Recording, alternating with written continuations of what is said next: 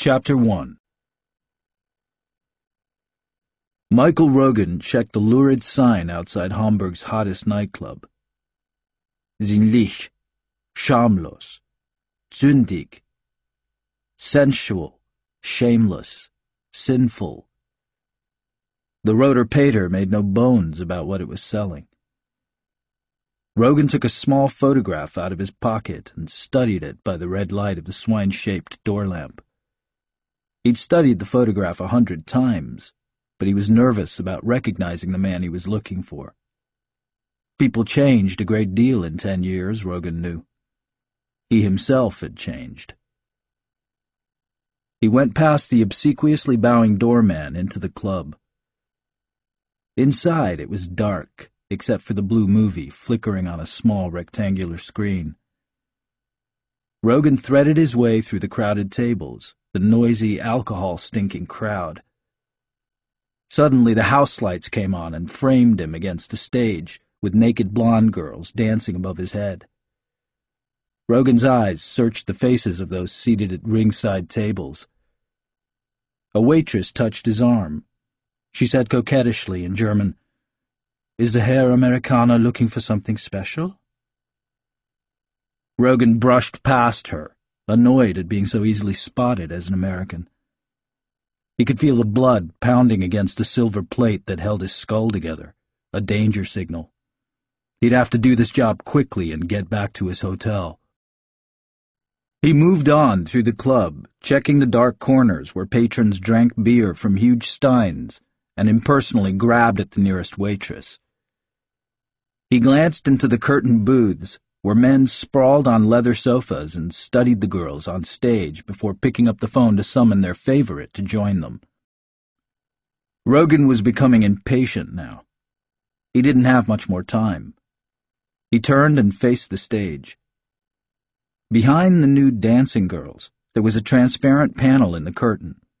Through the panel, the patrons could see the next line of girls getting ready to go on stage, and they applauded every time one of the girls took off a bra or a stocking.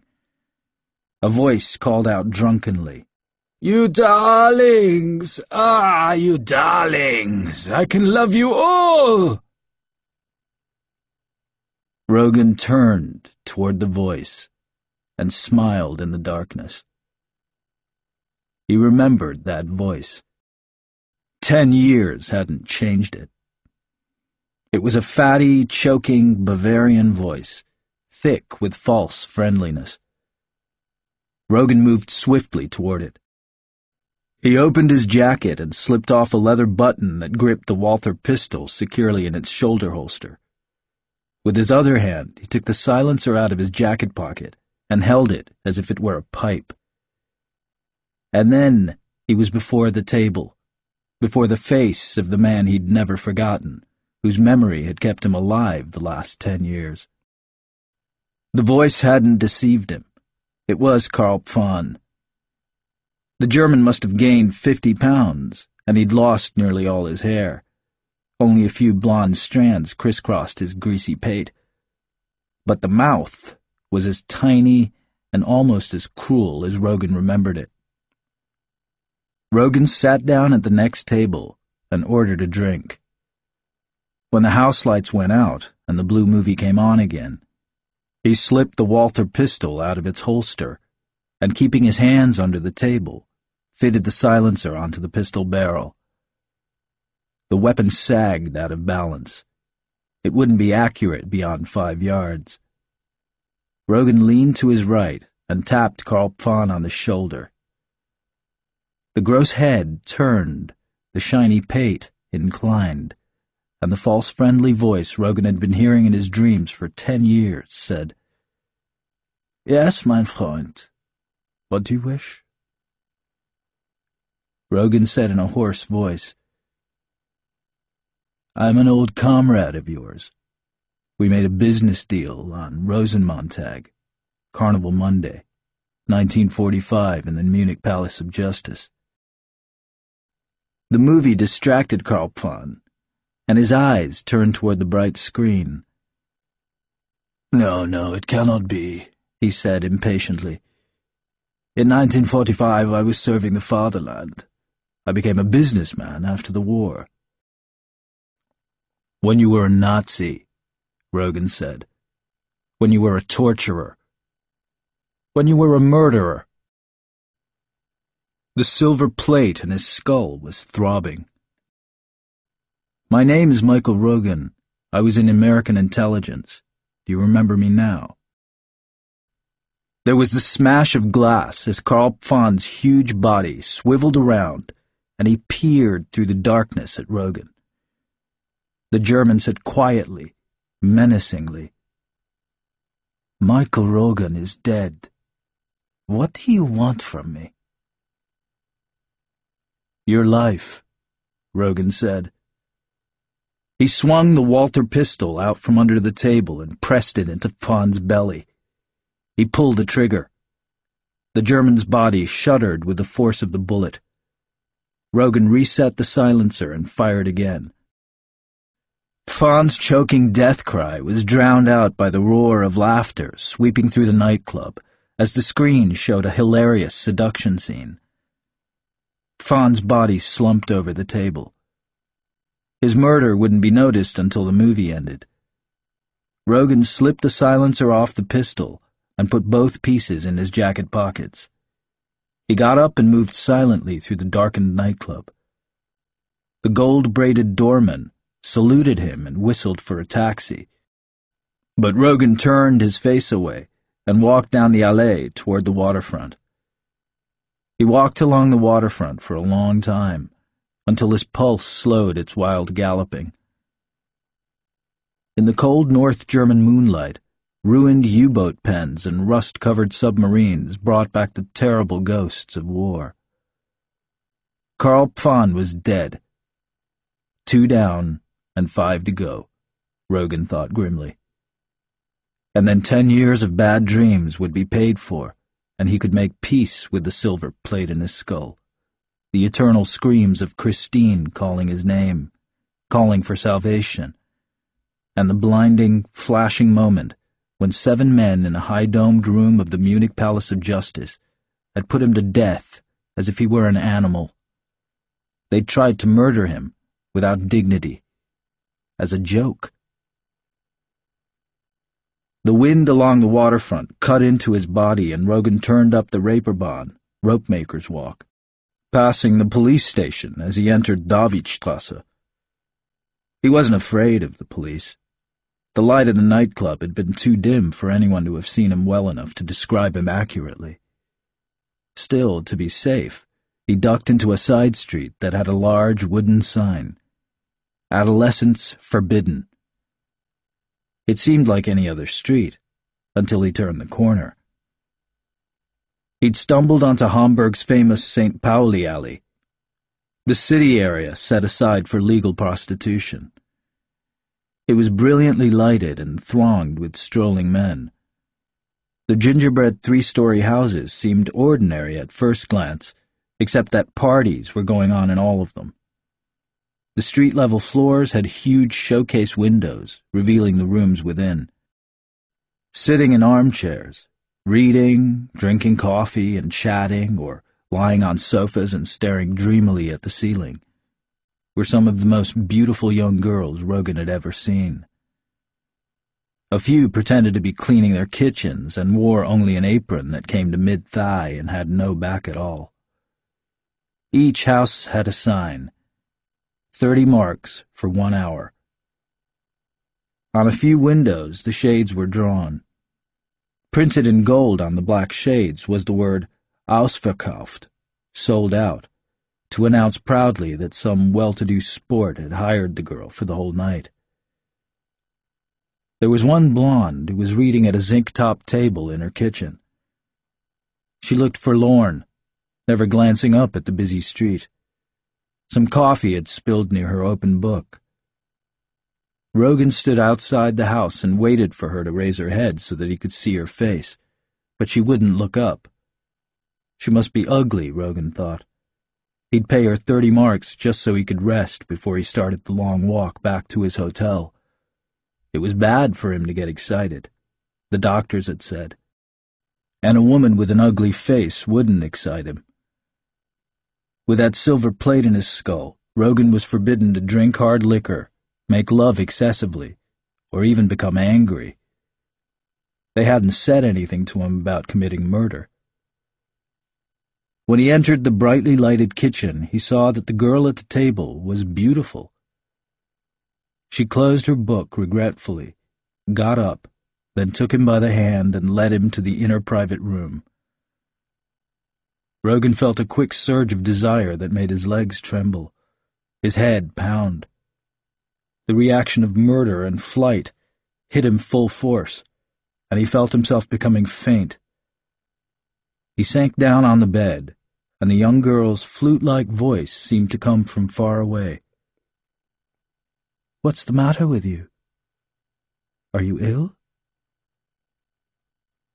Rogan shook his head and fumbled with his wallet. He spread a sheaf of bills on the bed and said, I'm buying you for the night. Pull down your shade, then just let me sleep. As she went back into the kitchen, Rogan took a small bottle of pills from his shirt pocket and popped two of them into his mouth. It was the last thing he remembered doing before he lost consciousness. When Rogan awoke, the gray dawn smeared through dusty back windows to greet him. He looked around. The girl was sleeping on the floor beneath a thin blanket. A faint scent of roses came from her body. Rogan rolled over so that he could get out of the bed on the other side. The danger signals were gone. The silver plate no longer throbbed. The headache had vanished. He felt rested and strong. Nothing had been taken from his wallet. The Walther pistol was still in his jacket pocket. He'd picked an honest girl who also had common sense, Rogan thought. He went around to the other side of the bed to wake her up, but she was already struggling to her feet, her beautiful body trembling in the morning cold. The room smelled strongly of roses, Rogan noticed, and there were roses embroidered on the window curtains and on the bed sheets. There were even roses embroidered on the girl's sheer nightgown. She smiled at him. My name is Rosalie. I like everything with roses. My perfumes, my clothing, everything. She seemed girlishly proud of her fondness for roses, as if it gave her a special distinction. Rogan found this amusing. He sat on the bed and beckoned to her. Rosalie came and stood between his legs. He could smell her delicate perfume, and as she slowly took off her silk nightgown, he could see the strawberry-tipped breasts, the long white thighs. And then her body was folding around his own like soft, silky petals, and her full-lipped mouth bloomed open beneath his own fluttering helplessly with passion.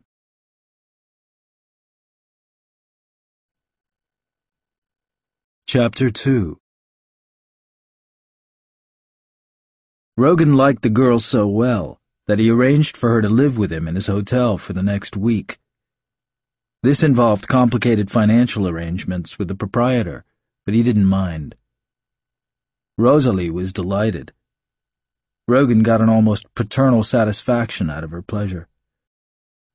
She was even more thrilled when she learned that his hotel was the world-famous Vier the famous luxurious hotel in post-war Hamburg, its service in the grand manner of the old Kaiser Germany. Rogan treated Rosalie like a princess that week.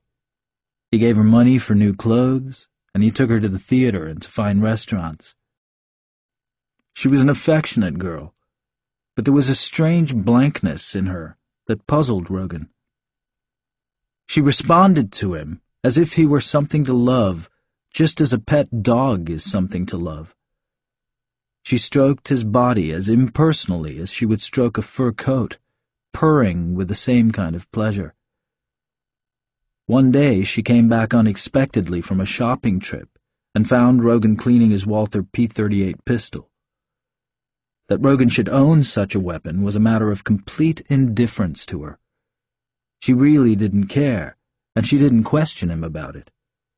Although Rogan was relieved that she reacted this way, he knew it wasn't natural. Experience had taught Rogan that he needed a week's rest after one of his attacks. His next move was to Berlin, and toward the end of the week, he debated whether or not to take Rosalie along to the divided city. He decided against it. Things might end badly, and she'd be hurt through no fault of her own. On the last night, he told her he'd be leaving her in the morning and gave her all the cash in his wallet. With that strange blankness, she took the money and tossed it on the bed. She gave no sign of emotion other than a purely physical one of animal hunger. Because it was their last night together, she wanted to make love for as long as possible. She began to take off her clothes. As she did so, she asked casually, why must you go to Berlin? Rogan studied her creamy shoulders. Business, he said. I looked in your special envelopes, all seven of them. I wanted to know more about you. She pulled off her stockings. The night you met me, you killed Karl Pfann, and his envelope and photograph were marked with the number two. The envelope and picture of Albert Moltke are marked number one, so I went to the library and found the Vienna newspapers. Moltke was killed a month ago. Your passport shows you were in Austria at that time.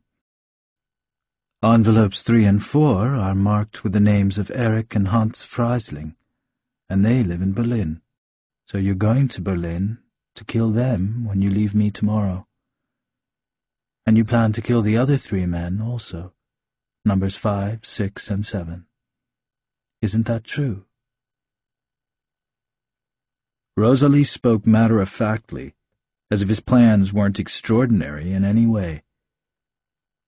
Naked, she sat on the edge of the bed, waiting for him to make love to her. For a bizarre moment, Rogan thought of killing her, and rejected it and then he realized that it wouldn't be necessary. She would never betray him. There was that curious blankness in her eyes, as if she had no capacity to distinguish between good and evil. He knelt before her on the bed and bent his head between her breasts. He took her hand in his, and it was warm and dry. She wasn't afraid. He guided her hand to the back of his skull, made her run her fingers over the silver plate.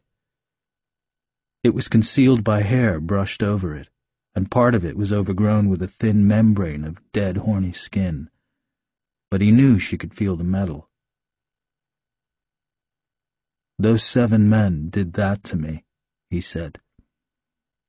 It keeps me alive, but I'll never see any grandchildren. I'll never live to be an old man sitting in the sun. Her fingers touched the back of his skull, not recoiling from the metal or the horny dead flesh. I'll help you if you want me to, she said. And he could smell the scent of roses on her, and he thought, knowing it was sentimental, that roses were for weddings, not for death. No, he said. I'll leave tomorrow. Forget about me. Forget you ever saw those envelopes. Okay? Okay, Rosalie said. I'll forget about you. She paused, and for a moment that curious emptiness left her, and she asked, Will you forget about me? No, Rogan said.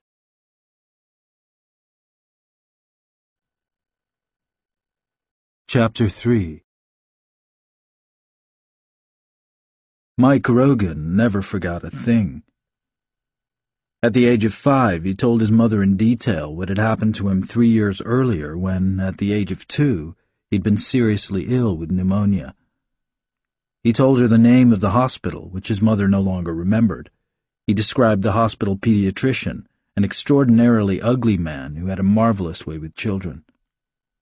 The pediatrician would even let youngsters play with the star-shaped disfiguring wen on his chin so that they wouldn't be afraid of it. Michael Rogan remembered trying to pull the wen off and the pediatrician letting out a comical ouch. His mother was astounded by and a little fearful of Michael's memory feat, but his father was overjoyed. Joseph Rogan was a hard-working accountant and he'd visions of his son becoming a CPA before he was 21 and earning a good living. His thoughts went no further until little Michael Rogan came home from kindergarten with a note from his teacher. The note informed the Rogans that parents and son should appear at the school principal's office the next day to discuss Michael's academic future. The interview was short and to the point. Michael couldn't be permitted to attend kindergarten with the rest of the children. He was a disruptive influence. He corrected the teacher when she left some little detail out of a story. He already knew how to read and write. He would have to be sent to a special school or take his chances in the higher grades immediately. His parents decided to send him to a special school. At the age of nine, when the other boys were running into the street with baseball gloves or footballs, Michael Rogan would leave his house carrying a genuine leather briefcase that had his initials and address stamped on it in gold. Inside the briefcase was the text of whatever subject he was studying that particular week. It rarely took him more than a week to master a subject that normally required a year's study. He'd simply memorize all the texts by reading them once. And it was only natural that such a boy was considered a freak in his neighborhood. One day, a group of kids his own age surrounded Michael Rogan. One of them, a chunky blond boy, said to him, Don't you ever play? Rogan didn't answer. The blond boy said, You can play on my side. We're going to play football. All right, Michael said. I'll play. That day was a glorious day for him. He found out that he had good physical coordination and that he could hold his own playing football or fighting with other boys. He came home from supper with his expensive leather briefcase smeared with mud. He also had a black eye and puffy, bloody lips, but he was so proud and so happy that he ran to his mother shouting, I'm going to be on the football team. They picked me to be on the football team. Alice Rogan took one look at his battered face and burst into tears. She tried to be reasonable. She explained to her young son that his brain was valuable, that he should never expose it to any danger. You have an extraordinary mind, Michael, she said. Your mind may someday help humanity. You can't be like other boys. What if you should hurt your head playing football or fighting with another boy? Michael listened and understood. When his father came home that evening, he said almost the same thing. So Michael gave up all thoughts of being like ordinary boys. He had a precious treasure to guard for humanity. Had he been older, he would have realized that his parents were being pompous and a bit ridiculous about this treasure, but he hadn't yet acquired that kind of adult judgment. When he was thirteen, the other boys started to humiliate him, taunt him, knock his briefcase from his hands. Michael Rogan, obeying his parents, refused to fight and suffered humiliation. It was his father who began to have doubts about how his son was being brought up. One day, Joseph Rogan brought home huge, puffy boxing gloves and taught his son the art of self-defense. Joseph told him to stick up for himself, to fight if necessary, it's more important that you grow up to be a man, he said, than to be a genius. It was during his thirteenth year that Michael Rogan discovered he was different from ordinary boys in another way. His parents had always taught him to dress neatly and in an adult fashion because he spent so much of his time studying with adults. One day, a group of boys surrounded Rogan and told him they were going to take off his pants and hang them from a lamp post a routine humiliation most of the boys had undergone. Rogan went berserk when they put their hands on him. He sank his teeth into one boy's ear and ripped it partly from the boy's head. He got his hand around the ringleader's throat and throttled him, despite other boys kicking and punching him to make him let go. When some grown-ups finally broke up the fight, three of the group and Rogan had to be hospitalized. But nobody ever bothered him again. He was shunned, not only as a freak, but as a violent freak. Michael Rogan was intelligent enough to know that his rage wasn't natural, that it sprang from some deeper source, and he came to understand what it was. He was enjoying the fruits of his extraordinary memory, his intellectual powers, without having done anything to deserve them, and he felt guilty about it. He talked of his feelings with his father, who understood and started to make plans for Michael to lead a more normal life. Unhappily, Joseph Rogan died of a heart attack before he could help his son. Michael Rogan, going on 15, was tall, strong, and well coordinated. He was absorbing knowledge on the advanced levels now. And under the complete dominance of his mother, he really believed that his mind was a sacred trust to be guarded for its future use to humanity. By this time, he had his M.A and was studying for his MS. His mother treated him like a reigning king. That year, Michael Rogan discovered girls. In this, he was perfectly normal. But he discovered to his chagrin that girls were afraid of him and treated him with giggling teenage cruelty. He was so intellectually mature that once again he was regarded as a freak by those his age.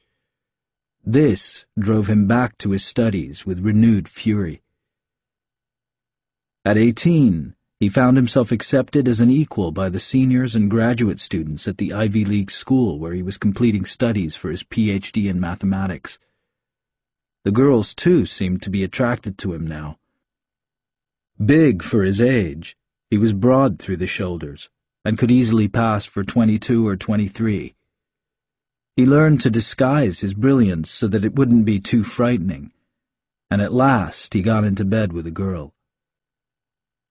Marion Hawkins was a blonde who was dedicated to her studies, but she was also dedicated to all-night parties.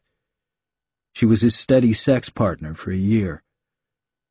Rogan neglected his studies, drank a great deal of beer, and committed all the natural stupidities of a normal growing boy. His mother was distressed at this turn of events, but Rogan didn't let her distress bother him at all. Though he'd never admit it to himself, he disliked his mother. The Japanese attacked Pearl Harbor on the day Rogan was assured of his doctorate.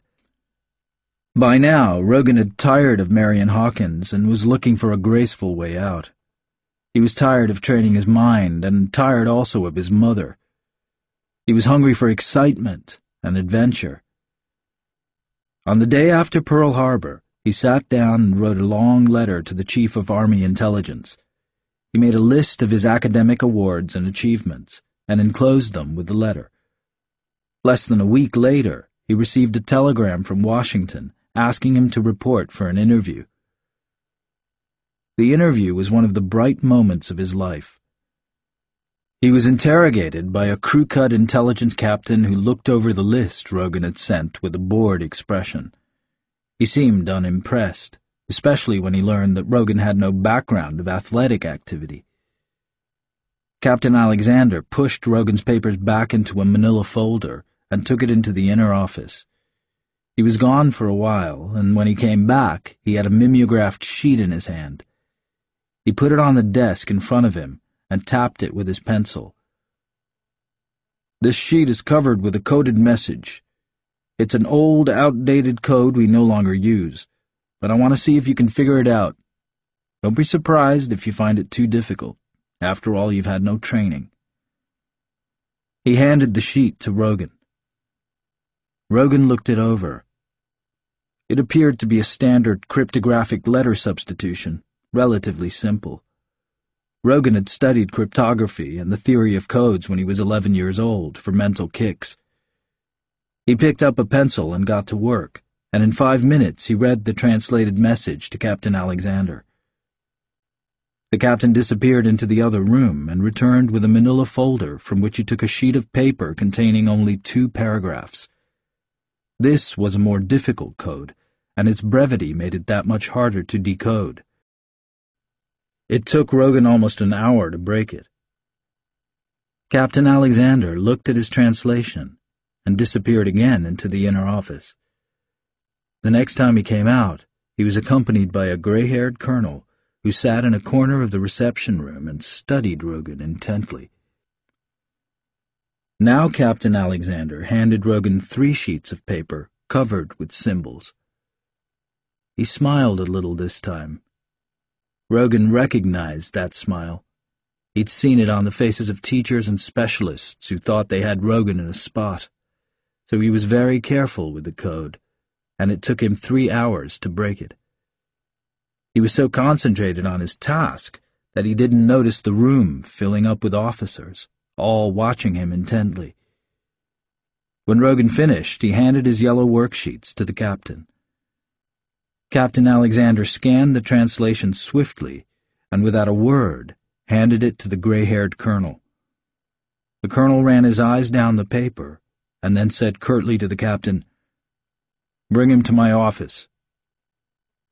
To Rogan, the whole thing had been an enjoyable exercise, and he was startled to see the colonel looked worried. The first thing he said to Rogan was, You've made this a bad day for me, young man.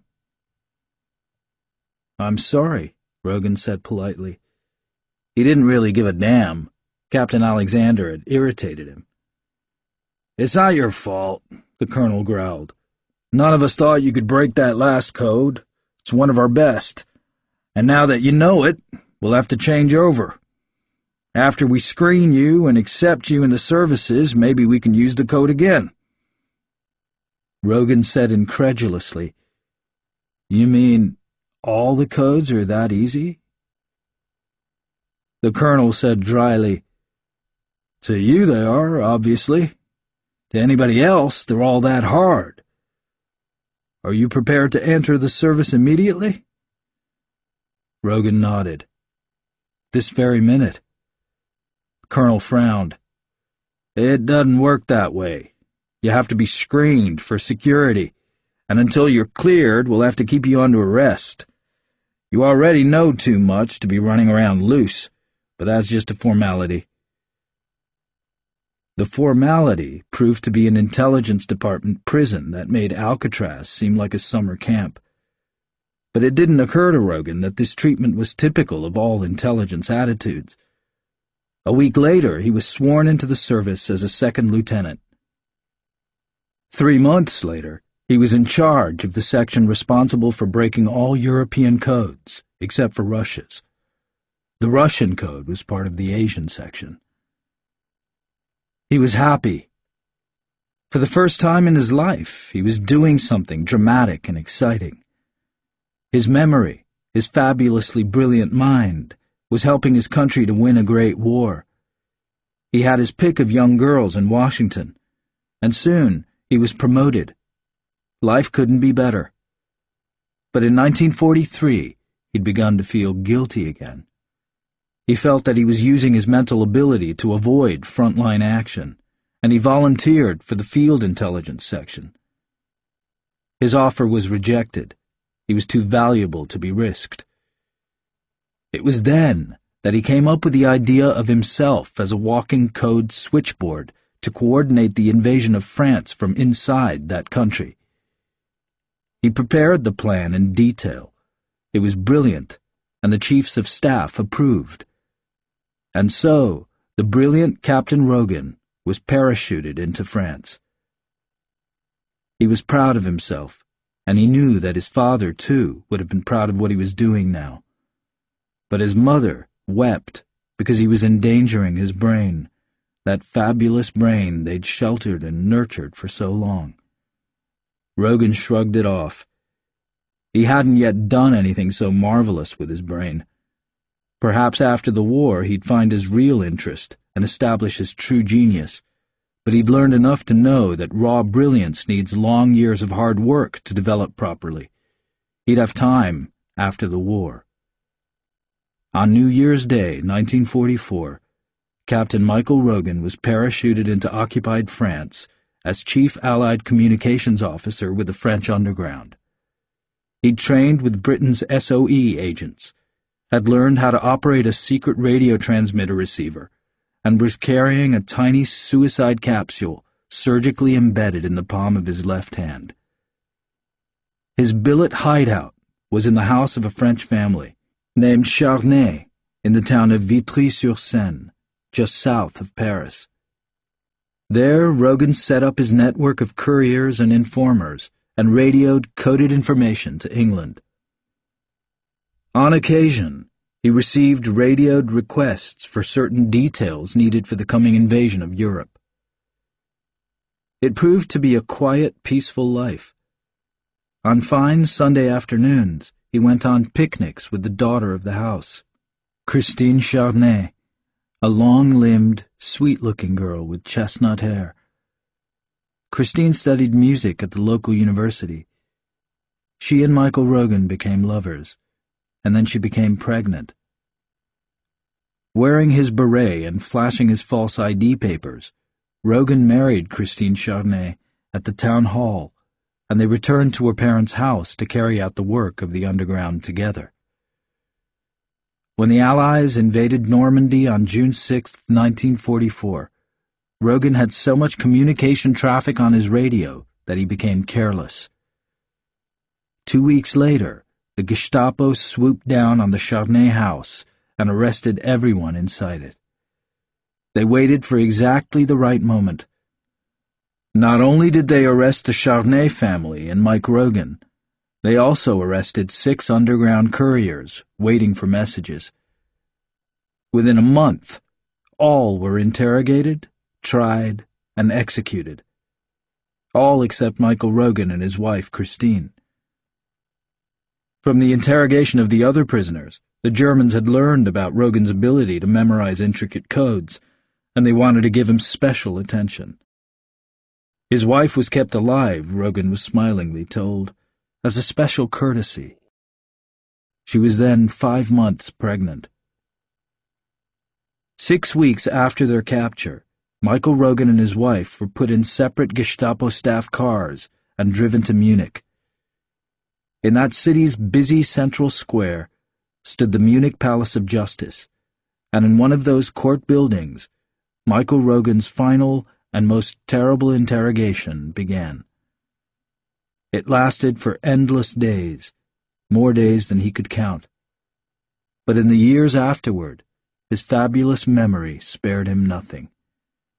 It repeated his agony second by second, over and over again. He suffered a thousand separate nightmares. And it always began with the seven-man interrogation team waiting for him in the high-domed room of the Munich Palace of Justice, waiting patiently and with good humor for the sport that would give them pleasure. All seven wore swastika armbands, but two men wore tunics of different shades. From this and the collar insignia, Rogan knew that one of them was with the Hungarian armed forces, and the other was with the Italian army.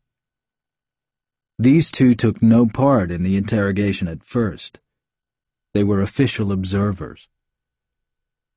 The chief of the interrogation team was a tall, aristocratic officer with deep-set eyes. He assured Rogan that all they wanted was the code stored in his head, and then Rogan and his wife and the unborn child would live. They hammered at him all that first day, and Rogan stood mute. He refused to answer any questions. Then on the night of the second day, he heard Christine's voice screaming for help in the next room. She kept calling his name, screaming, Michael, Michael, over and over. She was in agony. Rogan looked at the burning eyes of the chief interrogator and whispered, Stop that. Stop. I'll tell you everything. For the next five days, he gave them old, discarded code combinations. In some way, perhaps by comparing them with intercepted messages, they learned what he was doing. The next day, they seated him in the chair and stood around in a circle. They didn't question him. They didn't touch him. The man in the Italian uniform disappeared into the other room. A few moments later, Rogan heard his wife screaming in agony again. The pain in her voice was beyond belief. Rogan started to whisper that he would tell them everything, anything they wanted to know, but the chief interrogator shook his head. They all sat in silence as the screams pierced the walls and their brains, until Rogan slipped from his chair to the floor, weeping, almost unconscious with grief. Then they dragged him across the floor of the high-domed room and into the next chamber. The interrogator in the Italian uniform was sitting beside a phonograph. The twirling black record sent Christine's screams shrieking through the Palace of Justice. You never tricked us, the chief interrogator said contemptuously. We outwitted you.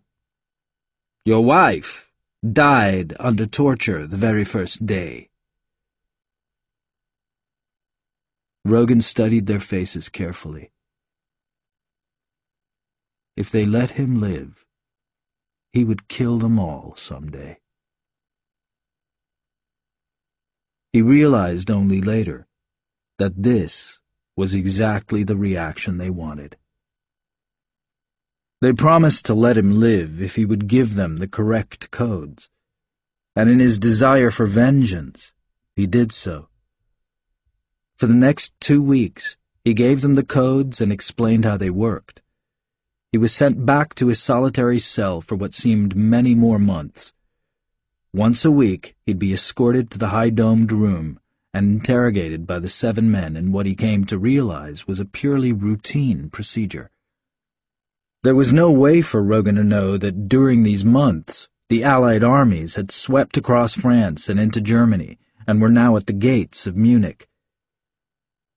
When he was summoned for his final interrogation, he couldn't know that the seven interrogators were about to flee and disguise their identities disappear into the mass of Germans in a desperate effort to escape punishment for their crimes.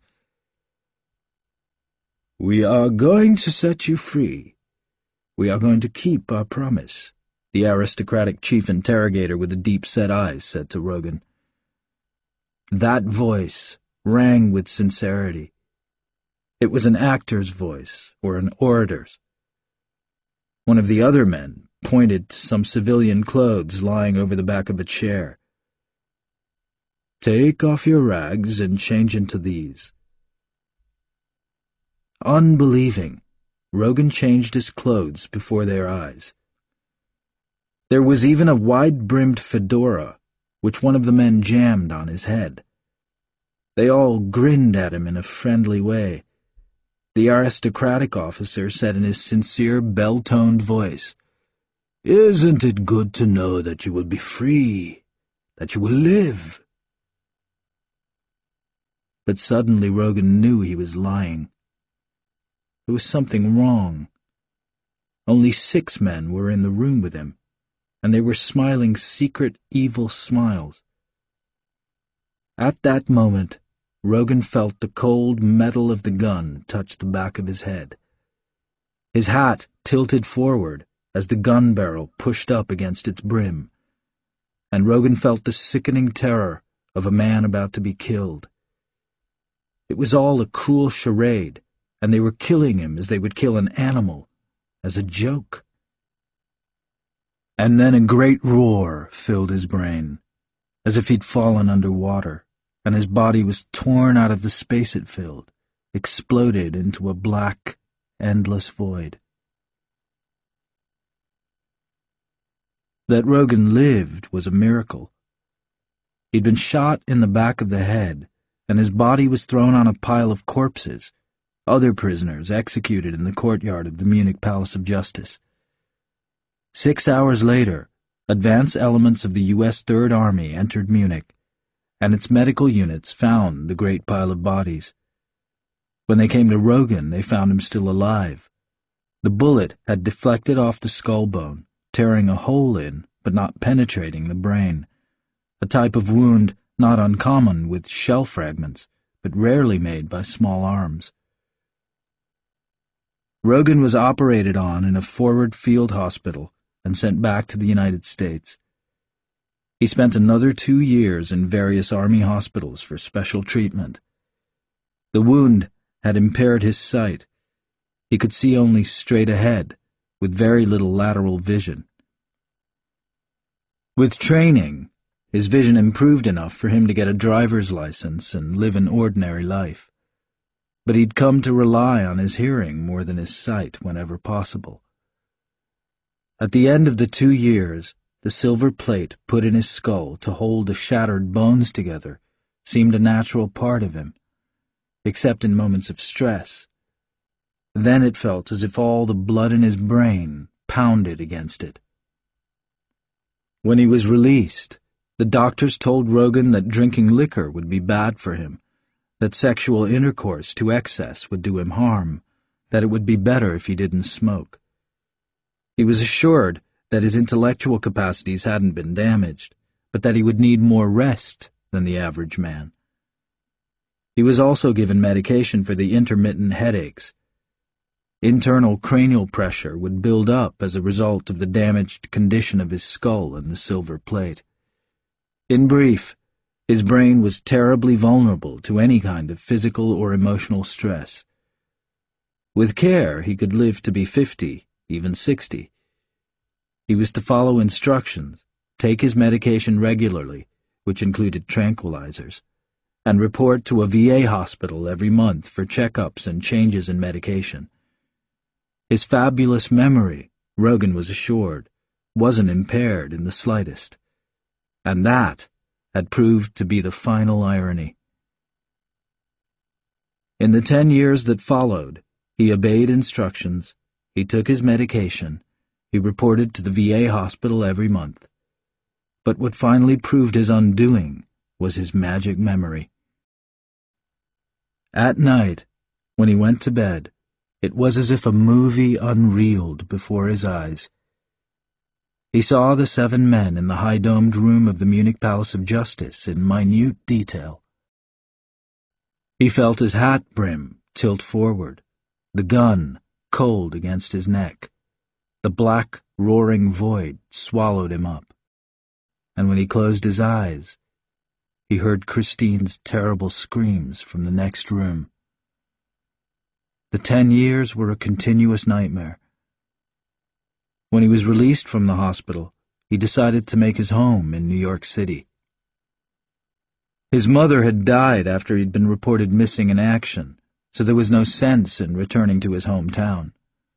And he thought that in New York he might find the proper use for his abilities. He got a job with one of the mammoth insurance companies. The work was one of simple statistical analysis, but to his amazement he found it was beyond him. He couldn't concentrate. He was discharged for incompetence, a humiliation that set him back physically as well as mentally. It also increased his distrust of his fellow human beings. Where the hell did they come off, firing him after he'd had his head blown apart protecting their skins during the war? He took a job as a government clerk in the Veterans Administration Building in New York. He was given a GS-3 grade, which paid him $60 a week, and asked to do only the simplest of tasks in filing and sorting. Millions of new files were being set up on the new veterans of World War II, and it was this that started him thinking about computers. But it was to be two years later before his brain could really work out the complicated mathematical formulae that such computer systems needed. He lived a drab existence in the great city, his $60 a week was barely enough to cover necessary expenses, such as the little efficiency apartment on the outskirts of Greenwich Village, frozen foods, and whiskey. He needed the whiskey to get drunk enough so that he wouldn't dream when he slept. spending every working day filing dreary documents. He'd come home to the shabby apartment and cook frozen foods to warm, tasteless pulp.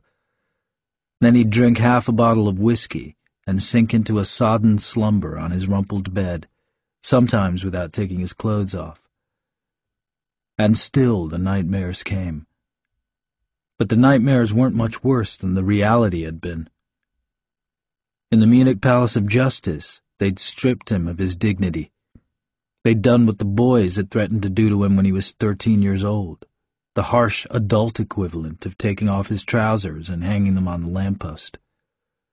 They'd mixed laxatives with this food and that, along with the fear and the thin gruel that was called oatmeal at breakfast and stew at night, made his bowels uncontrollable. The food ran through him. When he was dragged out of his cell for the daily interrogation at the long table, he could feel the seat of his pants sticky against his buttocks. He could smell the stench. But worse, he could see the cruel grins on the faces of his interrogators, and he'd feel ashamed as a little boy feels ashamed. And yet in some way, it made him feel closer to the seven men who were torturing him. Now, years later, alone in his apartment, he'd relive the physical indignities. He was shy and wouldn't go out of the apartment to meet people nor would he accept invitations to parties. He met a girl who worked as a clerk in the VA building, and with a tremendous effort of will made himself respond to her obvious interest. She came to his apartment for a drink and dinner, and made it plain that she was willing to stay the night. But when Rogan went to bed with her, he was impotent. It was a few weeks after this that his supervisor called him into the personnel office. The supervisor was a World War II veteran who thought that his job of supervising 30 file clerks proved he was mentally superior to the men under him. Trying to be kind to Rogan, he said, Maybe this work is just a little too hard for you right now. Maybe you should do some kind of physical work, like running the elevator. You know what I mean? The very fact that it was well-intentioned made it more galling to Rogan.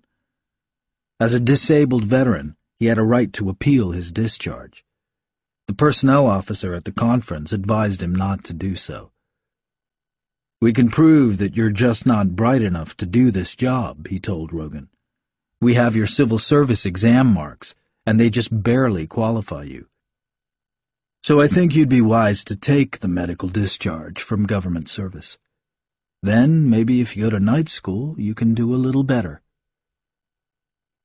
Rogan was so astonished that he burst out laughing. He reasoned that part of his file must be missing, or that these people thought he had filled out his forms falsely. That was it, he thought, as he saw them smiling at him. They thought he'd faked everything in his educational files. Rogan laughed again and walked out of the personnel office, out of the building, out of the insultingly drab job that he couldn't even perform properly. He never went back, and one month later he received his employment discharge in the post. He was reduced to living on his disability pension, which he had previously never touched. With more time on his hands, he drank more. He took a room near the Bowery and became one of the countless derelicts who spent the day drinking cheap wine until they became unconscious. Two months later, he was back in the Veterans Administration as a patient. But not for his head wound. He was suffering from malnutrition and so dangerously debilitated that a common cold might finish him off. It was while he was in the hospital that he ran into one of his childhood friends, Philip Hauk, who was being treated for an ulcer. It was Hauk, now a lawyer, who got Rogan his first job with computers. It was Hauk who brought Rogan into some contact with humanity again by reminding him of his former brilliance. But it was a long, hard road coming back. Rogan stayed in the hospital for six months, the first three to dry out. The final three months, he underwent new tests on his skull injury, plus special mental fatigue tests. For the first time, a complete and correct diagnosis was made. Michael Rogan's brain retained its almost superhuman memory capacity and some of its creative brilliance, but it couldn't stand up to long, uninterrupted use or extended stress without blurring with fatigue.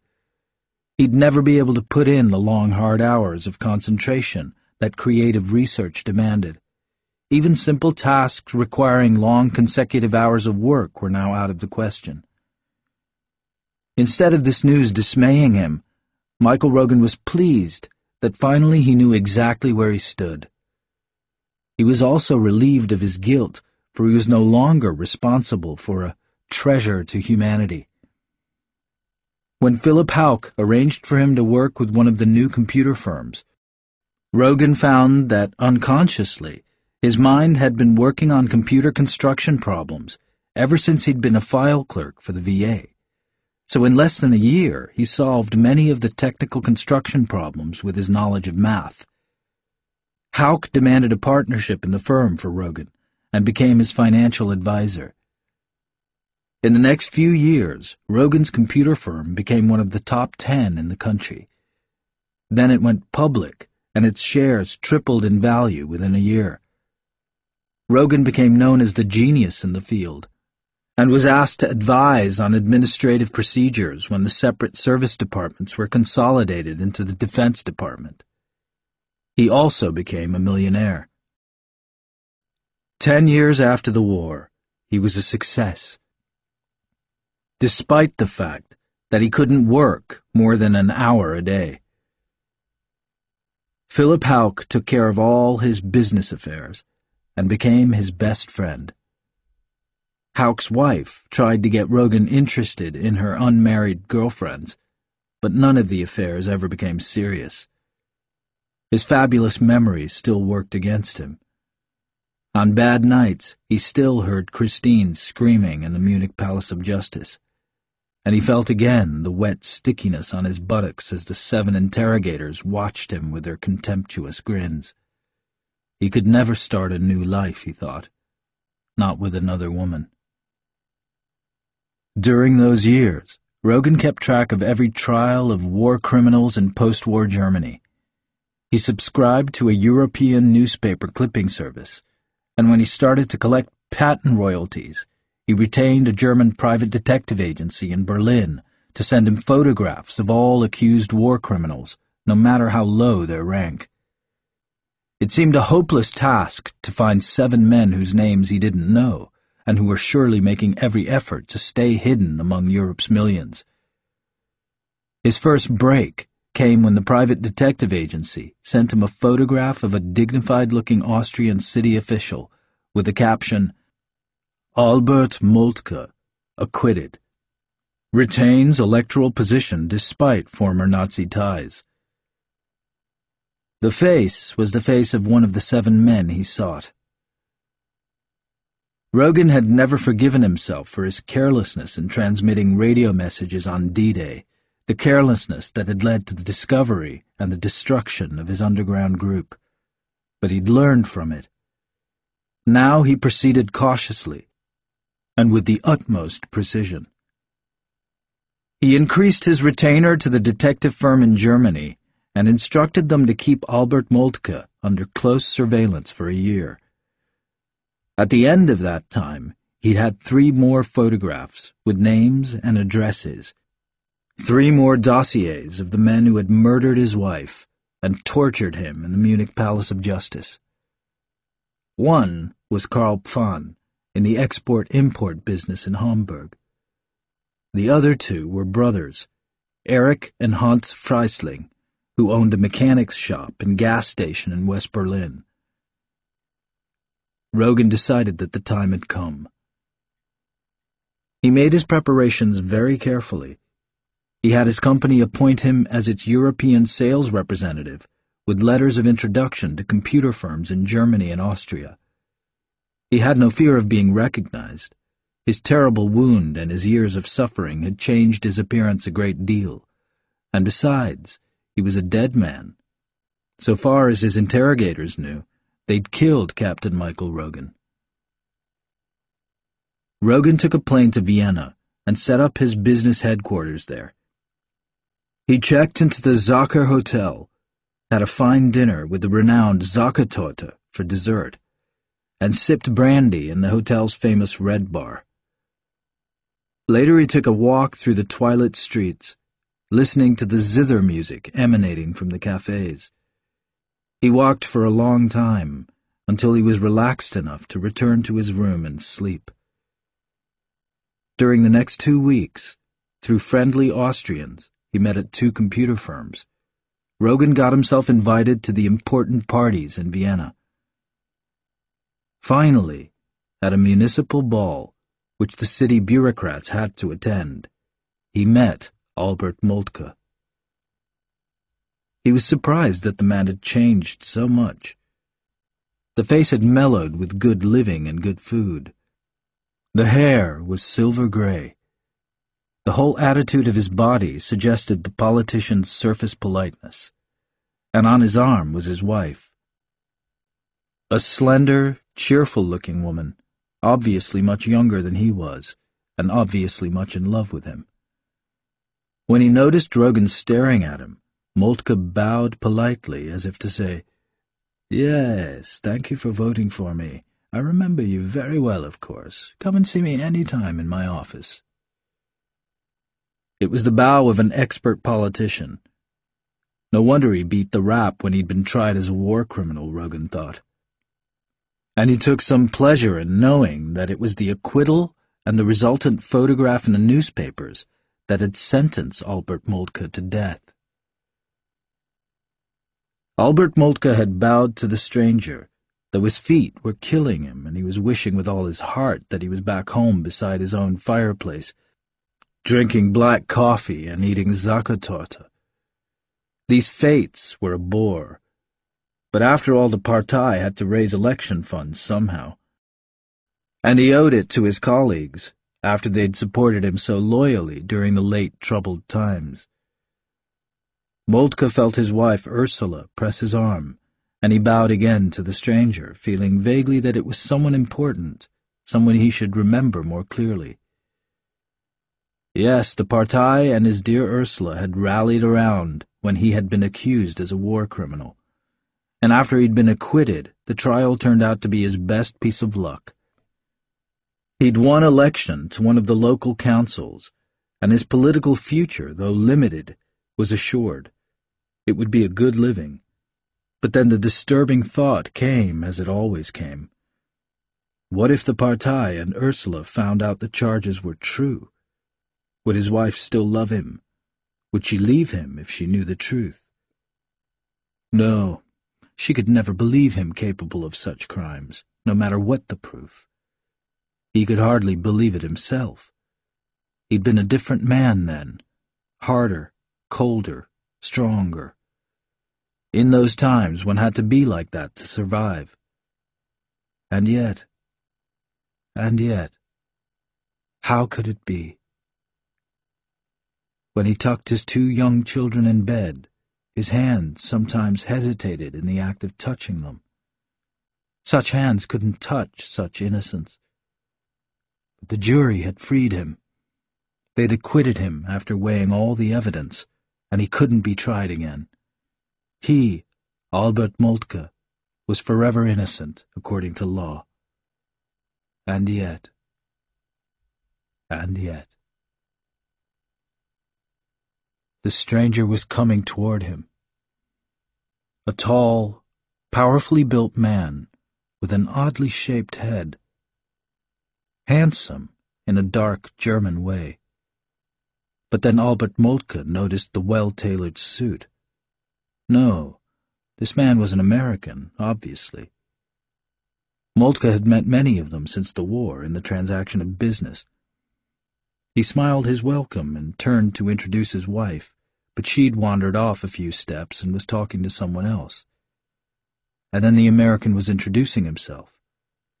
His name sounded something like Rogan, and this, too, was vaguely familiar to Moltke. Congratulations on your promotion to the Rekordat, and congratulations on your acquittal some time ago. Moltke gave him a polite smile. He recited his standard speech. A patriotic jury did its duty and decided, fortunately for me, for an innocent fellow German. They chatted a while. The American suggested that he could use some legal help on setting up his computer business. Moltke became interested. He knew that the American really meant he wanted to bypass a few city taxes. Moltke, knowing from past experience that this could make him rich, took the American by the arm and said, why don't we get a little bit of fresh air? Take a little stroll. The American smiled and nodded. Moltke's wife didn't see them leave. As they walked through the city streets, the American asked casually, Don't you remember my face? Moltke grimaced and said, My dear sir, you do seem familiar, but I meet a lot of people after all. He was a little impatient. He wished the American would get down to business. With a slight sense of uneasiness, Moltke realized that now they were walking in a deserted alley. Then the American leaned close to Moltke's ear and whispered something that almost made his heart stop beating. Do you remember Rosenmontag, 1945, in Munich, in the Palace of Justice?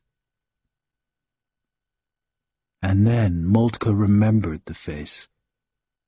And he wasn't surprised when the American said, My name is Rogan. With the fear that flooded through him, there was overwhelming shame, as if, for the first time, he truly believed in his own guilt. Rogan saw the recognition in Moltke's eyes. He steered the little man deeper into the alley, feeling Moltke's body trembling, trembling under his arm. I won't hurt you, he said. I only want some information about the other men, your comrades. I know Karl Pfann and the Freisling brothers. What were the names of the other three men, and where can I find them? Moltke was terrified. He started running, clumsily down the alley, Rogan ran beside him, sprinting easily, as if the two of them were trotting together for exercise. Coming up on the Austrian's left side, Rogan drew the Walther pistol from his shoulder holster. Still running, he fitted the silencer onto the barrel. He felt no pity. He considered no mercy. Moltke's sins were etched in his brain, committed a thousand times in his memory. It had been Moltke who had smiled when Christine screamed in the next room, and who had murmured, Come, don't be so much a hero at your poor wife's expense. Don't you want your child to be born? So reasonable, so persuasive, when he knew that Christine was already dead. Moltke was the least of them, but the memories of him had to die. Rogan fired two shots into Moltke's side. Moltke swooped forward in a falling glide, and Rogan kept running, out of the alley and onto a main street. The next day, he took a plane to Hamburg. In Hamburg it had been easy to track down Karl Pfann. Pfann had been the most brutal of the interrogators, but in such an animal-like way that Rogan had despised him less than the others. Pfann had acted according to his true nature. He was a simple man, stupid and cruel. Rogan had killed him with less hatred than he'd killed Moltke. It had gone exactly according to plan.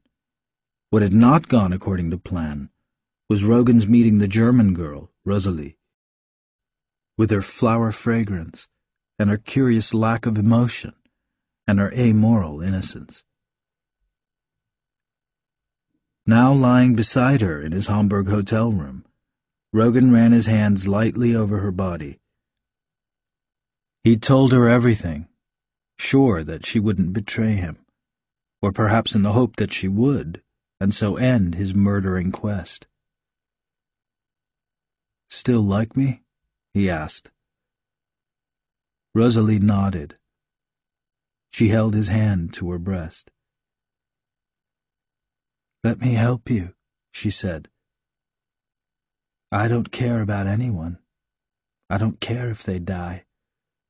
But I care about you a little bit. Take me to Berlin, and I'll do anything you want me to. Rogan knew she meant every word. He looked into her eyes and was troubled by the childlike innocence he saw there, and the emotional blankness, as if murdering and making love were, to her, equally permissible. He decided to take her along. He liked having her around, and she'd be a real help. Besides, there didn't seem to be anything or anyone else she cared about, and he'd never involve her in the actual executions. The next day, he took her shopping on the Esplanade and in the arcade of the Basler Hospiz. He bought her two new outfits that set off the pale rose skin, the blue of her eyes. They went back to the hotel and packed. And after supper, they caught the night flight to Berlin.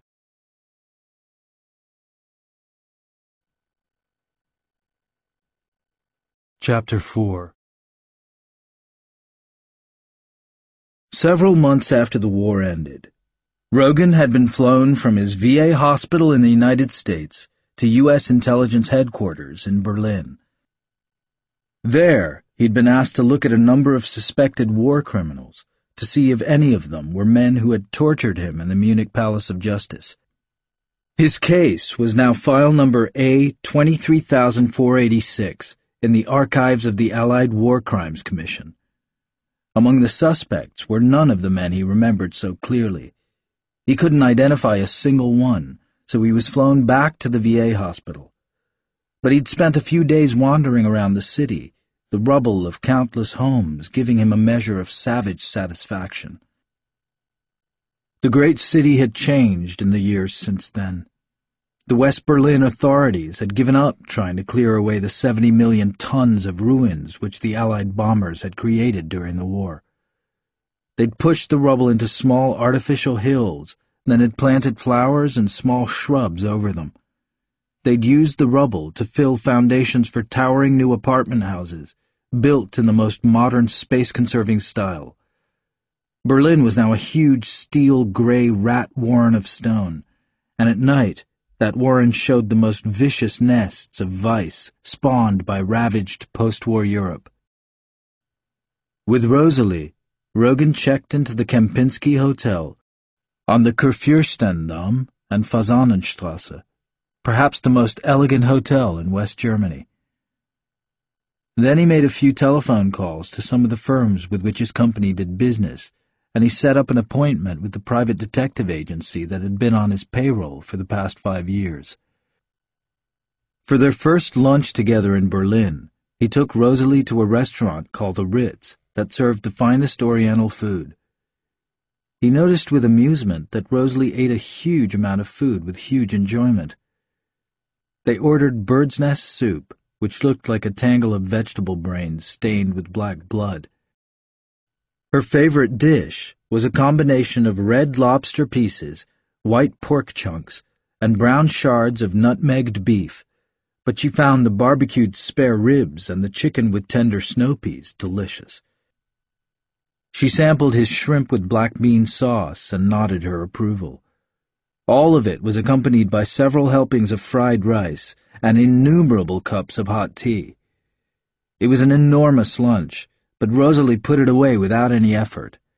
She'd just discovered that there was other food in the world besides bread, meat, and potatoes. Rogan, smiling at her pleasure, watched her finish off what was left on the silver-covered platters. In the afternoon, they went shopping along the Kurfürstendamm, whose brightly lit store windows trailed off into gray, empty storefronts as the boulevard approached the Berlin Wall. Rogan bought Rosalie an expensive gold wristwatch with a clever roof of precious stones that slid back when its owner wanted to know the time. Rosalie squealed with delight, and Rogan thought wryly that if the way to a man's heart was through his stomach, then the way to a woman's heart was paved with gifts but when she leaned over to kiss him, when he felt her soft, fluttering mouth on his own. His cynicism vanished. That evening, he took her to the El Dorado Club, where the waiters dressed as girls and the girls dressed as men. Then on to the Cherchel Femme, where pretty girls on the stage stripped as casually as if they were in their own private bedrooms, with intimate wriggles and vulgar scratches. Finally, the girls danced before huge mirrors, wearing only long black hose and saucy red caps on their heads. Rogan and Rosalie ended up at the Badewanne in Nürnbergerstrasse. They drank champagne and ate small, thick white sausages from large platters, using their fingers and wiping their hands on the tablecloth like everyone else. By the time they got back to their hotel suite, Rogan was almost sick with sexual desire. He wanted to make love immediately, but Rosalie, laughing, pushed him away and disappeared into the bedroom. Frustrated, Rogan took off his jacket and tie and started to mix a drink at the little bar that was part of every suite. In a few minutes, he heard Rosalie call, Michael, in her soft, almost adolescent sweet voice. He turned toward her. On her blonde head was a new hat he'd bought her in Hamburg, a lovely creation of green ribbon. On her legs were long black net stockings that reached almost to the tops of her thighs. Between the green hat and black stockings was Rosalie, in the flesh. She came toward him slowly, smiling that intently happy smile of a woman roused to passion. Rogan reached for her.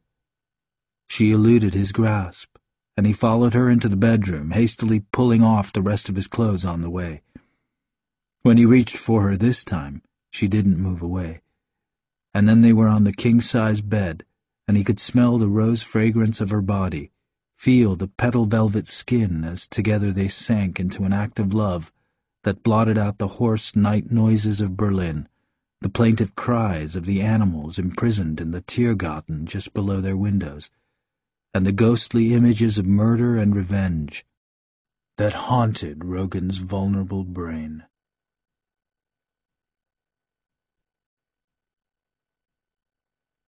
Chapter 5 Rogan wanted his first contact with the Freisling brothers to be casual. The next day, he rented a Mercedes, drove it to the brothers' gas station, and had the car checked. He was attended to by Hans Freisling, and when Rogan went to the office to pay his bill, Eric was there, in a leather chair, checking oil storage accounts. The brothers had both aged well, perhaps because they'd been unattractive to begin with. Age had tightened their loose, sly mouths. Their lips weren't so thick. They'd become smarter in their dress and less vulgar in their speech, but they hadn't changed in their treachery, though it was now petty larceny instead of murder. The Mercedes had been checked out that day by the rental agency and was in perfect condition. But Hans Freisling was charging him twenty marks for some minor mechanical adjustments, and telling him his fan belt would have to be replaced. Rogan smiled and asked him to replace it.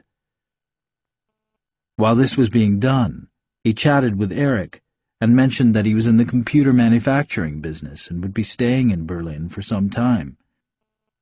He pretended not to see the sly, greedy interest on Eric Freisling's face. When Hans came in to tell him that the fan belt had been changed, Rogan tipped him generously and drove away.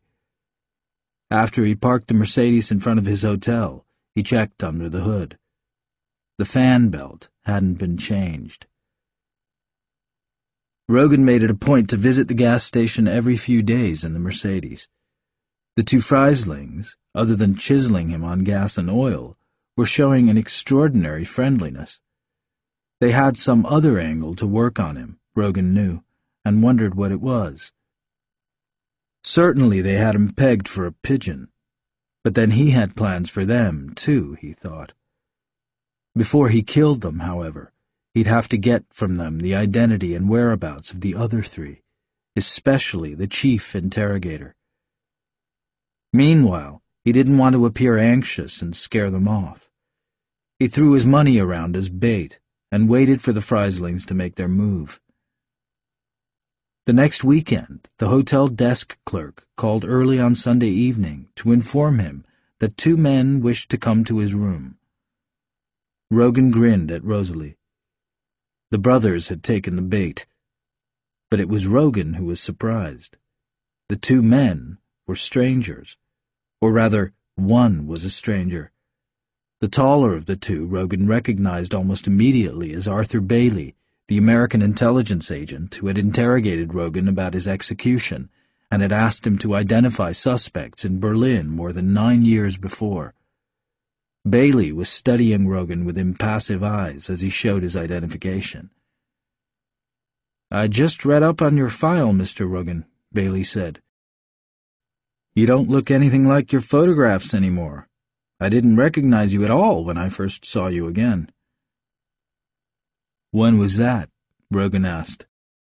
At the Freisling gas station a week ago, Bailey said.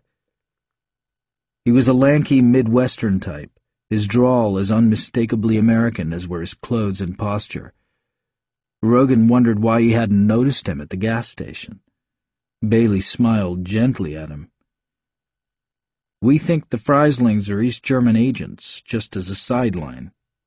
They're hustlers, so when you showed up there and got friendly, we checked you out. Called Washington, checked your visas and all that. Then I sat down and read your file. Something else clicked, and I went to the back files of the daily papers. And finally I figured it all out. You managed to track down those seven men in Munich, and now you've come back to knock them off. There was Moltke in Vienna and Pfann in Hamburg. The Freisling brothers are next on your list, right? I'm here to sell computers, Rogan said warily. That's all. Bailey shrugged. I don't care what you do. I'm not responsible for law enforcement in this country. But I'm telling you now, hands off the Freisling brothers. I've put in a lot of time to get the goods on them, and when I do, I'll bust up a whole East German spy setup. I don't want you knocking them off and leaving me with a blind trail. Suddenly it was clear to Rogan why the Freisling brothers had been so friendly to him. Are they after my data on the new computers? he asked Bailey. I wouldn't be surprised, he said. Computers, the new ones, were on the embargo list to red countries. But I'm not worried about that. I know what you want to give them, and I'm warning you. You do, and you have me for an enemy. Rogan stared at him coldly. I don't know what you're talking about, but let me give you some advice.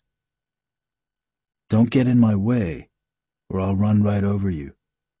And there isn't a damn thing you can do to me. I've got pipelines right into the Pentagon.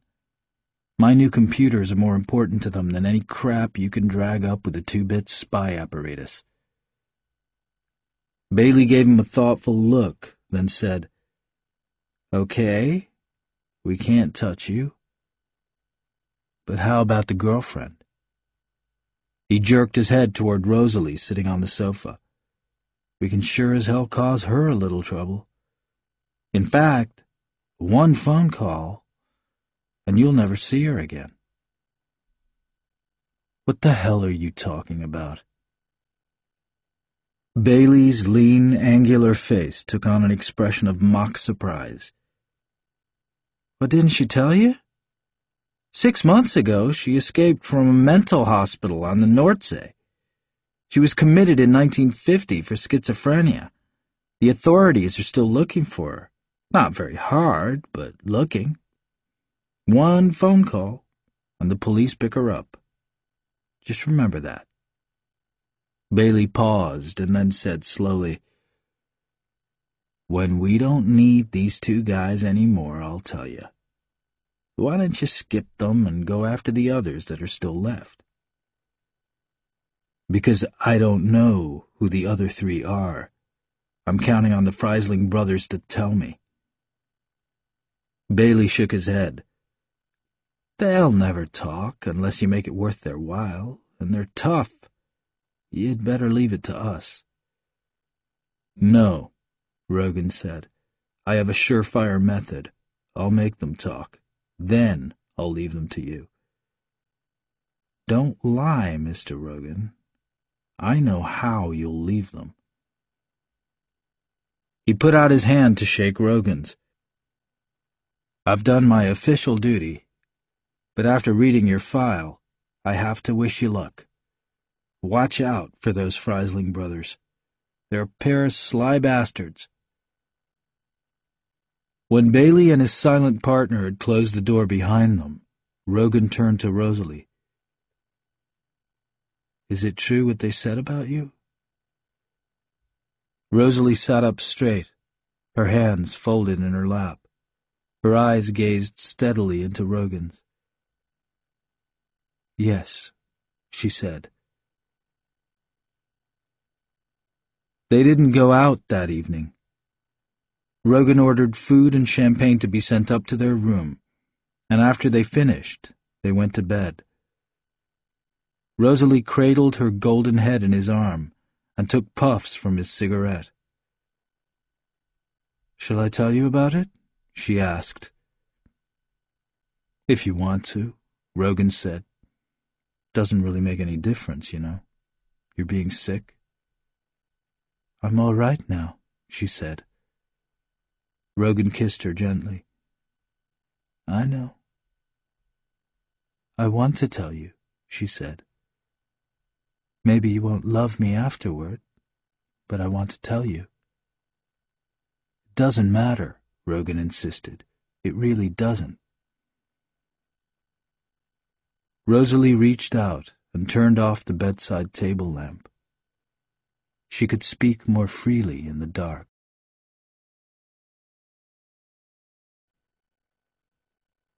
Chapter 6 How she had wept that terrible day in the spring of 1945. The world had come to an end when she was a daydreaming fourteen-year-old maiden. The great dragon of war had carried her away.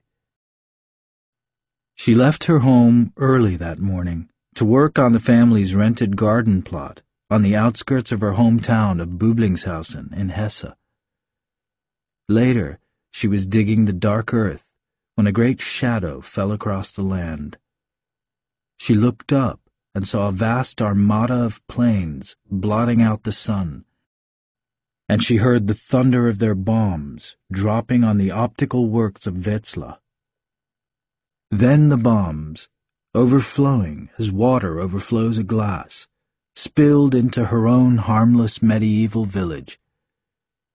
The badly frightened girl buried her face in the soft, wormy earth as the ground trembled violently.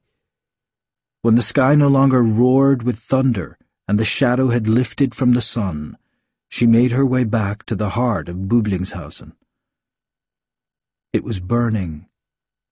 The gingerbread houses, like toys torched by a wanton child, were melting down into ashes.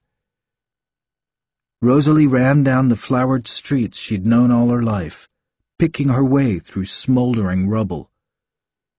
It was a dream, she thought. How could all these houses she'd known since childhood vanish so quickly? And then she turned into the street that approached her home in the Hintergasse, and she saw a row of naked rooms, tier on tier. And it was magic that she could see the houses of her neighbors and friends without any shielding walls, the bedrooms, the dining rooms, all set before her like a play on the stage. And there was her mother's bedroom, and her own kitchen that she'd known all the fourteen years of her life. Rosalie moved toward the entrance, but it was blocked by a hill of rubble. Sticking out of the vast pile of pulverized brick, she saw the brown-booted feet and checked trouser legs that were her father's. She saw other bodies covered with red and white dust. And then she saw the one solitary arm pointing with mute agony toward the sky. On one gray finger, the plated gold band that was her mother's wedding ring. Dazed, Rosalie sank down into the rubble. She felt no pain, no grief, only a peculiar numbness. The hours passed. Dusk was beginning to fall when she heard the continuous rumble of steel on crumbled stone. Looking up, she saw a long line of American tanks snaking through what had been Böblingshausen. They passed through the town, and there was silence.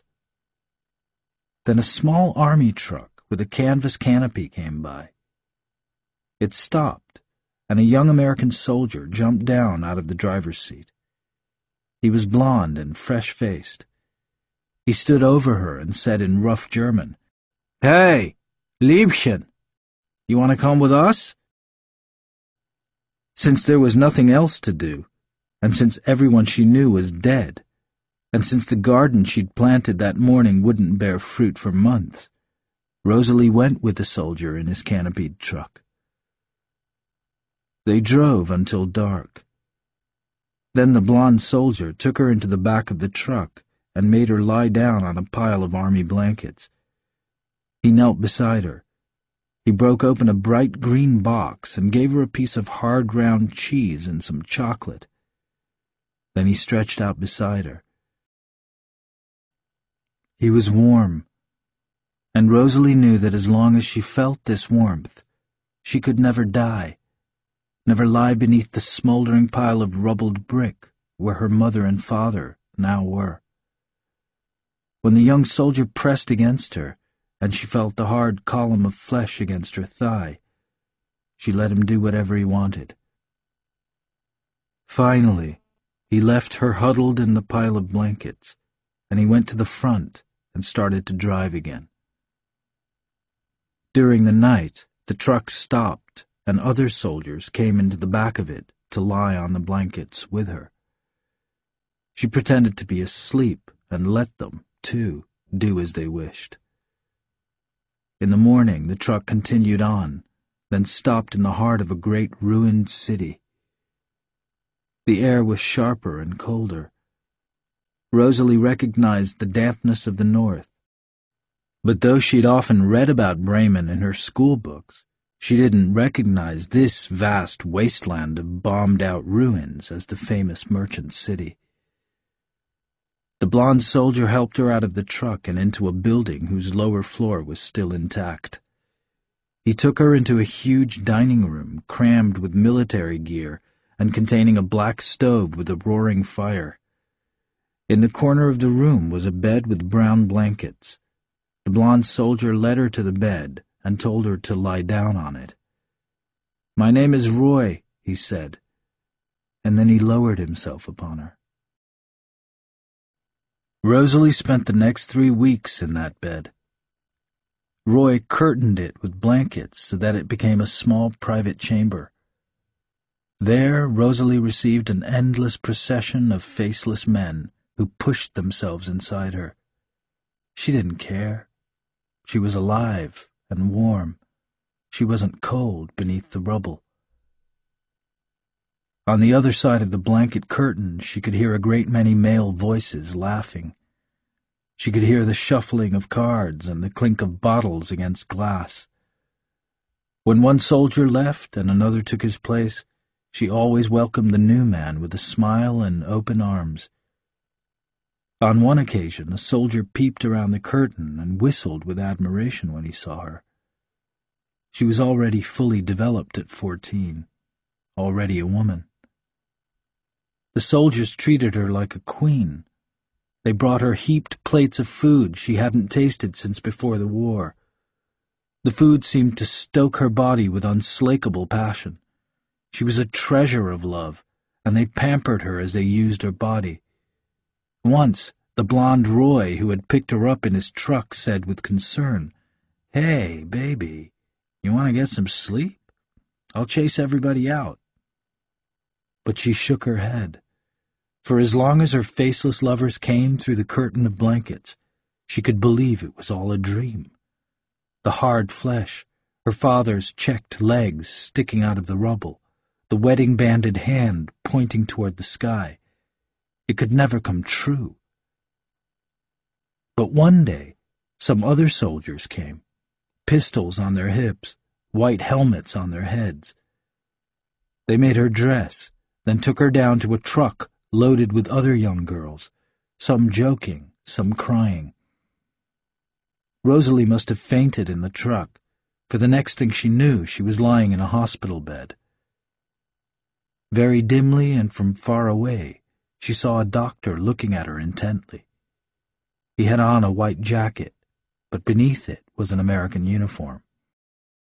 Lying on the cool white bed, she heard the doctor say, So this is the babe who has everything. Pregnant, too. We'll have to abort her. All that penicillin and fever killed the fetus. Such a beautiful kid, too. Rosalie laughed. She knew she was dreaming beside her garden patch outside Bumlingshausen, waiting to walk home to her father and mother. Perhaps there would be a letter from her older brother who was fighting in the east against Russia. But her dream was taking so long to end. She was frightened now. The dream was too terrible. She began to cry, and finally, she was truly awake.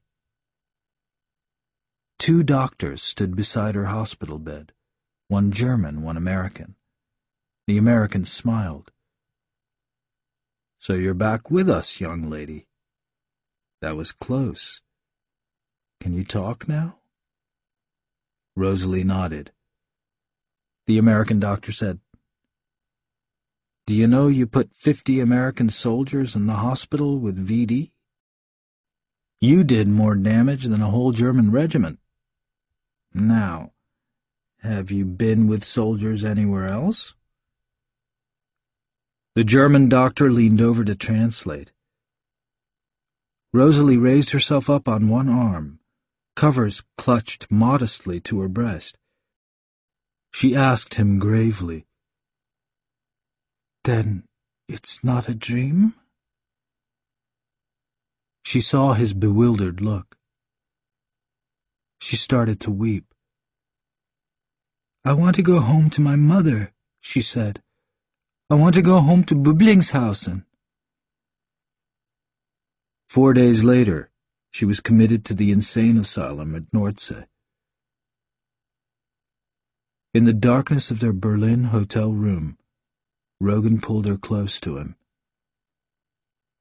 He understood now about her emotional blankness, her apparent lack of any moral values.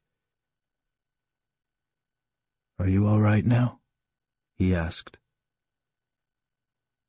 Yes, she said. Now I am.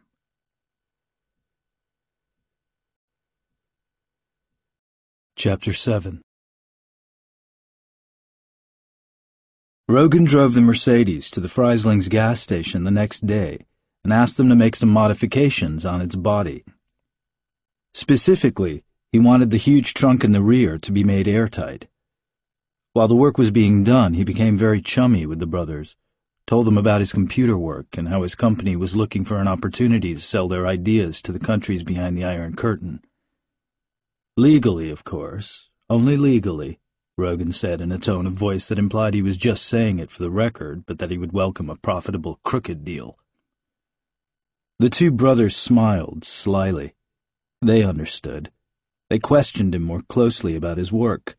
They asked him if he would be interested in making a tourist visit to East Berlin in their company. Rogan was delighted. Of course, he said eagerly, and pressed them for a specific date. But they smiled and said, Langsam, langsam, slowly, slowly. Several times they'd seen Rosalie with him, and they drooled over her beauty. Once, when Rogan had gone into the office to pay a bill, he'd come out to find Eric Freisling with his head inside the Mercedes, talking earnestly to Rosalie. As they drove away, Rogan asked Rosalie, What did he say to you? Rosalie answered impassively, He wanted me to sleep with him and spy on you. Rogan didn't say anything. As he parked in front of the hotel, Rosalie asked, Which brother was it that talked to me? What's his name? Eric, Rogan said. Rosalie smiled at him sweetly. When you kill them, let me help you kill Eric. The next day, Rogan was busy making his own personal modifications on the Mercedes. He spent the rest of the week driving around Berlin and thinking out his plans. How would he make the Freisling brothers give him the names of the last three men? One day he went past the huge parking area of Berlin's main railway station. Thousands of cars were parked there. Rogan grinned. A perfect cemetery.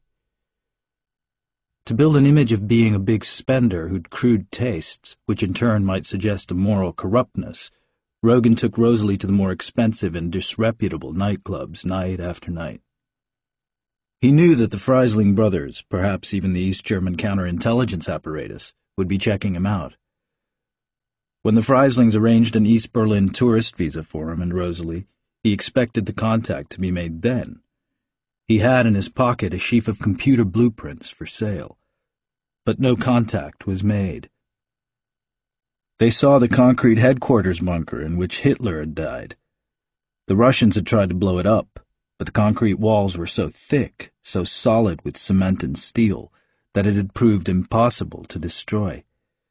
So this historic bomb shelter, which had witnessed the suicide of the most feared madman of all time, was now a grassy mound in the middle of a children's playground. Strolling farther on through the Hansa Quarter, bristling with huge, grey, avant-garde apartment buildings.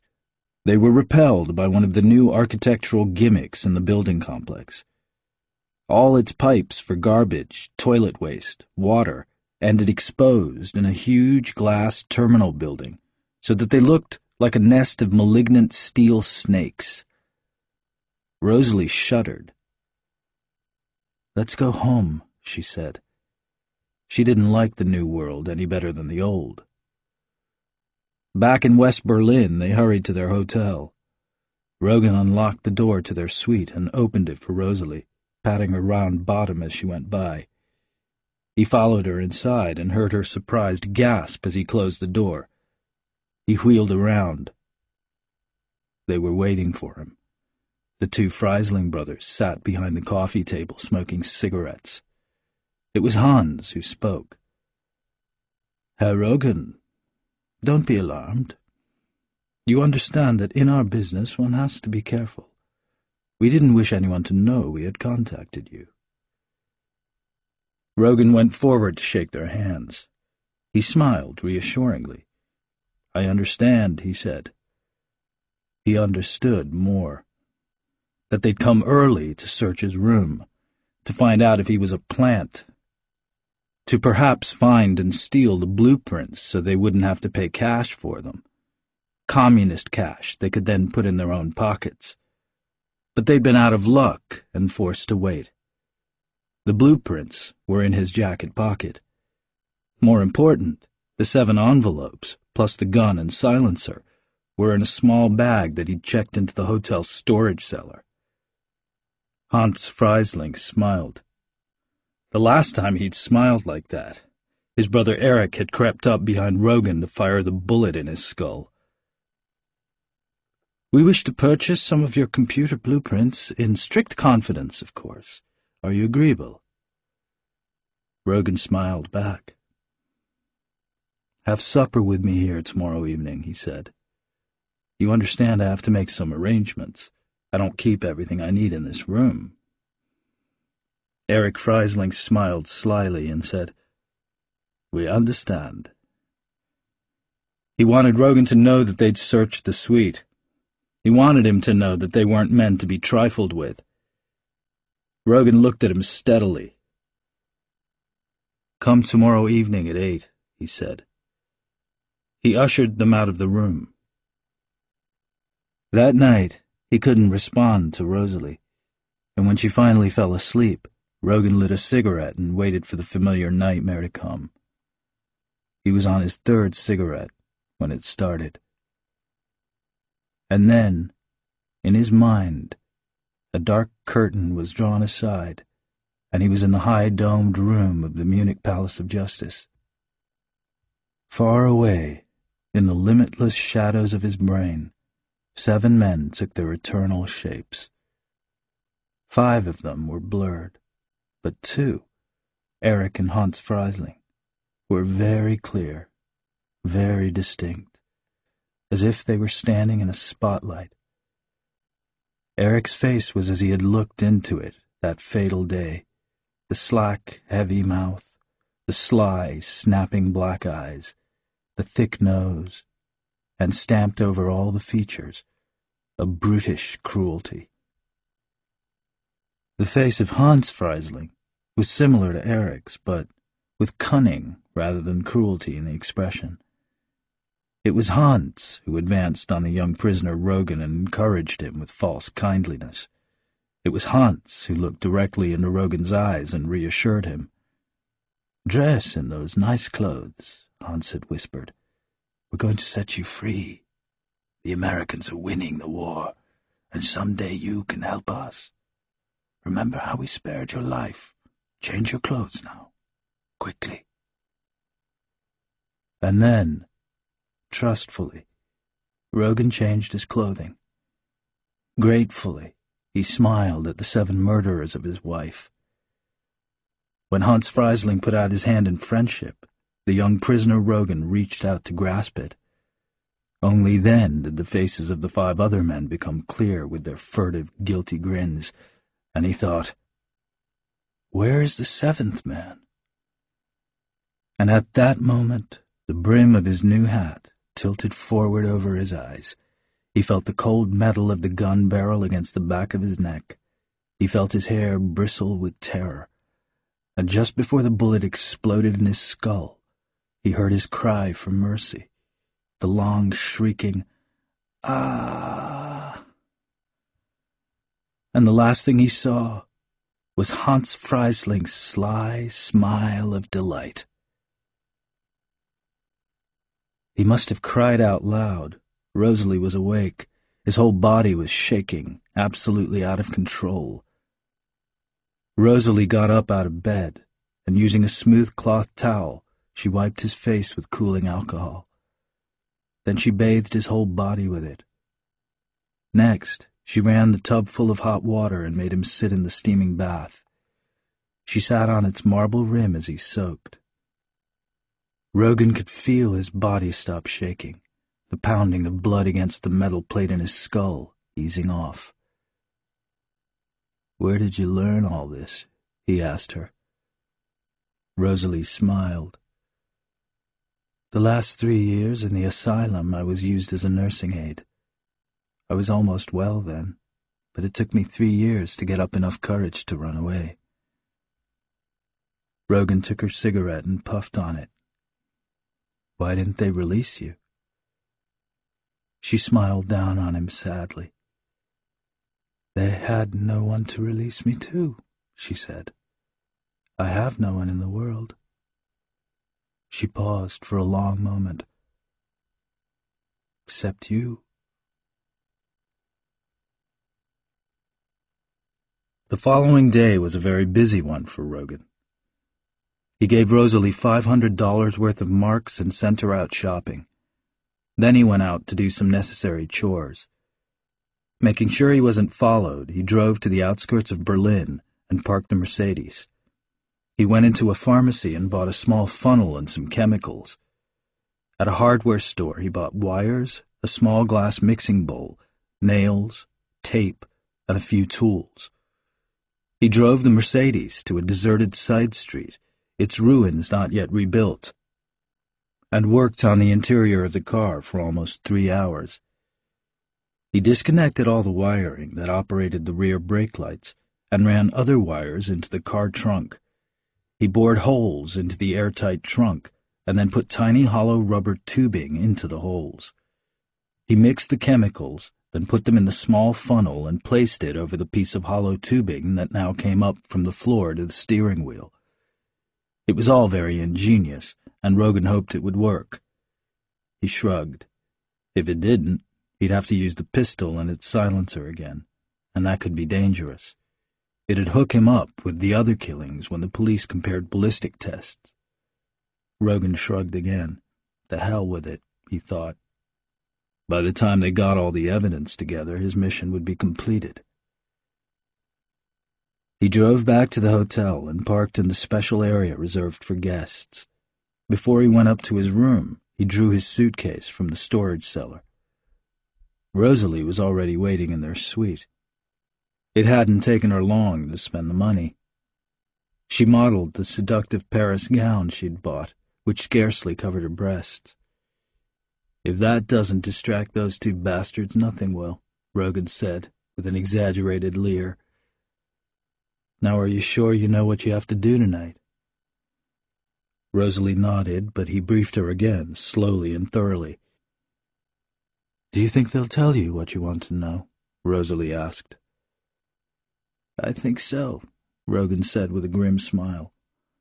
One way or the other. He picked up the telephone and ordered dinner for four to be sent up to the room at eight o'clock. The Freisling brothers were punctual. They arrived with the food trolley. Rogan dismissed the waiter, and as they ate, they discussed the terms of their deal. When they'd finished eating, he poured four glasses of pfefferminz liqueur half brandy, half peppermint. Ah, my favorite drink, Hans Freisling said. Rogan smiled. He'd remembered the smell of peppermint in the interrogation room, the bottle Hans had carried around with him. When Rogan capped the bottle, he dropped in the drug pellets. He did it quickly and expertly. The brothers weren't aware of what he was doing, though they were looking directly at him. With their natural suspiciousness, they were waiting for him to drink first. Prosit, Rogan said, and drank. The sweet liqueur almost made him sick. The two brothers drained their glasses, and Hans licked his thick lips greedily. Rogan passed him the bottle. Help yourself, he said. I must go and get the documents. Allow me. He went past them into the bedroom. As he did so, he saw Hans fill his glass and drain it. Eric wasn't drinking. But then Rosalie leaned over, her creamy breasts showing. She filled Eric's glass for him and let her hand fall on his knee.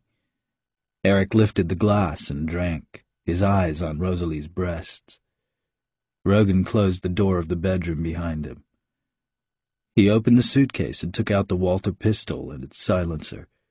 Quickly he fitted them together.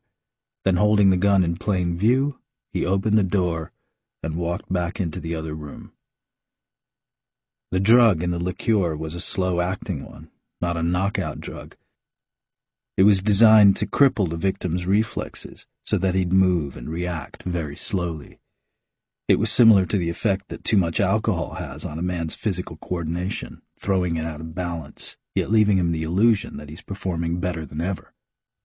So the Freisling brothers weren't yet aware of what was happening to their bodies. When they saw the gun in Rogan's hands, they both jumped up from their seats, but they moved in slow motion. Rogan pushed them back onto their chairs. He sat down opposite them. From his jacket pocket he took a flattened bullet, tarnished with age, and threw it on the coffee table between them. You, Eric, Rogan said. You fired that bullet into the back of my skull ten years ago, in the Munich Palace of Justice. Do you remember me now? I'm the little playmate you sneaked up on while I was changing my clothes, and while your brother Hans kept telling me that I was going to be freed. I've changed a lot. Your bullet changed the shape of my head. But look hard. Do you recognize me now? He paused, then said grimly, I've come back to finish our little game together. Mentally dulled by the drug, they both wore looks of blank incomprehension and stared at Rogan. It was Hans who first showed recognition, whose face first showed the natural shock, fear, and terrified surprise. Then they tried to flee, moving like men under water. Rogan reached over and again gently pushed them back in their seats. He frisked them for weapons. They had none. Don't be afraid, Rogan said, deliberately imitating Hans's voice. I'm not going to harm you. He paused. Of course I'll turn you into the authorities, but all I want from you now is a little information. As a long time ago you wanted some from me. I cooperated then, didn't I? I know you'll be just as intelligent. Hans answered first, his voice thick with the drug, but still sly. Of course we'll cooperate. We'll tell you anything we know. But first, we'll make a bargain, Eric growled sullenly. As long as they kept sitting still, the brothers seemed to function normally. Now Hans leaned forward and said with ingratiating friendliness, Yes, what do you wish to know, and what will you do for us if we cooperate? Rogan said quietly, I want to know the names of the other men who were with you in the Munich Palace of Justice. I want to know the name of the torturer who killed my wife. Eric leaned over, parallel to his brother, and said slowly, contemptuously, So you can kill us all like you killed Moltke and Pfann? I killed them because they wouldn't give me the other three names. Rogan said. I offered them a chance to live as I now give you a chance to live. He signaled now to Rosalie. She brought over pads and pencils and handed them to the brothers. Hans looked surprised, then grinned. I'll tell you right now. Their names are... Before Hans could utter another word, Rogan jumped up and smashed the German's mouth with the butt of his pistol. Hans's mouth became a dark hole out of which bloody pieces of gum bubbled and bits of broken teeth. Eric tried to come to his brother's defense, but Rogan pushed him back into the chair. He didn't trust himself to hit Eric. He was afraid he wouldn't stop until the man was dead. I don't want to hear any lies, Rogan said. And to make sure you don't lie to me, you'll each, separately, Write down the names of the other three men who were in the Munich Palace of Justice. You'll also put down where each man is living now. I'm especially interested in the chief interrogator. I also want to know which man actually killed my wife. When you've finished, I'll compare your separate lists. If both have the same names, you won't be killed. If the information doesn't tally, if you have different names listed, You'll both be killed immediately. That's the deal. It's up to you. Hans Freisling was gagging, clawing pieces of broken teeth and bits of gum from his smashed mouth. He couldn't speak. Eric asked the final question. If we cooperate, what will you do to us? Rogan tried to sound as earnest and sincere as possible. If you both write down the same information, I won't kill you. I'll accuse you as war criminals, however, and turn you into the proper authorities. Then you'll have to stand trial and take your chances.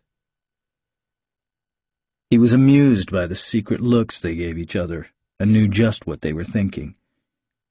Even if arrested and tried, even if convicted, they could appeal and get out on bail. Then they figured they could defect to East Germany and thumb their noses at justice. Rogan, pretending not to notice the looks they exchanged, pulled Hans out of his chair and moved him to the other end of the coffee table so that neither one could see what his brother was writing down.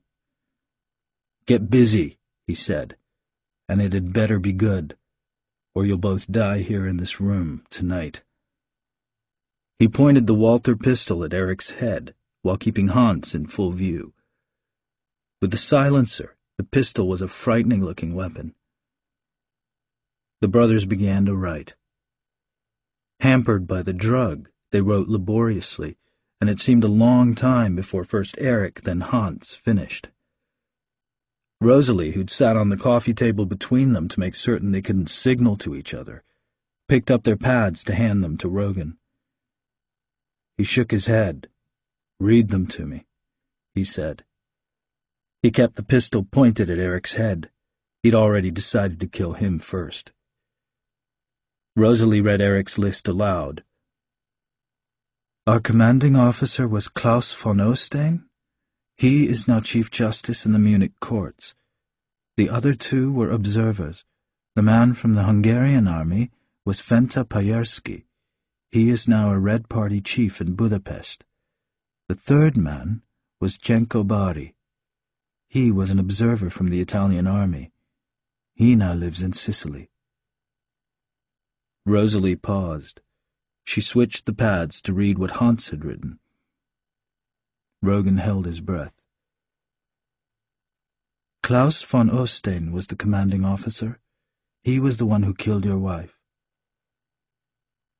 Rosalie paused at the look of anguish that passed over Rogan's face. Then she continued reading. The information tallied. Both brothers had put down essentially the same information, the same names, although only Hans had named Christine's murderer. And as Rogan compared the two pads, he realized that Eric had given the minimum of information, whereas Hans had included extra details, such as Genco Bari being a mafia member, probably a big man in the organization. Rogan, however, had the feeling that the brothers had held back something he should know about. They were exchanging sly, congratulatory looks.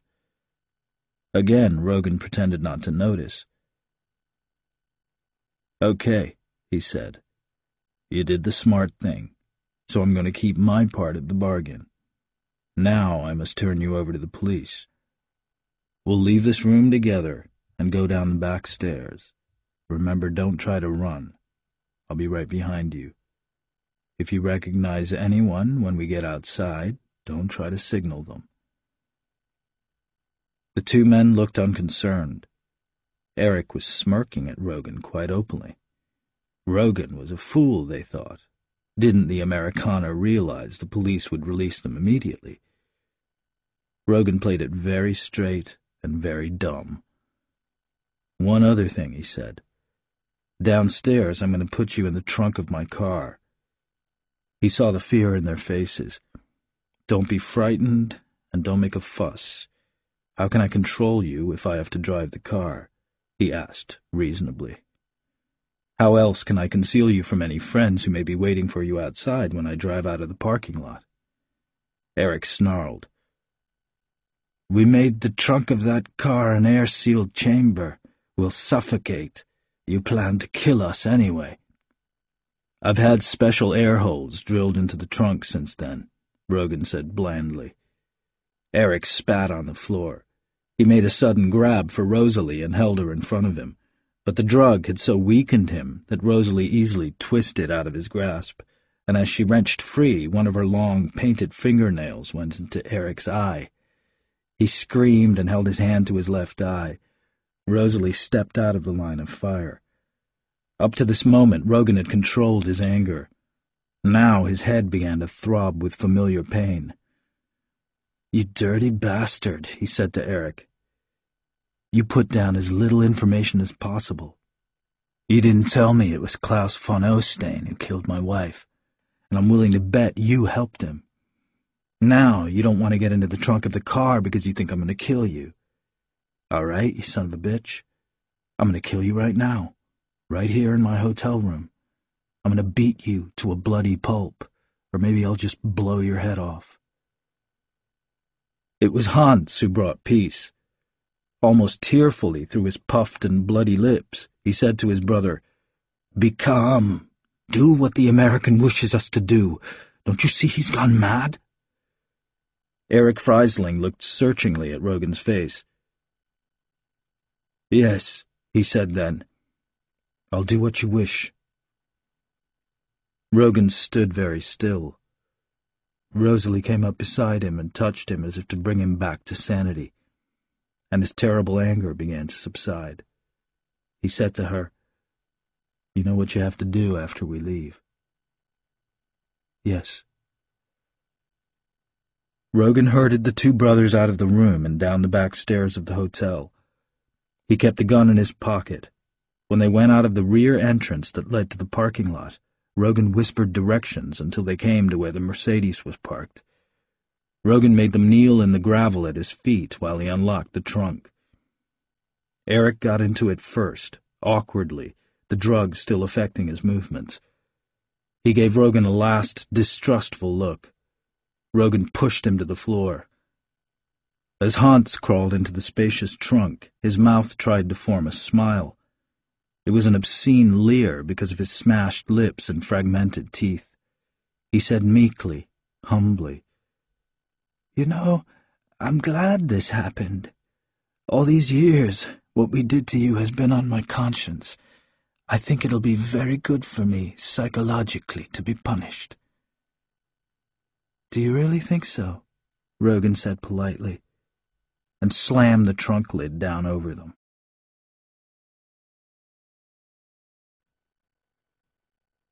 Chapter 8 Rogan drove the Mercedes around Berlin for the next couple of hours. He made sure a supply of air was going through the rubber hosing and into the trunk. This was to give Rosalie time to do her part. She had to go down to the hotel ballroom, where she'd drink, flirt, and dance with the unattached men so that later everyone would remember her having been there. This would give her an alibi. Near midnight, Rogan pulled a wire attached to the steering wheel. This would cut off the air and feed carbon monoxide into the trunk. In thirty minutes or less, the Freisling brothers would be dead. Rogan now drove toward the Berlin railway station. But after fifteen minutes, Rogan stopped the car. He had intended to kill them as they had tried to kill him in the Munich Palace of Justice without warning and still hoping for freedom. He'd meant to slaughter them like animals, but he couldn't. He got out of the car, went around to the back, and banged on the trunk lid. Hans? Eric? He called. He didn't know why he used their first names, as if they had become friends. He called out again, in a low, urgent voice, to warn them they were going into the eternal darkness of death so that they could compose whatever souls they had, say whatever prayers possible to make themselves ready for the black void.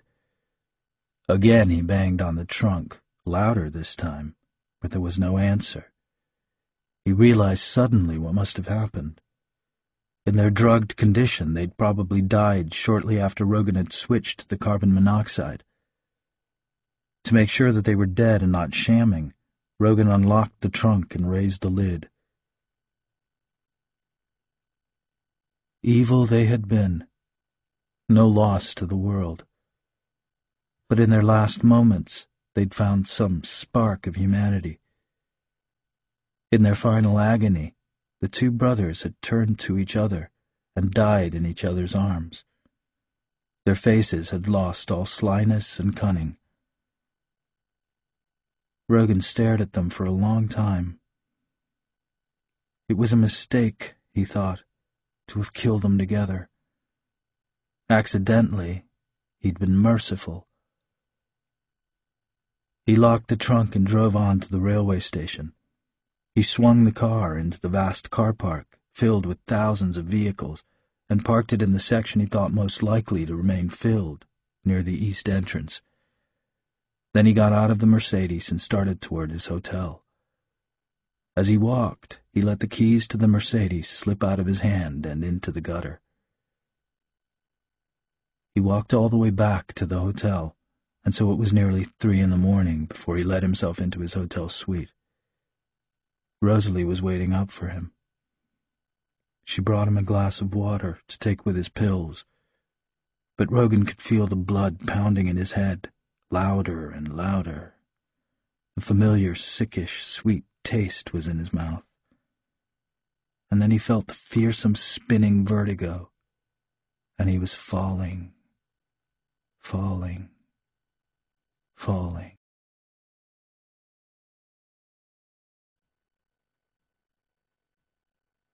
Chapter 9 It was three days before Rogan became conscious of his surroundings.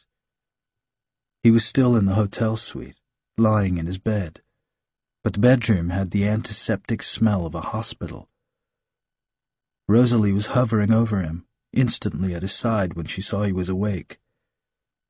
Peering over her shoulder was a peevish-faced man with a beard who resembled the comical German doctor in films.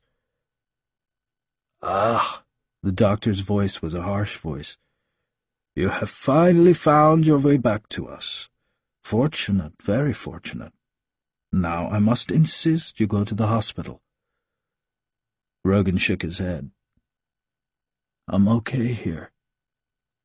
Just Give me a prescription for some more of my pills.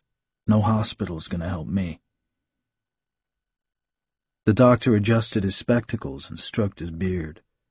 Despite the facial camouflage, he looked young, and he was obviously disturbed by Rosalie's beauty. Now he turned to scold her. You must give this fellow some peace. He's suffering from nervous exhaustion. He must have complete rest for at least two weeks. Do you understand me? The young doctor angrily tore a sheet from his prescription pad and handed it to her. There was a knock on the door of the hotel suite, and Rosalie went to answer it. The American intelligence agent Bailey came in, followed by two German detectives. Bailey's long Gary Cooper face was sour. "'Where's your boyfriend?' He asked Rosalie. She nodded toward the bedroom door. The three men moved toward it. He's sick, Rosalie said, but the three men went into the bedroom. Bailey didn't seem surprised to find Rogan in bed. Neither did he seem to have any sympathy for the sick man. He looked down at Rogan and said flatly, So you went ahead and did it. Did what? Rogan asked. He was feeling fine now. He grinned up at Bailey. Don't bullshit me, Bailey snapped angrily. The Freisling brothers have disappeared, just like that. They left their gas station closed, their stuff is still in their apartment, their money is still in the bank. That means only one thing. They're dead. Not necessarily, Rogan said. Bailey waved his hand impatiently.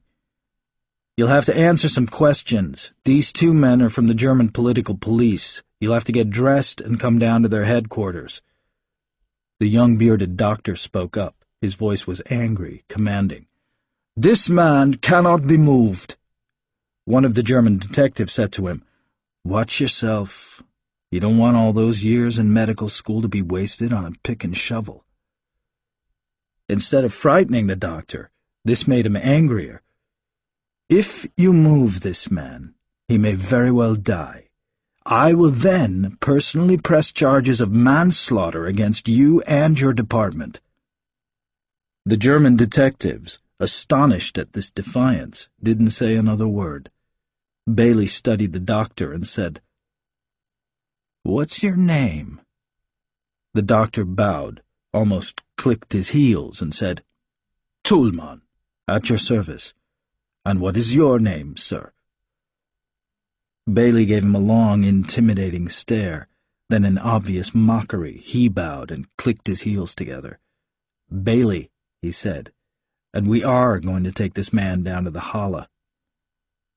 The doctor gave him a look of contempt. I can click my heels together louder than you when I am barefooted. You poor imitation of a Prussian aristocrat. But that is beside the point. I forbid you to move this man, because he is ill. His health will be severely endangered. I don't think you can afford to disregard my warnings. Rogan could see that the three men were baffled. He was, too. Why the hell was this doctor sticking his neck out for him? Bailey said sarcastically, Will it kill him if I ask him a few questions right here and now? No, said the doctor, but it will tire him. Bailey made an impatient gesture and turned his lanky frame toward Rogan. Your visas for travel in Germany are being revoked, he said. I've had that arranged.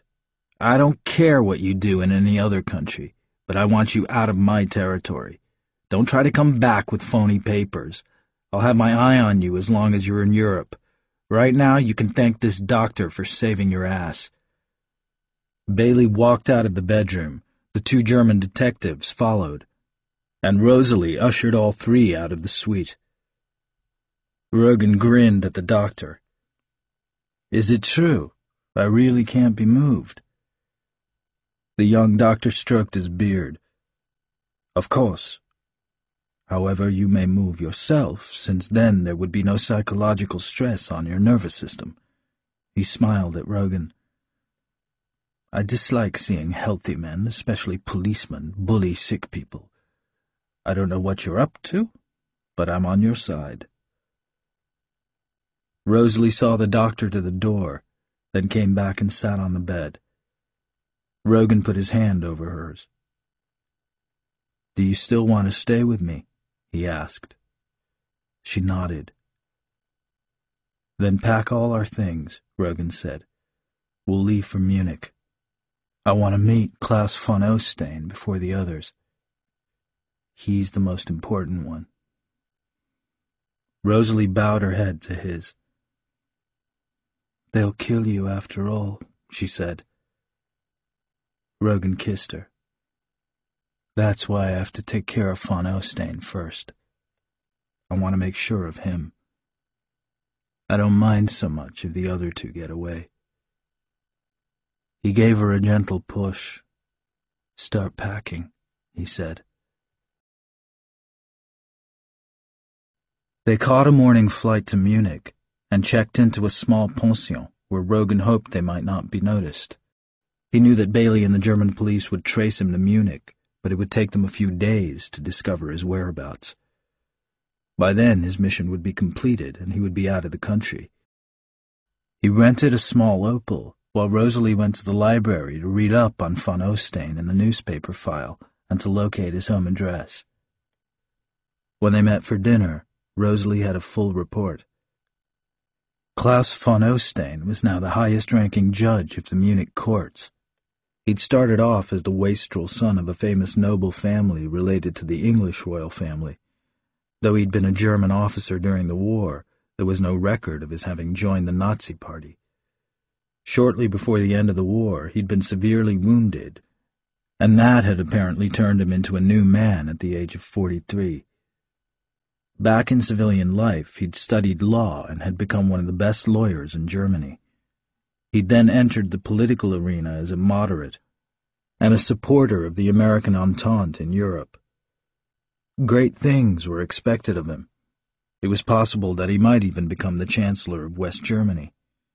He had the support of the German industrialists and the American occupation authorities, and a magnetic influence over the working classes as a superb orator. Rogan nodded grimly. That sounds like the guy. He had a terrific voice, sincere as hell. The bastard really covered his tracks, though. Rosalie said anxiously, Are you sure this is the right man? It's the right one. It has to be, Rogan said. How could Eric and Hans hit on the same name unless it was the truth? He paused. We'll go to his house right after dinner. When I see his face, I'll recognize him, no matter how much he's changed. But it's him, all right. He was a real aristocrat. They drove to von Ostein's address, using a city map as a guide. Von Ostein's house was in a fashionable suburb, and it was a mansion. Rogan parked the car, and they went up the stone steps to the huge baronial doors. There was a wooden knocker in the shape of a wild boar's head. Rogan slammed it twice against the wooden panel. In a moment, the door was opened by an old-fashioned German butler, grossly fat, obsequious. Very coldly, he said, Bitte, mein Herr. We've come to see Klaus von Ostein, Rogan said, on confidential business. Just tell him that Eric Freisling sent us. The butler's voice was less cold. He evidently recognized the Freisling name. It is regrettable, he said. Judge von Ostein and the family are on vacation in Switzerland, and then they plan to go to Sweden and Norway and finally England. They will not be back for nearly a month. Damn, Rogan said. Can you tell me where they're staying right now? Their address? The butler smiled, his face creasing into ridges of ruddy suet. No, he said. Judge von Ostein is not following a schedule. He can be reached only through official channels. Do you wish to leave a message, sir? No, Rogan said. He and Rosalie returned to the car. Back in their room, Rosalie asked, What will you do now? I'll have to gamble, he said. I'll go to Sicily and track down Genco Bari. If everything works out okay, I'll fly to Budapest and see about Venta Pajerski. Then I'll come back to von Ostein here in Munich. Rosalie said, What about your entry visa? Bailey will have that cancelled. Rogan said dryly, I used to be in the spy business too. I'll find a way to get a phony passport or a phony visa, and if Bailey gets too close, I'll just have to forget he's a fellow American. Rosalie said, What about me? He didn't answer her for a long time. I'm making arrangements so that you'll get enough money to live on every month. A trust fund that'll go on no matter what happens. You're not taking me with you? Rosalie asked. I can't, Rogan said. I'd have to get you papers, and I'd never be able to lose Bailey if I took you along. Then I'll wait for you here in Munich, she said. Okay, but you have to get used to the idea of my not being around sometime. The chances are a million to one against my making it all the way. They'll nail me for sure when I get von Ostein. Gratefully, she leaned her head against his shoulder. I don't care, she said. Just let me wait for you. Please let me wait for you. He stroked her blonde hair. Sure, sure, he said. Now will you do something for me? She nodded. I was looking at the map, Rogan said. We can drive to Büblingshausen in four hours. I think it would be good for you to see it again. Will you go back? He felt her whole body go tense, her back arch in terror. Oh, no, she said. Oh, no. He held her quivering body close. We'll drive through very quickly, he said. You'll see how it is, now. Then maybe you won't see so clearly how it was before. Maybe everything will blur. Try. I'll drive through very fast, I promise. Remember, that's the first thing you told the doctor, that you wanted to go back to Büblingshausen. Her body had stopped shaking. All right, she said. I'll go back. With you.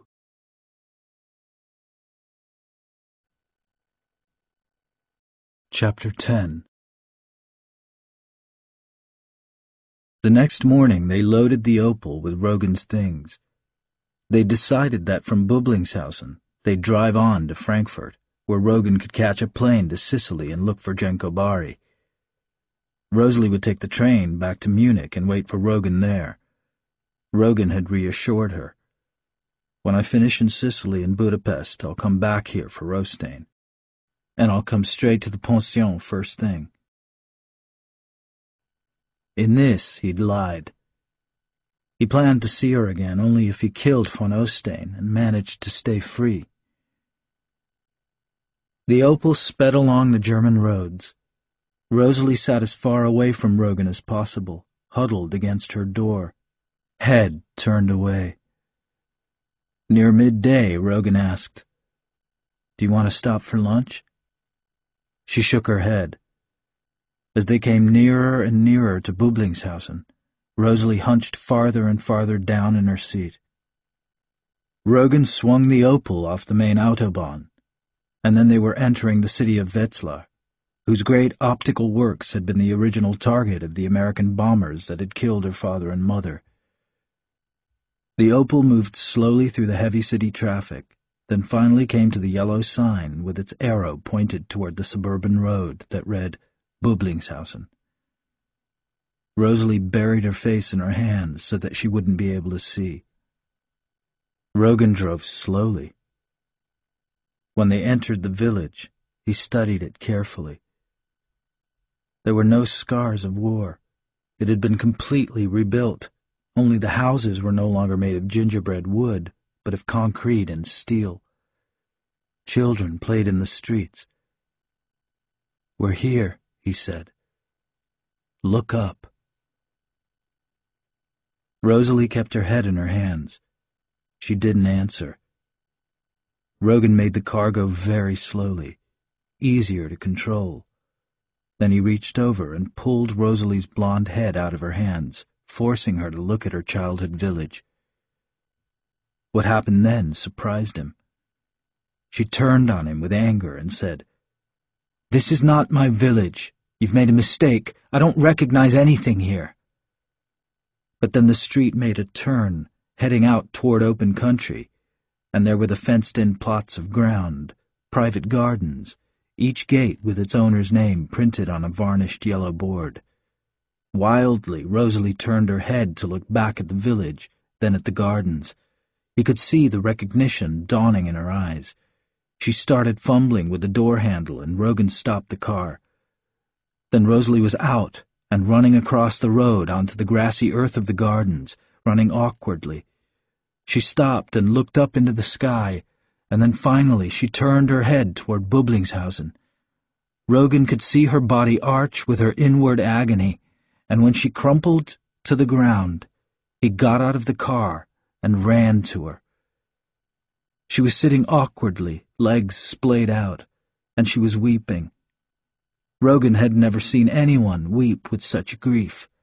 She was wailing like a small child, wailing that would have been comical if it hadn't been so powerfully wrung from her guts. She tore at the earth with her painted fingernails, as if she were trying to inflict pain on it. Rogan stood beside her, waiting, but she gave no sign that she knew he was there. Two young girls, no more than fourteen, came down the road from Büblingshausen. They carried gardening sacks over their arms and they chatted gaily together. They entered the gates of their family's gardens and began digging. Rosalie raised her head to watch them, and they gave her curious, envious glances, envious of her fine clothes, envious of the obviously wealthy man who stood beside her. Rosalie stopped weeping. She tucked her legs beneath her and put a hand on Rogan's leg to make him sit on the grass beside her. Then she cradled her head against his shoulder and wept quietly for a very long time. He understood that finally now, for the first time, she could grieve for her lost father and mother, her brother in his cold Russian grave. And he understood that as a young girl she'd gone into some terrible shock that prevented her from consciously accepting her loss, but that had instead driven her into schizophrenia and the asylum. She had a chance now to get over it, Rogan thought. When she'd finished weeping, Rosalie sat for a while staring at the village of Büblingshausen, and then at the two young girls digging in their gardens. The girls kept glancing up at Rosalie, devouring her expensive clothes with their eyes, coolly inspecting her beauty. Rogan helped Rosalie to her feet. Those two girls envy you, he said. She nodded and smiled sadly. I envy them. They drove on to Frankfurt, and Rogan returned the car to the rental agency office at the airport. Rosalie waited with him until takeoff time. Before he walked down the ramp, she said to him, can't you forget the rest of them? Can't you let them live? Rogan shook his head. Rosalie clung to him. If I lose you now, it would be the end of me. I know it. Please let the others go. Rogan said gently, I can't. Maybe I could forget about Genco Bari and the Hungarian, Venta Pajerski. But I could never forgive Klaus von Ostein. And since I have to kill him, I have to kill the others. That's the way it is. She still clung to him. Let von Ostein go, she said. It doesn't matter. Let him stay alive, and then you'll stay alive, and I'll be happy. I can live happily. I can't, he said. I know. He killed your wife, and he tried to kill you, but everybody was trying to kill each other then. She shook her head. Their crime against you was murder, but it was everybody's crime then. You would have to kill the whole world to get your revenge. Rogan pushed her away from him. I know all that. Everything you've just said. I've thought about it all these years. I might have forgiven them for killing and torturing Christine. I might have forgiven them for torturing and trying to kill me. But von Ostein did something that I can never forgive. He did something to me that makes it impossible for me to live on the same planet with him as long as he's alive. He destroyed me without bullets, without even raising his voice. He was crueler than all the others. Rogan paused and he could feel the blood begin to pound against the plate in his skull. In my dreams, I kill him, and then I bring him back to life so I can kill him again. They were calling the number of his flight over the loudspeaker. Rosalie kissed him hurriedly and whispered, I'll wait in Munich for you, in the same pension. Don't forget me.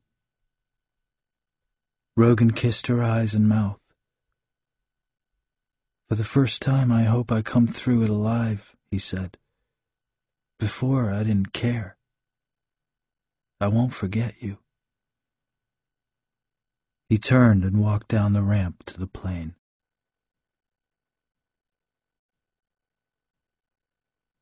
Chapter 11 Flying over Germany in twilight, Rogan could see how the country had rebuilt itself. The rubbled cities of 1945 had sprung back with more factory smokestacks, taller steel spires. But there were still ugly scabs of burned-out sections visible from the sky, the pockmarks of war. He was in Palermo and checked into its finest hotel before midnight, already starting his search. He'd asked the hotel manager if he knew anyone in the city by the name of Genco Bari. The hotel manager had shrugged and spread his arms wide. Palermo, after all, had over 400,000 people. He could hardly be expected to know all of them, could he, signore? The next morning, Rogan contracted a firm of private detectives to track down Genco Bari. He gave them a generous retainer and promised them a large bonus if they were successful. Then he made the rounds of those official bureaux he thought might help him. He went to the United States consulate, the Sicilian chief of police, the publishing office of Palermo's biggest newspaper. None of them knew anything or of anyone named Genco Bari. It seemed impossible to Rogan that his search would not be successful.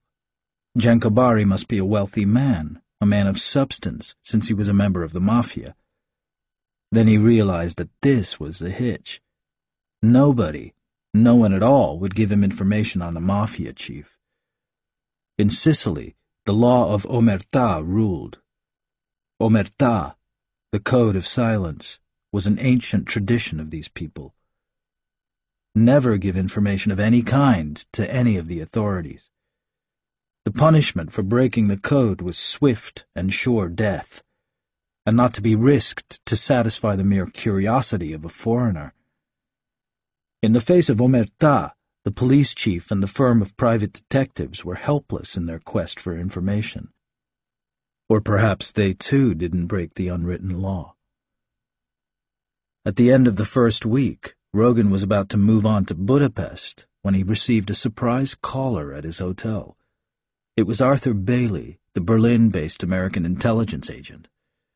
Bailey held out a protesting hand, a friendly smile on his face. I'm here to help, he said. I found out you've got too much drag in Washington to be pushed around, so I might as well. Of course, I have my selfish motive, too. I want to keep you from accidentally ruining a lot of our groundwork in setting up information systems in Europe. Rogan looked at him thoughtfully for a long moment. It was impossible to doubt the man's sincerity and warm friendliness. Fine, he said at last. You can start off helping me by telling me where to find Genco Bari. He offered the lean American a drink. Bailey sat down, relaxed, and sipped his scotch. Sure, I can tell you that, he said. But first, you have to promise that you'll let me help you all the way. After Genco Bari, you'll go after Pajerski in Budapest, and then von Ostein in Munich, or vice versa. I want you to promise to follow my advice. I don't want you caught. If you are, you'll wreck intelligence contacts it's taken the United States years and millions of dollars to set up. Rogan didn't smile or act particularly friendly. Okay, just tell me where Bari is, and make sure I get a visa for Budapest. Bailey sipped his drink. Genco Bari is living in his walled estate, just outside the village of Villalba, in central Sicily. The necessary Hungarian visas will be waiting for you in Rome whenever you're ready. And in Budapest, I want you to contact the Hungarian interpreter at the United States consulate. His name is Rockel. He'll give you all the help you need and arrange your exit from the country. Fair enough? Sure, Rogan said. And when I get back to Munich, do I contact you, or will you contact me? I'll contact you, Bailey said. Don't worry, I'll be able to find you. Bailey finished his drink. Rogan saw him to the elevator, and Bailey said casually, after you killed those first four guys, that gave us enough of a lead to break your Munich Palace of Justice case wide open. That's how I know about Bari Pajerski and von Ostein. Rogan smiled politely. That's what I figured, he said. But since I found them by myself, it doesn't matter what you found out, right? Bailey gave him an odd look, shook hands, and just before getting into the elevator said, Good luck. As Bailey knew the whereabouts of Genco Bari, Rogan realized that everyone else must have known too. The police chief, the private detectives, probably even the hotel manager. Genco Bari was one of the big mafia leaders of Sicily. His name was no doubt known throughout the country, he rented a car to drive the fifty-odd miles to Villalba. It struck him that he would quite possibly never leave this island alive, and that the last criminals would remain unpunished. But that didn't seem to matter so much now, as it didn't matter that he'd made up his mind not to see Rosalie again. He'd arranged for her to receive money from his estate once she'd been in touch with the office. She'd forget about him and make a new life.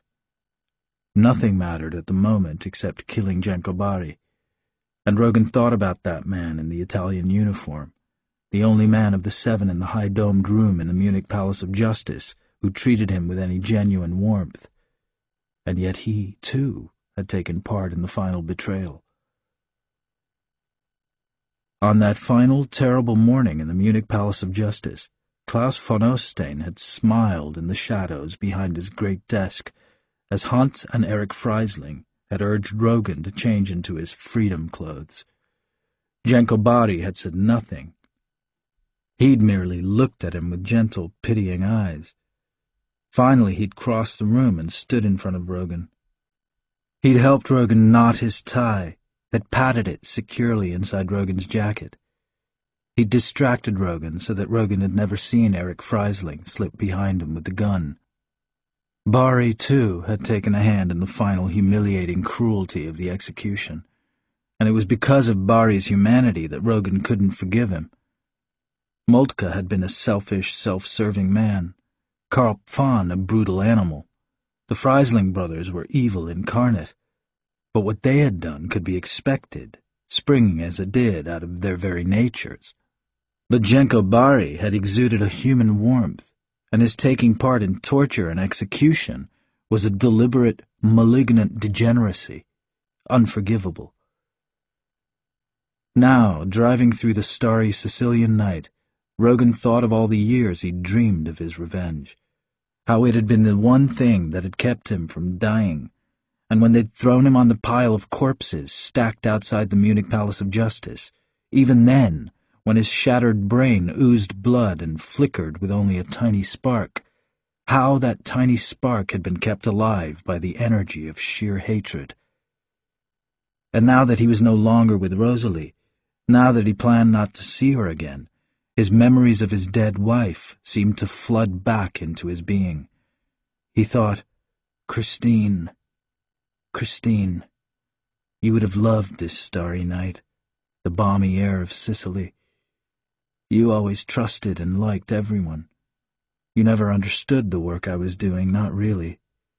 You never understood what would happen to all of us if we were captured. When I heard your screams in the Munich Palace of Justice, it was the surprise in your screams that made them so terrifying. You couldn't believe that human beings did such terrible things to their fellow human beings.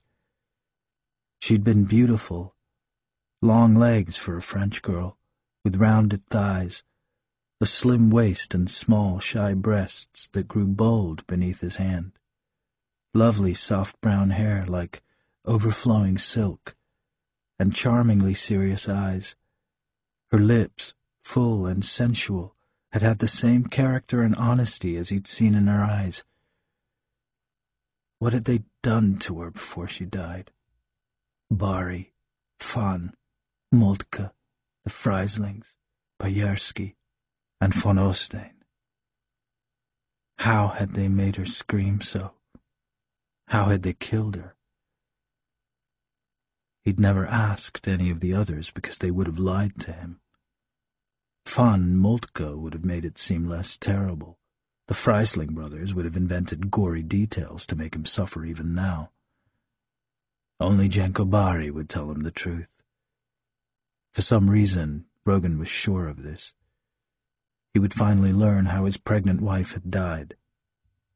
He would learn what had caused those terrible screams, the screams that the torturers had recorded and preserved so carefully.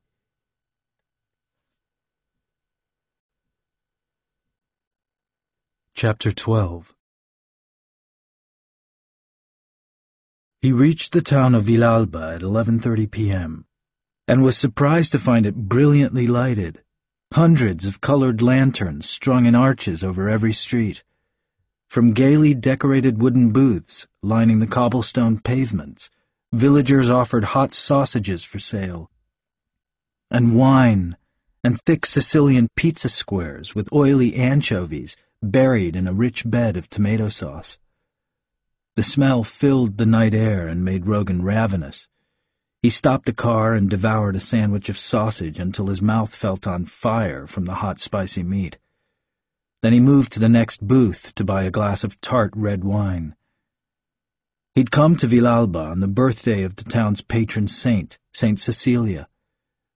As was the custom, the people of the town were celebrating the birthday of their saint with a great fiesta that would last three days.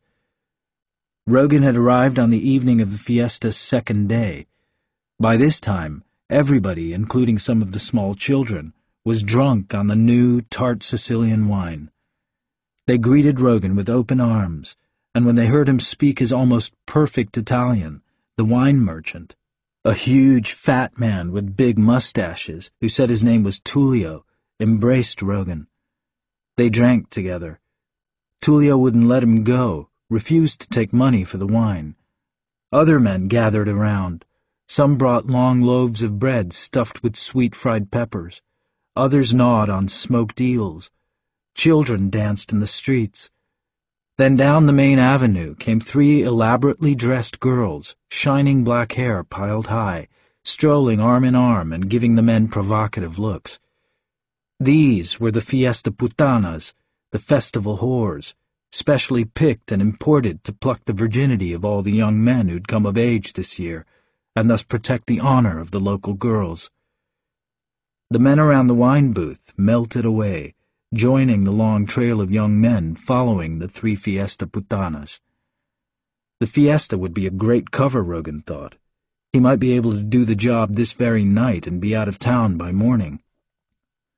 He asked Tullio, Can you tell me where the house of Genco Bari is located? The change in the huge Sicilian was immediate. His face froze into a blank mask. All friendliness vanished. I don't know any Genco Bari, he said. Rogan laughed. I'm an old war comrade of his, and he invited me to visit him here in Villalba. Never mind, I'll find it myself. Tullio immediately unfroze. Ah, you're invited to his fiesta also. The whole village is invited. Come, I'll go with you myself. And though there were at least five customers waiting for wine, Tullio motioned them away and shuttered the wooden booth. Then he took Rogan by the arm and said, Put yourself in my hands, and you will never forget this night as long as you live. I hope so, Rogan said politely. The villa of Genco Bari, on the outskirts of the town, was surrounded by a high stone wall. The two huge iron grill gates had been swung open, and the grounds of the just visible mansion were decorated with colored streamers that went from tree to tree. Genco Bari was holding open house for the villagers, most of whom worked on his farmlands. Rogan followed Tullio inside the gates. Long garden tables were laden with great bowls of macaroni, fruit, and homemade ice cream. Women filled glasses from wine casks resting on the lawn and offered the red-purple liquid to anyone who passed by.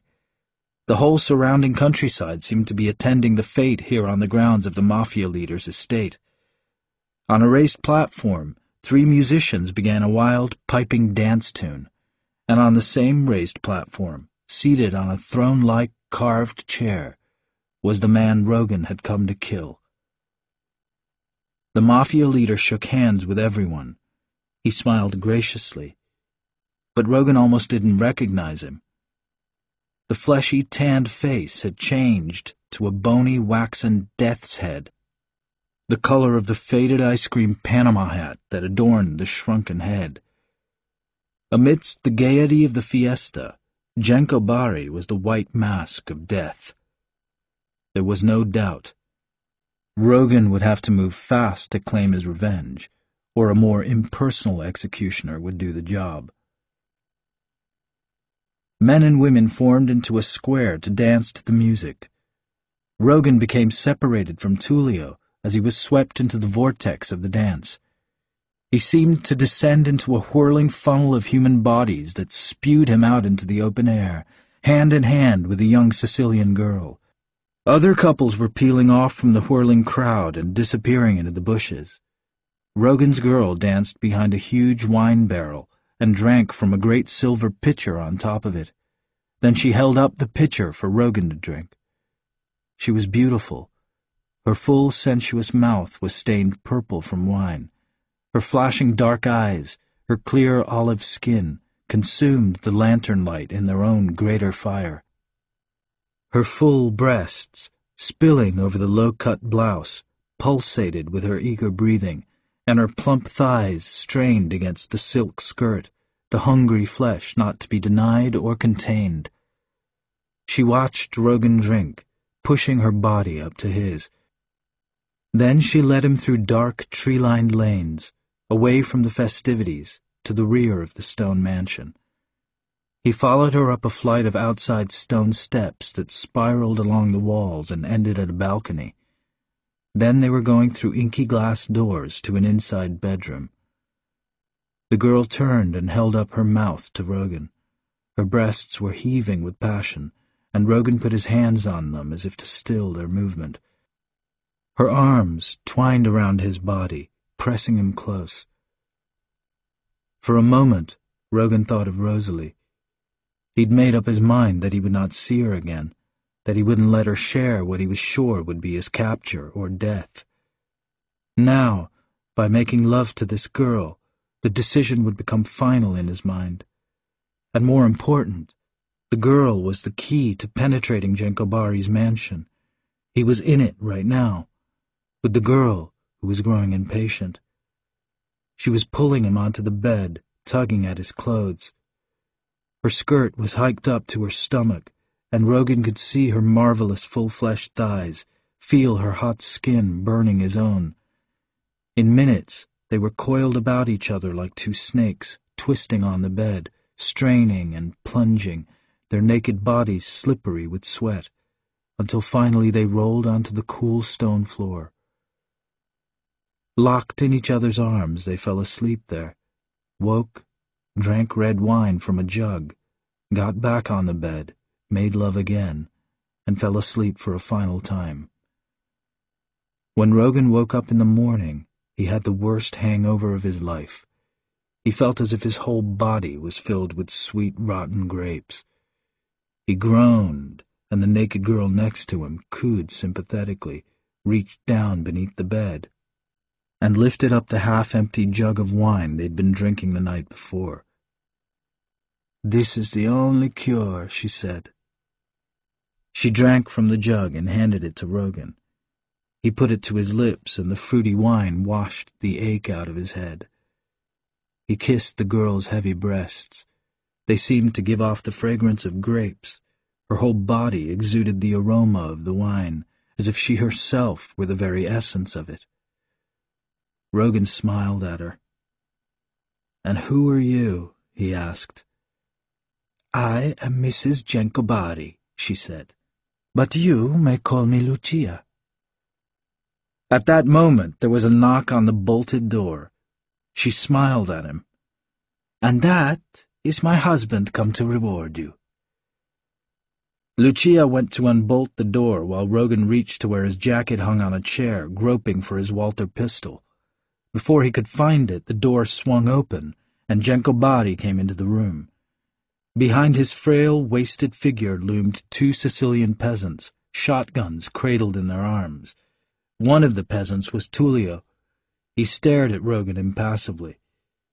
Genco Bari sat at his wife's dressing table. He smiled in a kindly way at Rogan.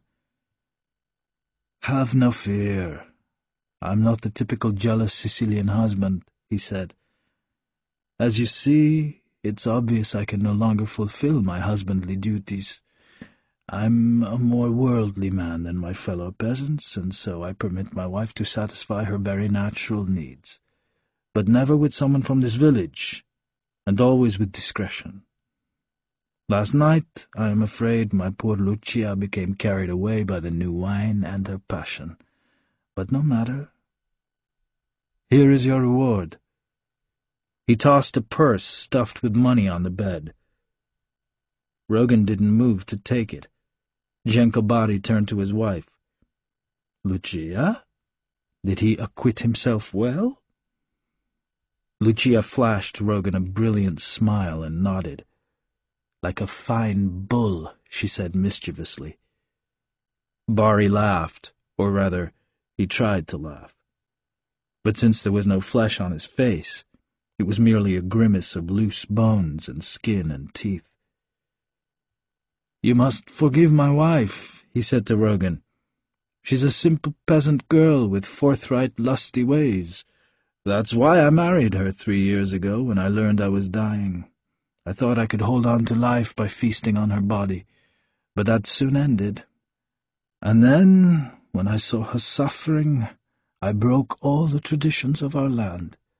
I permitted her to have lovers, but under conditions dictated by me, so that my honor and the honor of my family would remain untarnished. So let me warn you now, if you boast of this to anyone in Sicily, I will set my ferrets after you, and you will never lie with women again. Rogan said curtly. I don't need that money, and I never tell stories about women. Genco Bari stared at him intently. There's something familiar about your face, he said. And you speak Italian almost like a native. Have our paths ever crossed? No, Rogan said. He was looking at Bari with pity. The man weighed no more than seventy pounds. His face was a skin-covered skull. Genco Bari said musingly, as if talking to himself, You were searching for me when you were in Palermo? Then the American agent Bailey set you on my trail. Tullio here, he jerked his head at the armed guard, tells me that at his wine booth you were inquiring where I lived and that I had invited you here. So we must know each other. He leaned toward Rogan. Have you been sent here to kill me? He smiled his ghastly smile. He flung out his arms jestingly. You are too late, he said. I am dying. There's no point in you killing me. Rogan said quietly, When you remember who I am, I'll answer that question. Bari shrugged. It doesn't matter, he said. But until I do remember, I insist that you remain a guest here at my villa. Take a little holiday. You'll amuse my wife, and perhaps you can spare an hour each day to chat with me. I'm always curious about America. I have many friends there. Say yes to my request. You won't be sorry for it. Rogan nodded, then shook the hand outstretched to him. When Bari and his guards had left the bedroom, Rogan asked Lucia, How long does your husband have to live? Lucia shrugged. Who knows? A month, a week, an hour? I feel sorry for him, but I'm young. I have my life to live, so perhaps it's better for me if he dies soon. But I will weep for him. He's a very kind man. He's given my parents a farm, and he's promised to leave his whole estate to me when he dies. I would have gone without lovers. It was he who insisted. Now I'm glad. She came and sat on Rogan's lap, ready for more of the same. Rogan spent the next week at Genco Bari's villa. It became obvious that he could never hope to escape Sicily after he killed Bari. The Mafia organization would intercept him easily at the Palermo airport. His only hope was to kill Bari in such a way that his body wouldn't be discovered for at least six hours. That would give him time to get on the plane. He spent part of each day making plans and cultivating Bari. He found the Mafia Don extremely likable, courteous, and helpful. They became almost good friends in that week and although he went horseback riding and on amorous picnics with Lucia, he found his conversations with Genco Bari more entertaining. Lucia's sexual appetite and grape smell were overwhelming. It was with relief that Rogan settled down every evening to share Genco Bari's light supper and glass of grappa. Bari had changed completely from the murderer he'd been ten years before. He treated Rogan like a son, and he was extremely interesting especially when telling strange stories about the Mafia in Sicily.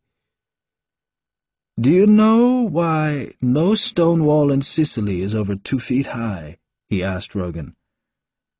The government in Rome felt that too many Sicilians were ambushing each other from behind stone walls, so they thought that if they reduced the height of the walls, they would reduce the number of murders. How foolish!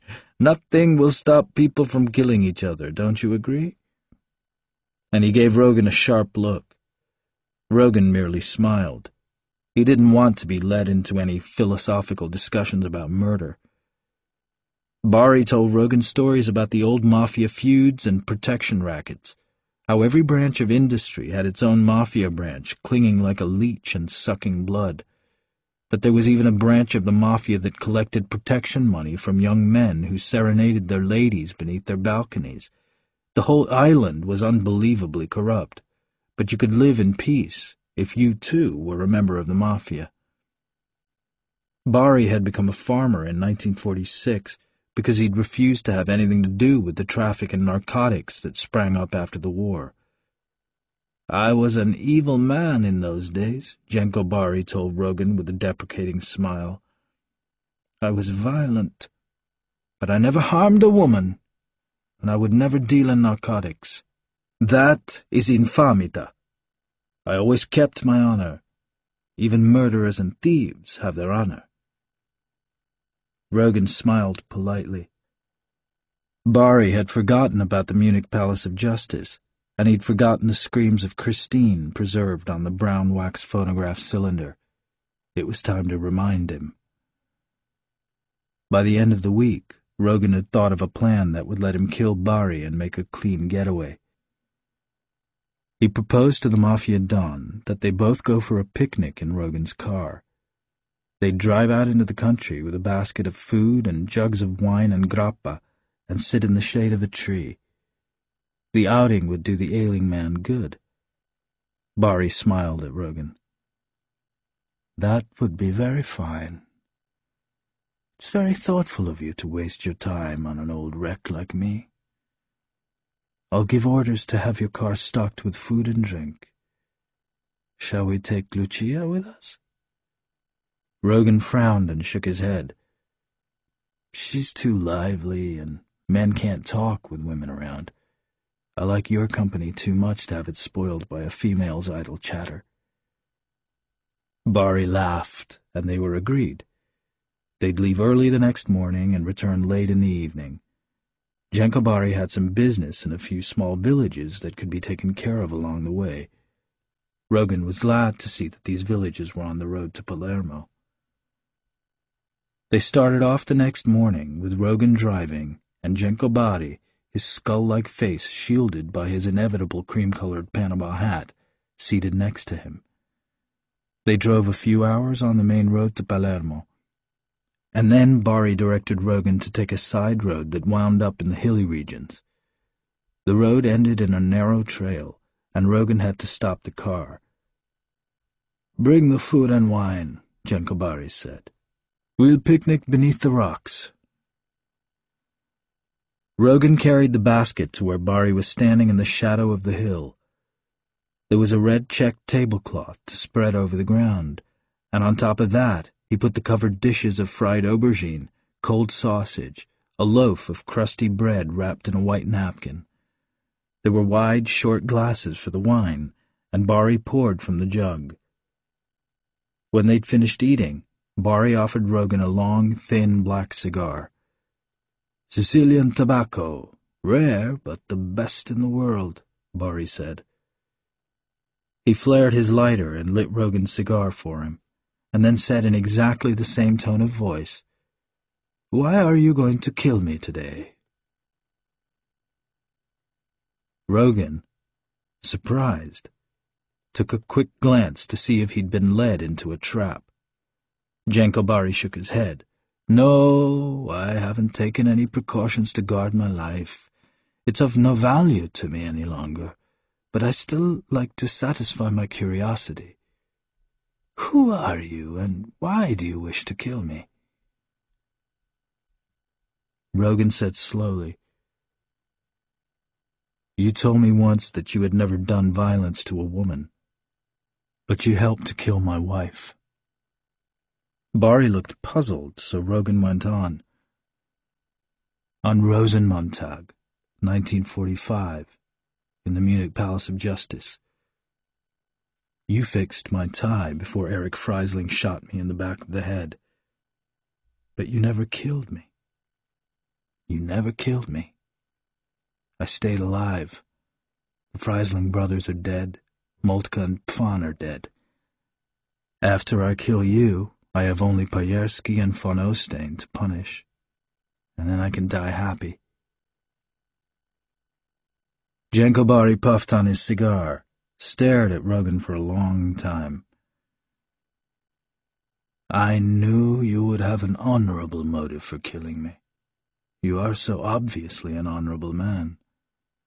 All week I could see you planning how to kill me and then get safely on your plane in Palermo. So I've helped you. Leave my body here and go forward.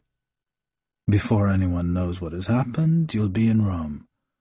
Then I suggest you leave Italy as quickly as possible. The Mafia has a long arm. If you hadn't straightened my tie, if you hadn't distracted me so that Eric could sneak up behind me, I might not kill you, Rogan said. On Bari's emaciated face was a look of surprise. Then he smiled sadly. I never meant to trick you, he said.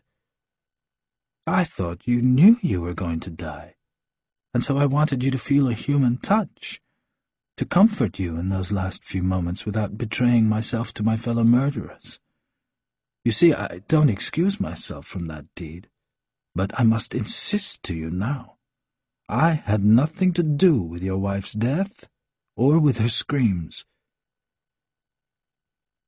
The Sicilian sun was directly overhead, and the rock overhanging them gave no shade. Rogan felt the sick anticipation rising in his stomach. Was it von Ostein who killed her? he said. Tell me who tortured her, and I swear by her memory and her soul that I will let you go free. Genco stood up. For the first time in their relationship, he was harsh and angry. You fool, he said. Haven't you realized I want you to kill me? You're my deliverer, not my executioner. Every day, I suffer terrible pain that no drugs can completely banish. The cancer is in every cell of my body, but it can't kill me. As we didn't succeed in killing you in the Munich Palace of Justice. I may live in this pain for years to come, cursing God. I knew from the very first day that you wanted to kill me. I helped you in every way to find an opportunity. He smiled at Rogan.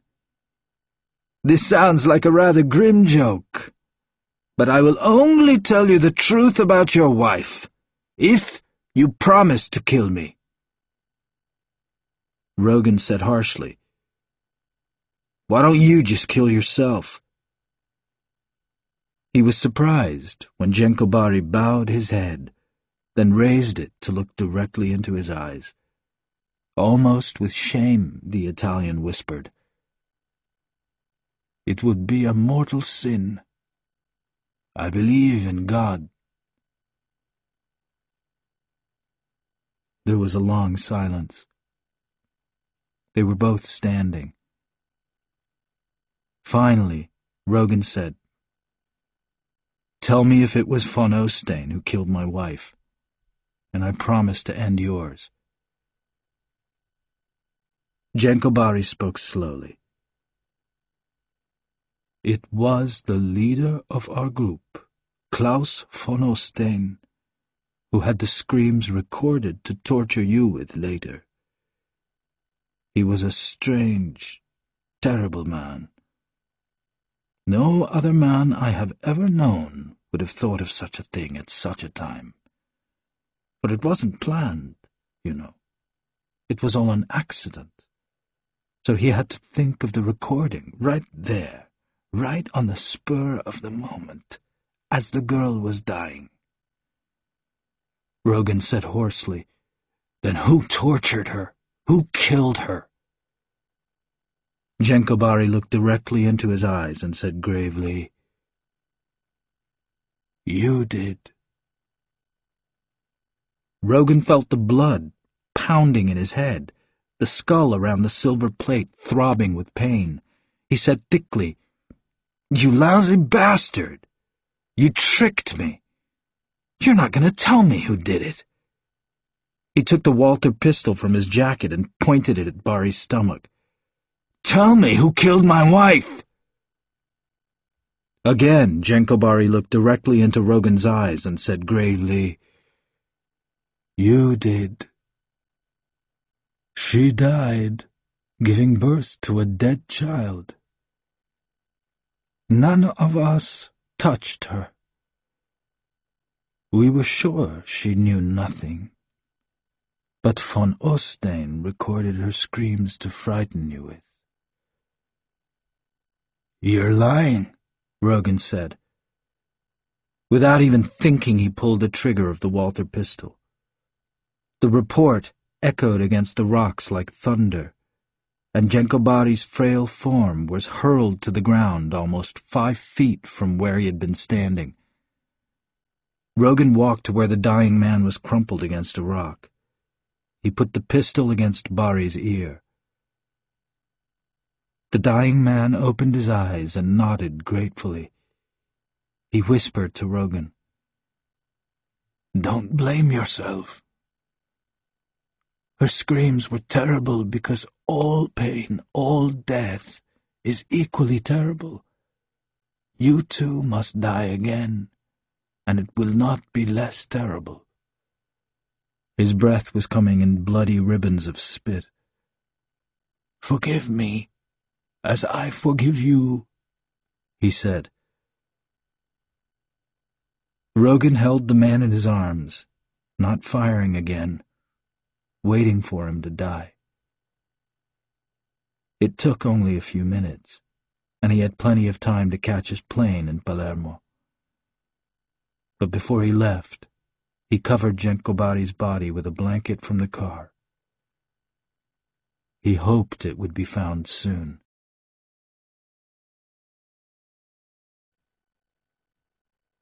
Chapter 13 At Rome, Rogan caught a flight to Budapest. Arthur Bailey had kept his promise and the visas were waiting for him. Rogan took along some whiskey and stayed drunk on the plane. He couldn't forget what Genco Bari had told him, that Christine had died in childbirth, that he, Rogan, had been responsible for her death. But could a death so common to women since time began cause the terrible screams of pain he'd heard on the phonograph in the Munich Palace of Justice? And that cruel bastard von Ostein making the record? Only a genius of evil could think of something so inhuman on the spur of the moment. Rogan forgot his own feelings of guilt for a moment as he thought of killing von Ostein and the pleasure it would give him. He thought of letting Pajerski's execution wait, but he was already on the plane bound for Hungary. Arthur Bailey had already arranged things for him in Budapest. Rogan smiled grimly. He knew something Bailey didn't know. In Budapest, more than a little drunk, Rogan went directly to the United States consulate and asked to see the interpreter. This was all according to Arthur Bailey's instructions. A small, nervous man with a toothbrush mustache led him to the inner chambers. I am the interpreter, he said. Who sent you to me? A mutual friend named Arthur Bailey, Rogan told him. The little man ducked away into another room. After a few moments he came back and said in a frightened, timid voice, Please follow me, sir. I will take you to someone who will help you. They entered a room in which a burly man with thinning hair waited for them. He shook Rogan's hand with vigor and introduced himself as Stefan Vrosk. I'm the one who will aid you in your mission, he said. Our friend Bailey has requested I give it my personal attention. With a wave of his hand, he dismissed the little interpreter. When they were alone in the room, Vrosk began to speak in an arrogant manner. I've read about your case. I've been briefed on what you've done. I've been informed on your future plans. He spoke as if he were a man of great importance. He was, obviously, a man of overwhelming conceit. Rogan sat back and just listened. Vrosk went on. You must understand that here, behind the Iron Curtain, things are very different. You cannot hope to operate so flagrantly as you have done. Your record as an agent in World War II does show you are prone to carelessness. Your network was destroyed because you didn't take proper precautions when you used your clandestine radio, isn't that true? He gave Rogan a patronizing smile, but Rogan continued to look at him impassively. Vrosk was a little nervous now but this didn't lessen his arrogance one bit. I'll point out Pajerski to you, where he works, his living habits, how he's guarded. The actual execution you must do yourself.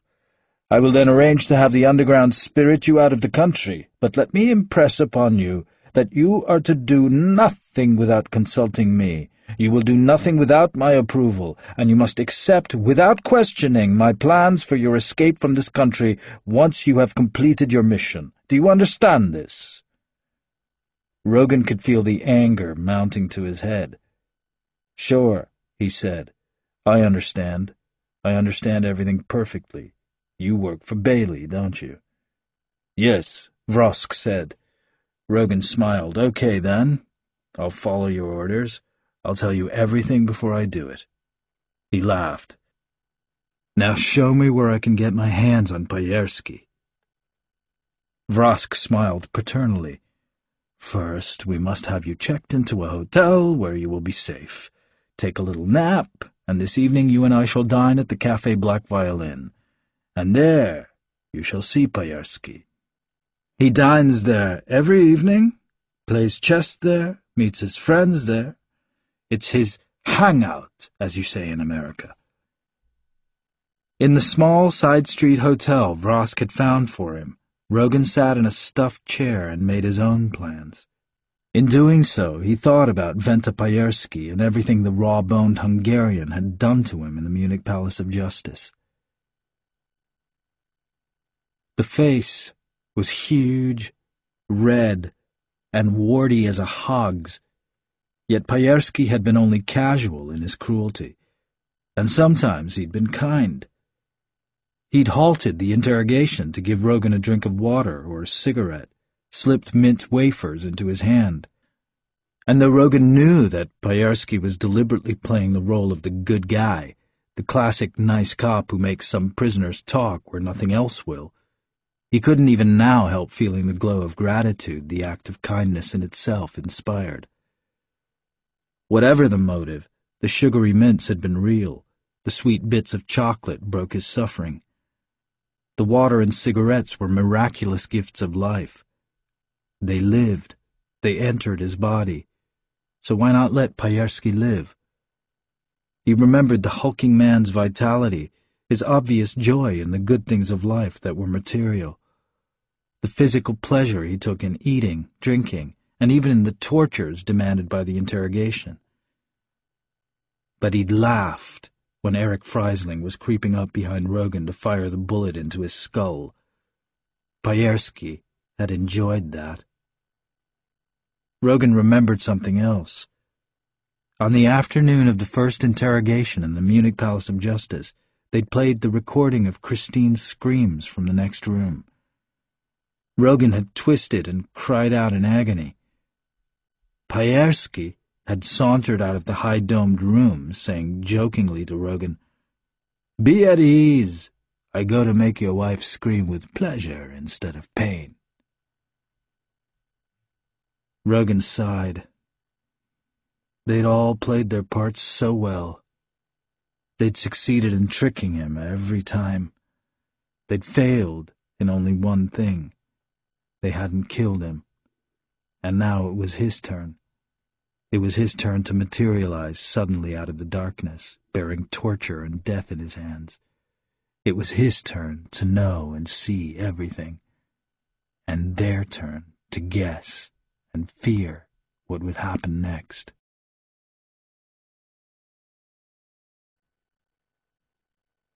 Chapter 14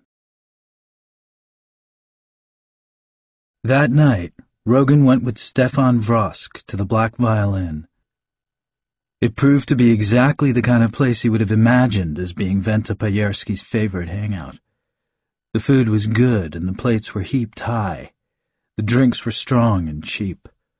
The waitresses were handsomely buxom, cheerful, lusty, and had a dozen sly ways of presenting their plump bottoms to be pinched. The accordion music was bouncy, and the atmosphere was hazy with pungent tobacco smoke.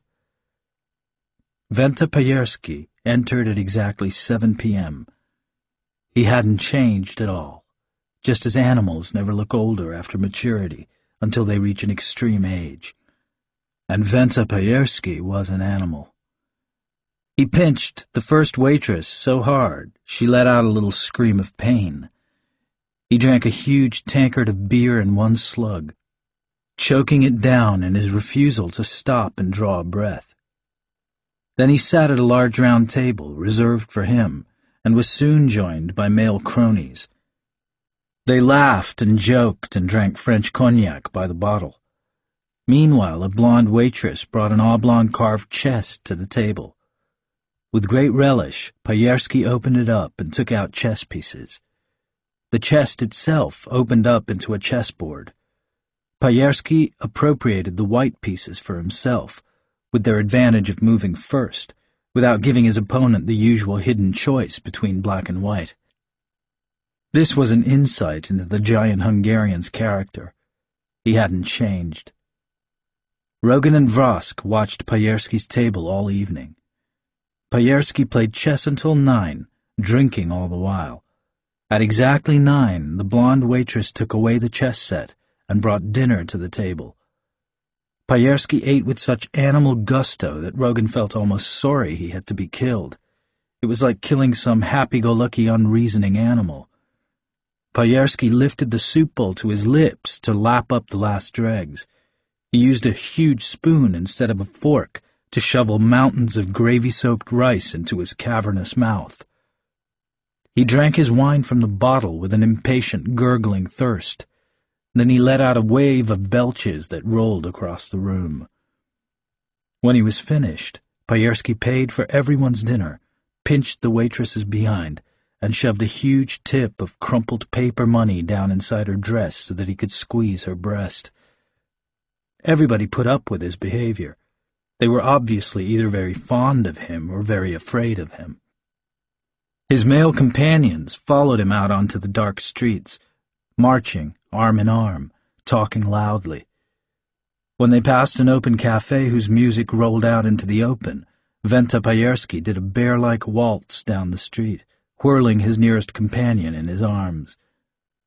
Rogan and Vrosk followed them until they disappeared into an ornately faced building.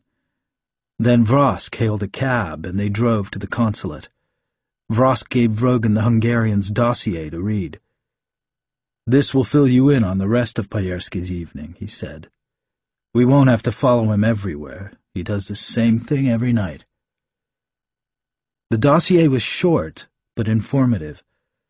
Venta Pajerski was the executive officer of the Communist secret police in Budapest. He worked hard all day in the town hall administration building. He also had his living quarters in this building. Both office and living quarters were heavily guarded by special details of the secret police. He always left the building punctually at 6.30 p.m., but was escorted by guards in plain clothes. At least two official guards were among the men who walked down the street with him. Venta Pajerski was the only one of the seven torturers who'd remained in the same kind of work. Ordinary citizens, suspected of activities against the state, disappeared into his office and were never seen again. He was believed responsible for the kidnapping of West German scientists. Pajerski was high on the list of Cold War criminals the West would like to see liquidated. Rogan smiled grimly. He understood Bailey's cooperation and why Vrosk was so anxious that everything be checked out with him. The repercussions of Pajerski's murder would shake the whole city of Budapest. The dossier also explained the ornate building Pajerski had entered with his friends. It was the most expensive and exclusive brothel, not only in Budapest, but in the whole area behind the Iron Curtain as well. After caressing every girl in the parlor, Pajerski never took fewer than two upstairs for his pleasure. An hour later, he'd reappear in the street, puffing on an enormous cigar, looking as content as a bear ready to hibernate. But both inside the house and out, his guards stuck as close to him as possible, without interfering with his pleasures. He wasn't vulnerable in that area. Rogan closed the dossier and looked up at Vrosk. How long has your organization been trying to kill him? he asked. Vrosk grimaced. What makes you think that? Rogan said, Everything in this dossier. Earlier today, you gave me a lot of crap about how you're the big boss of this operation because you're so much better an agent than I am. I took it. But you're not my boss. I'll tell you what you have to know, and I'll count on you to get me out of the country after I kill Pajerski. But that's all. And I'll give you some good advice. Don't pull any fast ones on me. None of those tricky intelligence moves. I'd kill you as soon as I'd kill Pajerski. Sooner. I like him better. Rogan gave the man a brutally cold smile. Stefan Vrosk flushed. I didn't mean to offend you earlier, he said. I meant it well. Rogan shrugged. I haven't come all this way to be jerked around like a puppet. I'll pull your chestnuts out of the fire. I'll kill Pajerski for you. But don't ever try to bull me again. He got out of his chair and walked out the door. Vrosk followed him and conducted him out of the consulate, then held out his hand. Rogan ignored it and walked away. He couldn't explain why he'd got so tough with Vrosk. Perhaps it was the feeling that only an accident of time and history had prevented Vrosk from being one of the seven men in the high-domed room of the Munich Palace of Justice. But it was also that he distrusted Vrosk even now. Anyone who acted so imperiously in small matters had to be weak. Not trusting anyone else, Rogan checked out the dossier by personal observation. For six days, he frequented the Café Black Violin and memorized Pajerski's every move. The dossier proved to be correct in every particular, but Rogan noticed something that was not in the dossier. Pajerski like many genial giants, always looked for an advantage. For example, he always took the white pieces without fail in his chess games. He had a nervous habit of scratching his chin with the pointed crown of his king piece. Rogan also noted that though the chess set was the property of the black violin, it wasn't loaned to other patrons until Pajerski had finished with it for the evening. The Hungarian also passed a cafe whose music delighted him, and he'd invariably go into his bear-like dance when he heard the music from that cafe. The dance took him usually thirty yards ahead of his guards to a street corner, which he then turned. For perhaps one minute, he was out of the guard's sight, alone and vulnerable. Vrosk wasn't such a hot agent, Rogan thought not if that one vulnerable minute wasn't recorded in the dossier. Unless it had been deliberately omitted. Rogan kept checking. He thought the brothel a likely place to catch Pajerski unguarded. But he found that two men from the secret police invariably took their posts outside the bedroom door, while Pajerski took his exercise within. The problem was admittedly difficult. Pajerski's living and working quarters were impregnable. Only in the evening was he slightly vulnerable. When he danced around that corner, there would be a minute to kill him and escape. But a minute wouldn't be enough to evade the guards following. In his mind, Rogan kept reviewing Pajerski's every move, searching for a fatal chink in the man's security armor. On the sixth night, he fell asleep with the problem still unsolved. What made it even more difficult was that Pajerski had to know why he was being killed before he died. For Rogan, this was essential. In the middle of the night, he woke up. He'd had a dream in which he played chess with Venta Pajerski, and Pajerski kept saying to him, You stupid Americana, you've had a checkmate for three moves. And Rogan had kept staring at the board, looking for the elusive winning move, staring at the huge white king carved out of wood. Smiling slyly, Pajerski picked up the white king and used its pointed crown to scratch his chin. It was a hint. Rogan sat up in bed. The dream had given him his answer. He knew how he would kill Pajerski. The next day, he went to the consulate and asked to see Vrosk. When he told the agent what tools and other equipment he'd need, Vrosk looked at him in astonishment, but Rogan refused to explain. Vrosk told him it would take at least the rest of the day to get everything together. Rogan nodded. I'll come by tomorrow morning to pick it up. Tomorrow night, your friend Pajerski will be dead.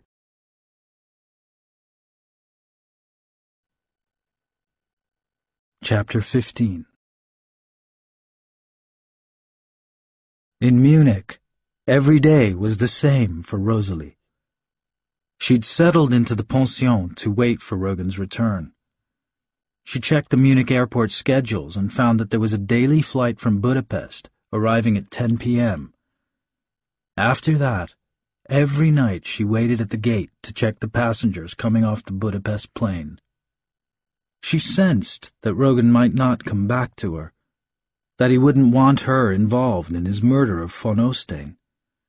But since he was the only man, the only human being she cared about, she went every evening to the airport.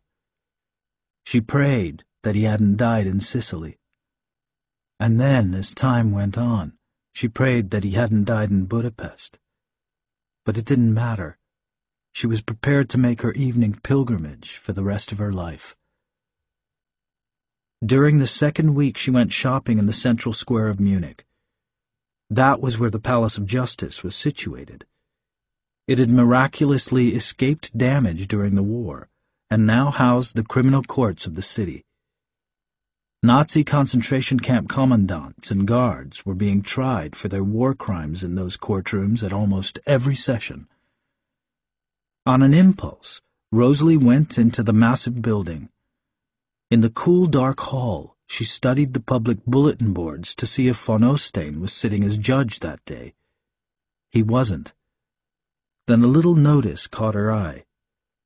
The municipal court system was advertising for a nurse's aide to work in the emergency hospital room of the court. Again on an impulse, Rosalie applied for the position. Her training in the asylum had given her the necessary basic skills, and she was immediately taken on. There was a great shortage of medical personnel in all post-war German cities. The emergency hospital room was in the basement of the Municipal Palace of Justice. It had its own private entrance, a small door that led into the huge inner courtyard. With a shock of horror, Rosalie realized that it was in this courtyard that the wounded Rogan had been thrown onto a pile of corpses. The emergency room was astonishingly busy. Wives of convicted criminals sentenced to long terms in prison collapsed and were brought down to be revived. Elderly swindlers on trial suffered heart attacks. Rosalie's duties were more clerical than medical. She had to record every case in a huge blue book on the admittance desk. The young doctor on duty was immediately taken by her beauty and asked her to dinner. She refused him with a polite smile. Some of the sleek attorneys accompanying their sick clients to the medical room asked her if she'd be interested in working in their offices. She smiled at them and politely said she would not. She was interested in only one man in the Munich Palace of Justice, Klaus von Ostein.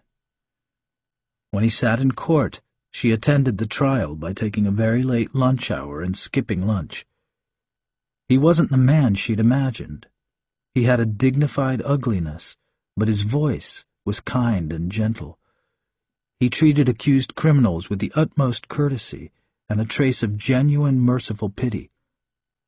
She heard him sentence a man found guilty of a particularly violent and sadistic crime, and he hadn't indulged in the usual righteousness of a judge meting out punishment. He'd let the convicted man keep his dignity. One day she found herself directly behind him on a street near the Munich Palace of Justice, and she trailed him as he limped down the street. One of his legs was shorter than the other. He was accompanied by a detective guard who moved a few steps behind him and seemed very alert.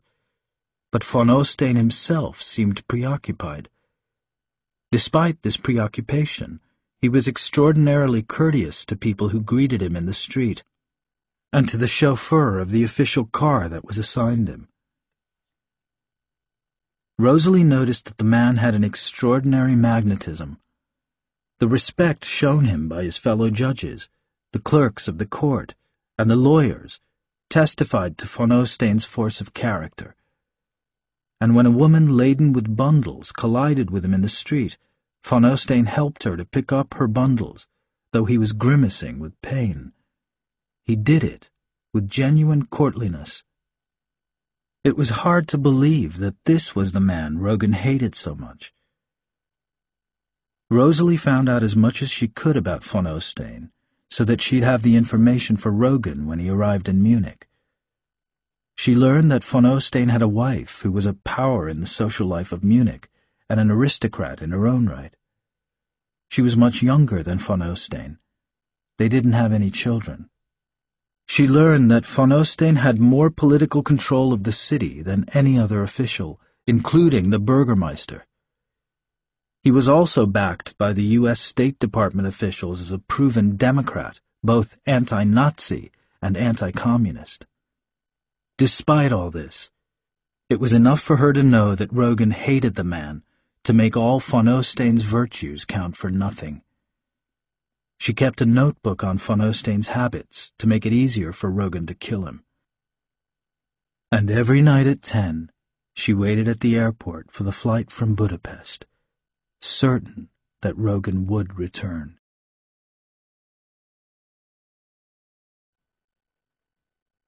Chapter 16 When Rogan woke up on his final day in Budapest, his first act was to destroy the dossiers he'd compiled on the seven men. Then he went through his belongings to see if there was anything he wanted to keep, but there was nothing except his passport. He packed everything else and carried his bags to the railway station. He checked the bags into an empty coin locker, then left the station. Crossing over one of the many bridges in the city, he casually dropped the locker key into the river. Then he went to the consulate. Vrosk had gathered everything he needed. Rogan checked the items the small jeweler's drill and chipping tools, the tiny wires, the timing device, the liquid explosive, and some special electronic parts of tiny size. Rogan smiled and said, Very good. Vrosk preened himself. I have a very efficient organization. It wasn't easy to get all these things on such short notice. To show my appreciation, Rogan said, I'm going to buy you a late breakfast at the Cafe Black Violin. Then we'll come back here, and I'll go to work with this stuff. And I'll also tell you what I'm going to do. At the cafe, they ordered coffee and brioches. Then, to Vrosk's obvious surprise, Rogan called for the chess set. The waitress brought it over, and Rogan set up the pieces, taking the whites for himself. Vrosk said in an annoyed voice, I have no time for such foolishness. I must get back to my office. Play, Rogan said. Something in his voice made Vrosk suddenly quiet. He let Rogan make the first move, and then moved his black pawn. The game was soon over. He beat Rogan easily, and the pieces were dumped back into the set for the waitress to carry away. Rogan gave a large tip. Outside the cafe, he hailed a taxi to take them back to the consulate. He was in a hurry now. Every moment was valuable. In Vrosk's office, Rogan sat down at the table that had the special equipment on it. Vrosk was angry. It was the bullying anger of a small-minded man. What's the meaning of all this foolishness? he asked. I demand to know. Rogan put his right hand into his jacket pocket, pulled it out again, clenched. He thrust it at Vrosk and then opened it. Lying in his palm was the White King. Rogan worked intently at the table for nearly three hours. He drilled a hole in the bottom of the king and then took the bottom out entirely. Working very carefully, he hollowed out the inside of the chess piece and packed it with liquid explosive, wires, and the tiny electronic parts. When he was finished, he put the bottom back on, and then with buffing cloth and enamel, he hid all scratches and chips. He held the chess piece in his hand, trying to see if the extra weight was too obvious. He did notice a little difference, but he reasoned that this was because he was looking for the difference. The piece would pass. He turned to Vrosk. At eight o'clock tonight, this thing will blow up in Pajerski's face. I've got it fixed so that nobody else will get hurt. There's just enough to kill the man holding the piece. And Pajerski always scratches his chin with it. That and the timing device will set off the explosive. If I see someone else holding it, I'll interfere and deactivate it. But I've watched Pajerski, and I'm sure he'll be the guy who'll have the piece in his hand at eight tonight. Now, I want you to have your underground people pick me up at the corner two blocks from the cafe. I'm counting on your organization to get me out of the country. You mean you're going to stay in the cafe until Pajerski is killed? Vrosk asked. That's sheer madness. Why not leave beforehand?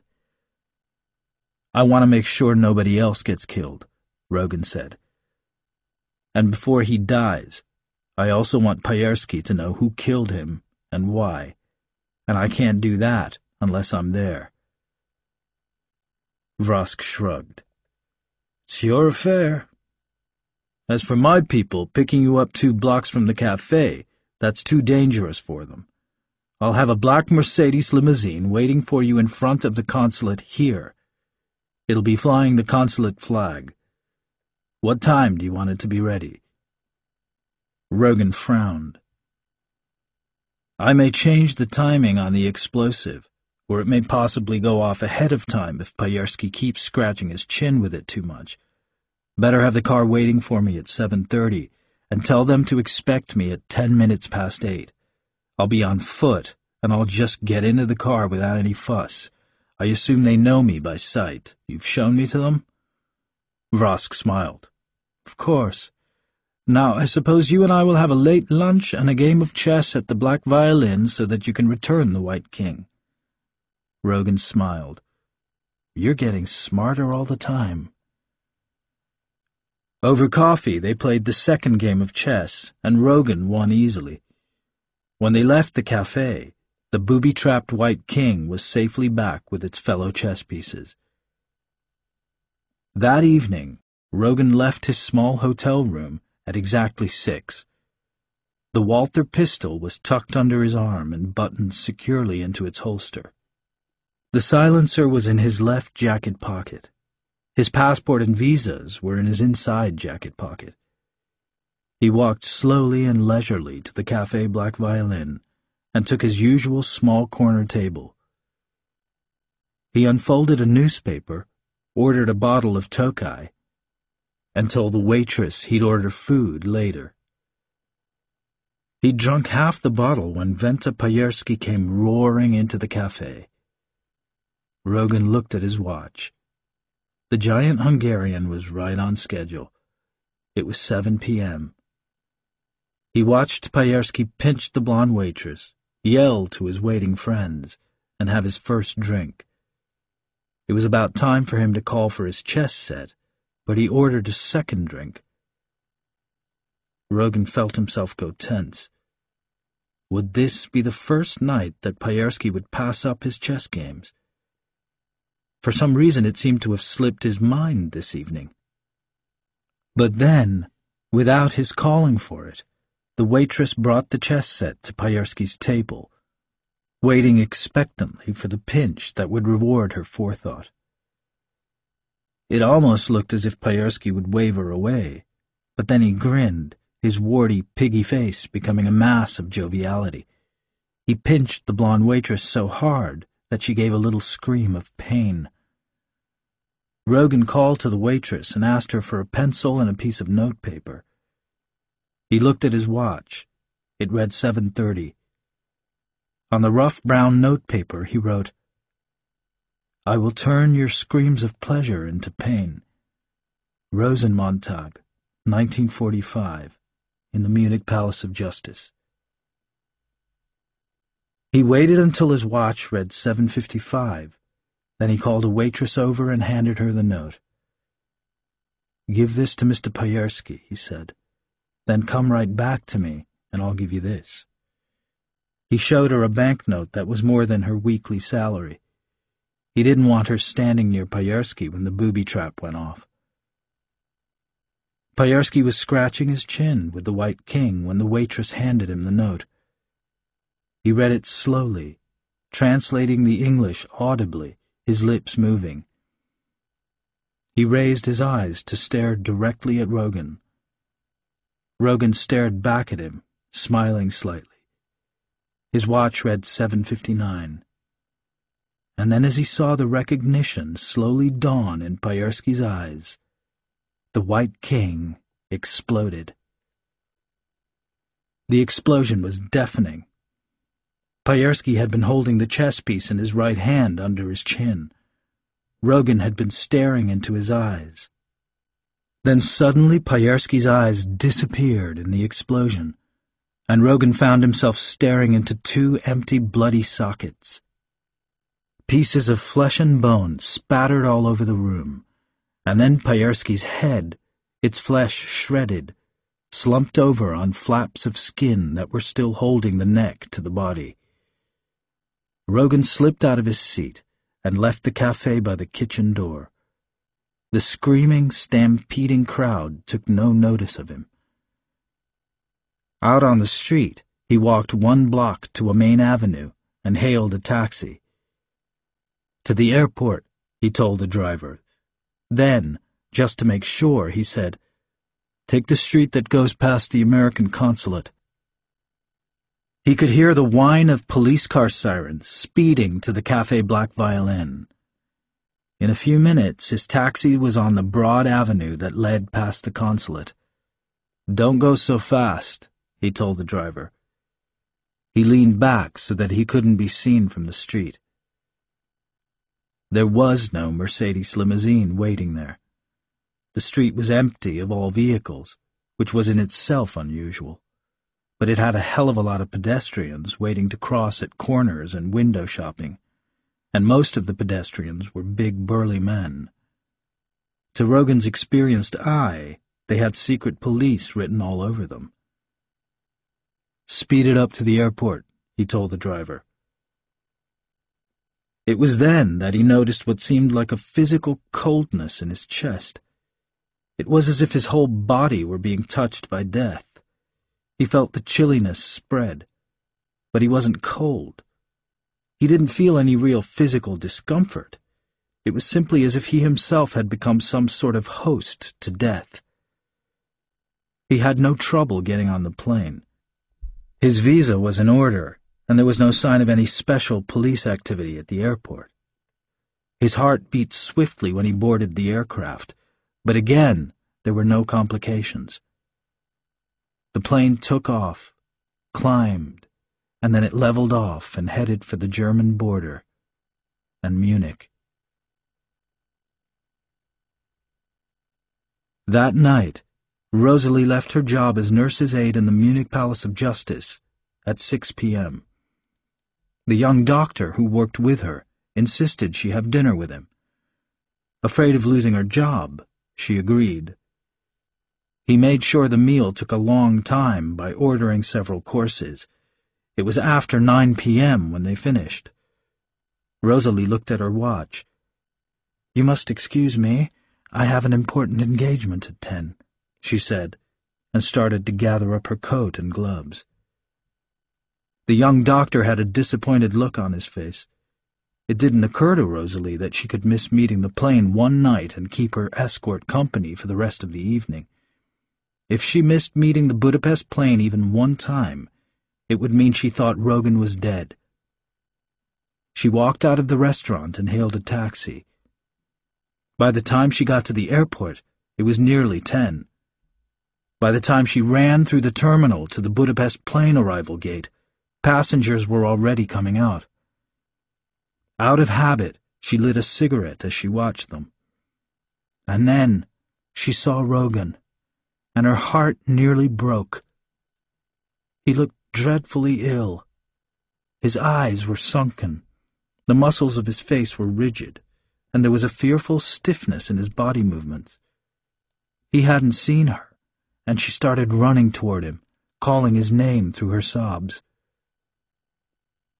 Rogan heard the clicking of a woman's heels on marble, heard Rosalie calling his name. He started to turn away, then turned back to catch her as she rushed into his arms. And then he was kissing her wet face and her lovely eyes as she whispered, I'm so happy, I'm so happy. I came here every night, and every night I thought you might have died, and I'd never know, and I'd be coming here for the rest of my life. Holding her close, feeling her warmth, Rogan felt the icy chill that had been part of his body begin to melt away, as if he were coming alive again. He knew then that he would have to keep her with him.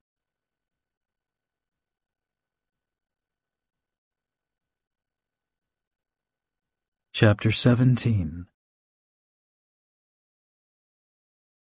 They took a taxi to the pension, and Rosalie led Rogan up to the room she'd had while she was alone in Munich. It was a comfortable place, half bedroom, half living room, with a small green sofa curved into its middle. There was a vase of wilted roses on the table. Some of their scent still hung in the air. Rogan reached out for Rosalie as soon as they'd locked the door behind them. They quickly undressed and went to bed, but their love-making was too frantic, too filled with tension. They smoked a cigarette together in the darkness, and then Rosalie began to weep. Why can't you stop now? she whispered. Why can't you just stop? Rogan didn't answer. He knew what she meant. That if he let Klaus von Ostein go free, his life and hers could start again. They'd stay alive. If he went after von Ostein, the chances of his escaping were small. Rogan sighed. He could never tell another human being what von Ostein had done to him in the Munich Palace of Justice. It was too shameful. Shameful in the same way that their attempt to kill him had been shameful. He knew only one thing. He could never live on Earth as long as von Ostein was alive. He could never sleep a night through without nightmares as long as von Ostein was alive. To balance his own private world, he had to kill the seventh and last man. And yet, in a strange way, he dreaded the moment when he would see von Ostein again. He had to remind himself that now von Ostein would be the victim. Von Ostein would shriek with fear. Von Ostein would collapse in terror. But it was hard to imagine all this. For back in those terrible days, when the seven men had tortured him in the Munich Palace of Justice. In those nightmare days when Christine's screams from the next room had set his body trembling with anguish, Rogan had come to regard Klaus von Ostein finally as God, had almost come fearfully to love him. Rosalie had fallen asleep, her face still wet with tears. Rogan lit another cigarette. His mind, his invincible memory, and all the agonies of remembrance imprisoned him once again in the high-domed room of the Munich Palace of Justice. In the early morning hours, the jail guards would come into his cell with small rubber clubs and a battered tin bucket for his vomit. They'd use the rubber clubs to beat his stomach, his thighs, his groin.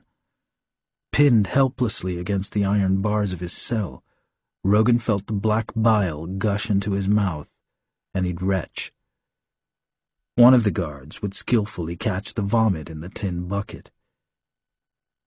They never asked any questions. They beat him automatically, just to set the proper tone for the day. Another guard wheeled in a breakfast tray on which stood a chunk of black bread and a bowl of grayish, lumpy gruel they called oatmeal. They made Rogan eat, and since he was always hungry, he gobbled the oatmeal and gnawed at the bread, which was rubbery stale. After he'd eaten, the guards would stand around in a circle as if they were going to beat him again.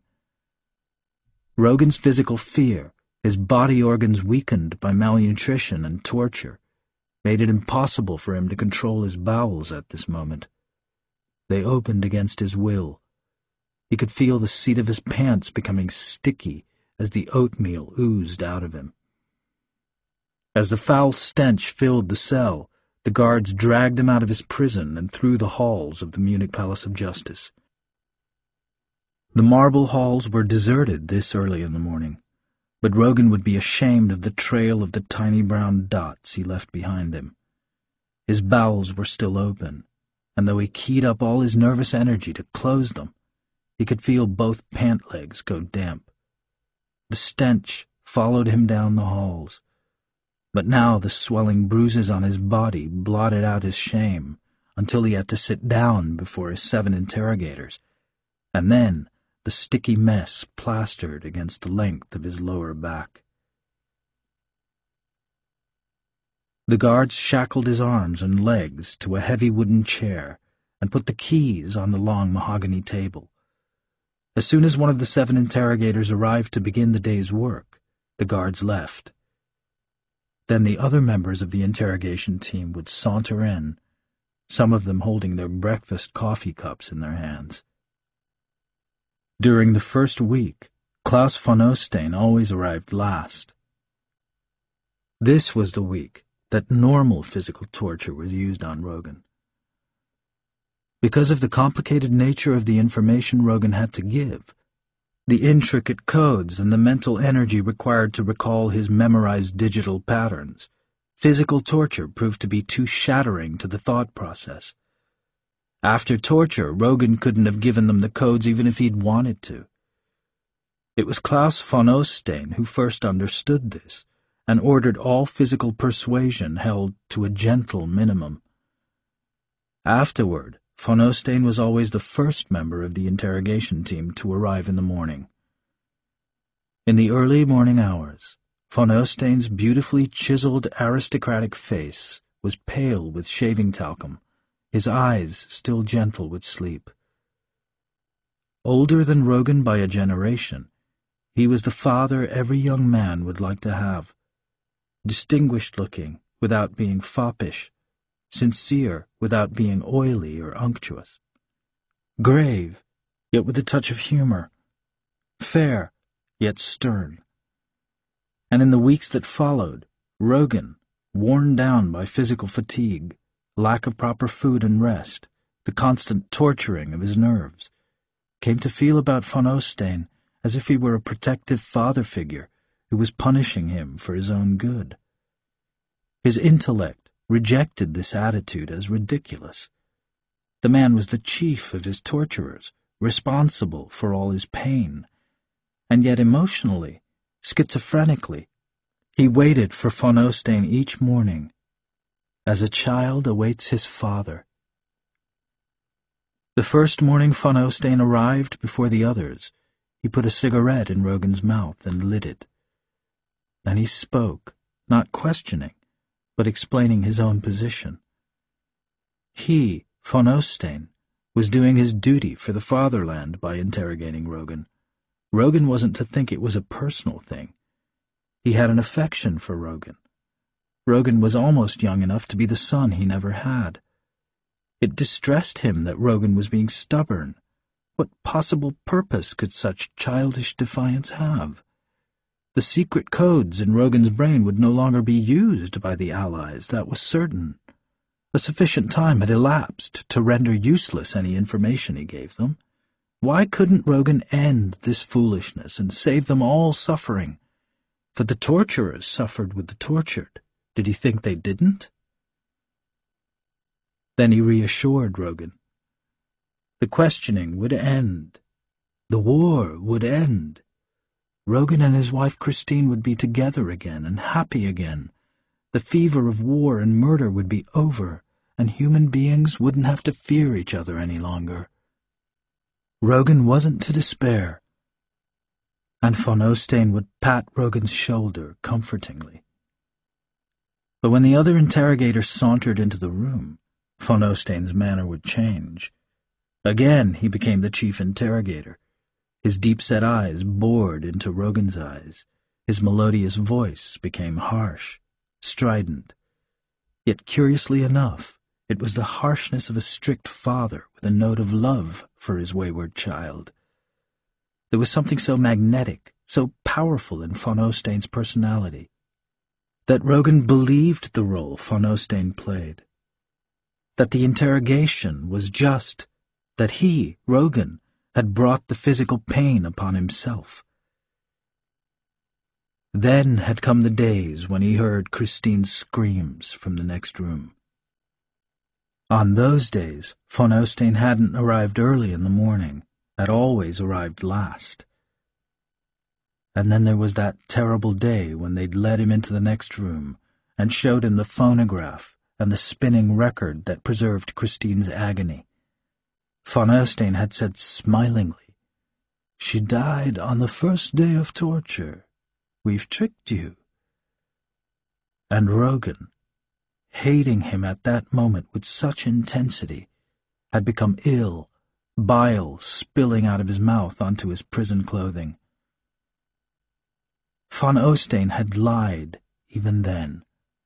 Genco Bari said that Christine had died during childbirth, and Rogan believed Bari. But why did von lie? Why did he wish his people to see more evil than they actually were? And then Rogan, remembering, realized the brilliant psychology behind von Ostein's every word and deed.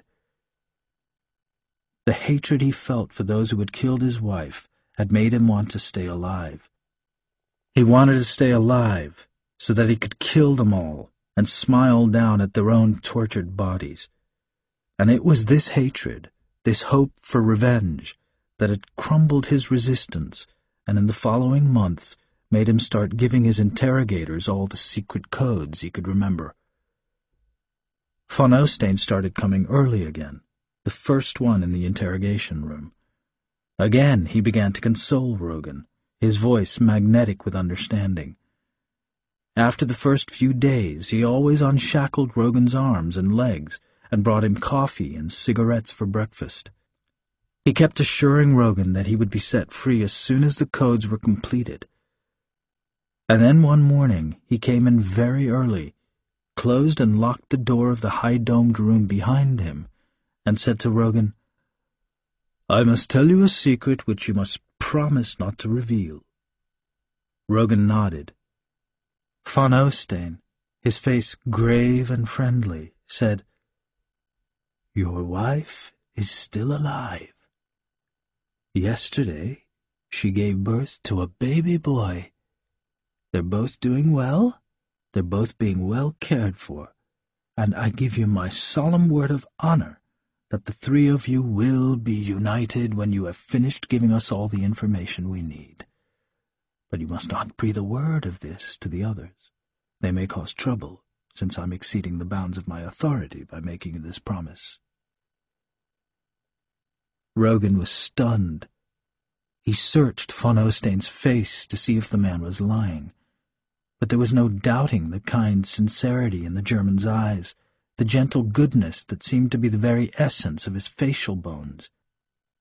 Rogan believed, and the thought that Christine was alive, that he would see her beautiful face again, that he would hold her soft, slender body in his arms again, that she wasn't dead and under the earth, all this made him break down and weep. Von Ostein patted him on the shoulder, saying softly in his hypnotic voice, I know, I know. I'm sorry I could not tell you sooner. It was all a trick, you see, part of my job. But now it's no longer necessary, and I wanted to make you happy. He made Rogan dry his tears, and then he unlocked the door to the interrogation room. The other six men were waiting outside, coffee cups in their hands. They seemed angry at being shut out, angry that their leader was in some way allied to their victim. That night in his cell, Rogan dreamed of Christine and the baby son he'd never seen. Oddly enough, the baby's face was very clear in his dream, fat and pink-cheeked, but Christine's face was hidden in shadows. When he called to her, she came out of the shadows, and he could see her, see that she was happy. He dreamed of them every night. Five days later, it was Rosenmontag, and when von Ostein came into the room, he was carrying an armful of civilian clothing. He smiled a genuinely happy smile and said to Rogan, Today is the day I keep my promise to you. And then the other six men crowded into the room. They congratulated Rogan as if they were professors who had helped him graduate from school with honors. Rogan started putting on the clothes. Genco Bari helped to knot his tie, but Rogan kept his eyes on von Ostein, asking a mute question with his eyes, asking if he would see his wife and child. And von Ostein understood and nodded his head, secretively, reassuringly. Someone clapped the fedora on Rogan's head. As he stood there looking at their smiling faces, he realized one of them was missing. Then he felt the cold muzzle of the gun against the back of his neck and the hat tilted forward over his eyes. In that one millionth of a second, he understood everything and sent a last despairing look at von Ostein, crying out in his mind, Father, Father, I believed. Father, I forgave all your torture, your treachery. I forgive you for murdering my wife and giving me hope.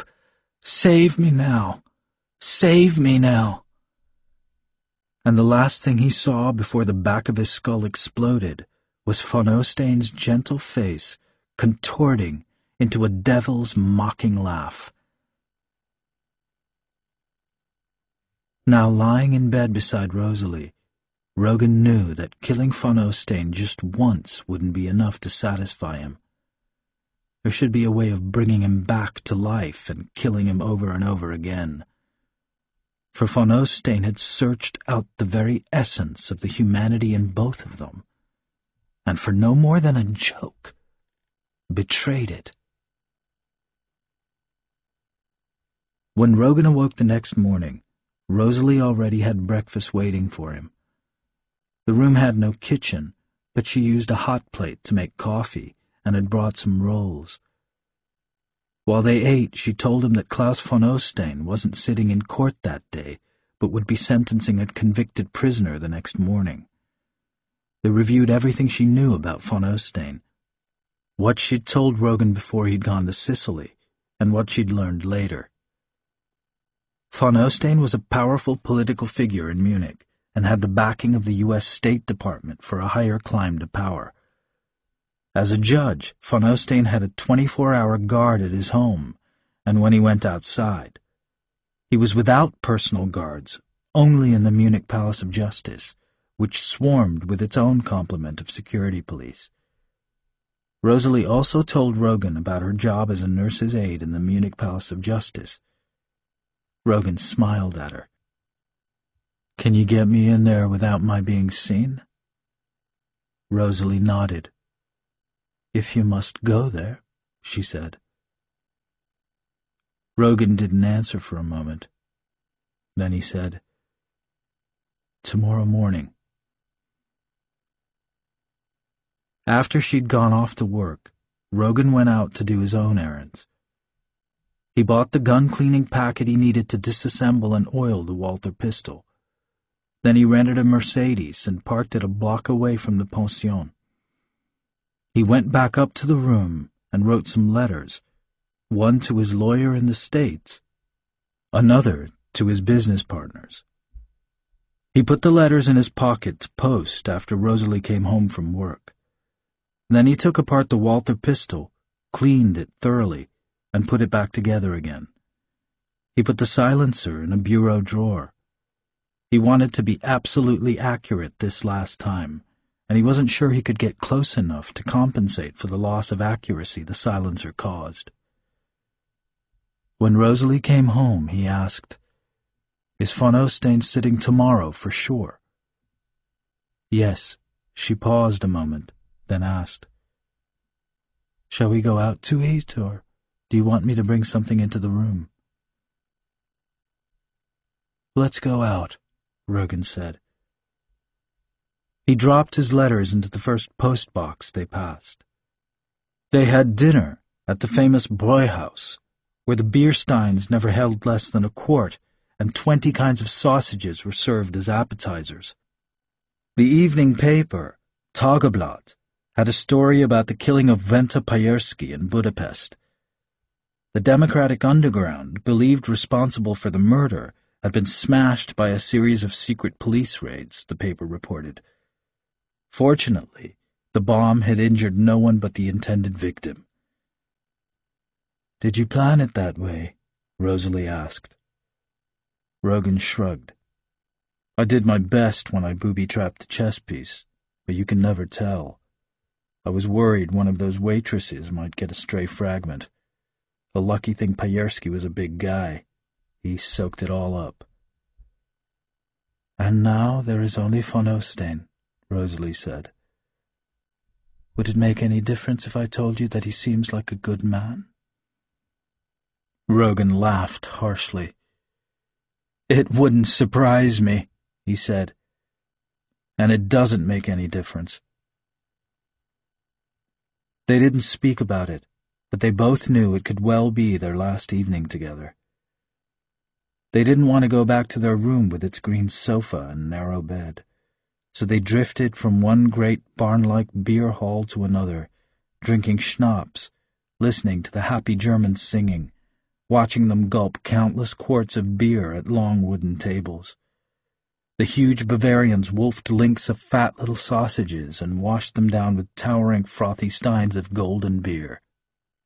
Those who were momentarily sated fought their way through thick, malt-reeking crowds to the marbled bathrooms to make use of the special vomiting bowls big enough to drown in.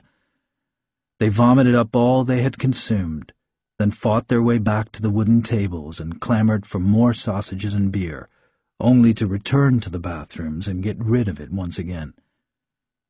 They were disgusting, but they were alive and warm so warm their heat made the huge beer halls hot as ovens.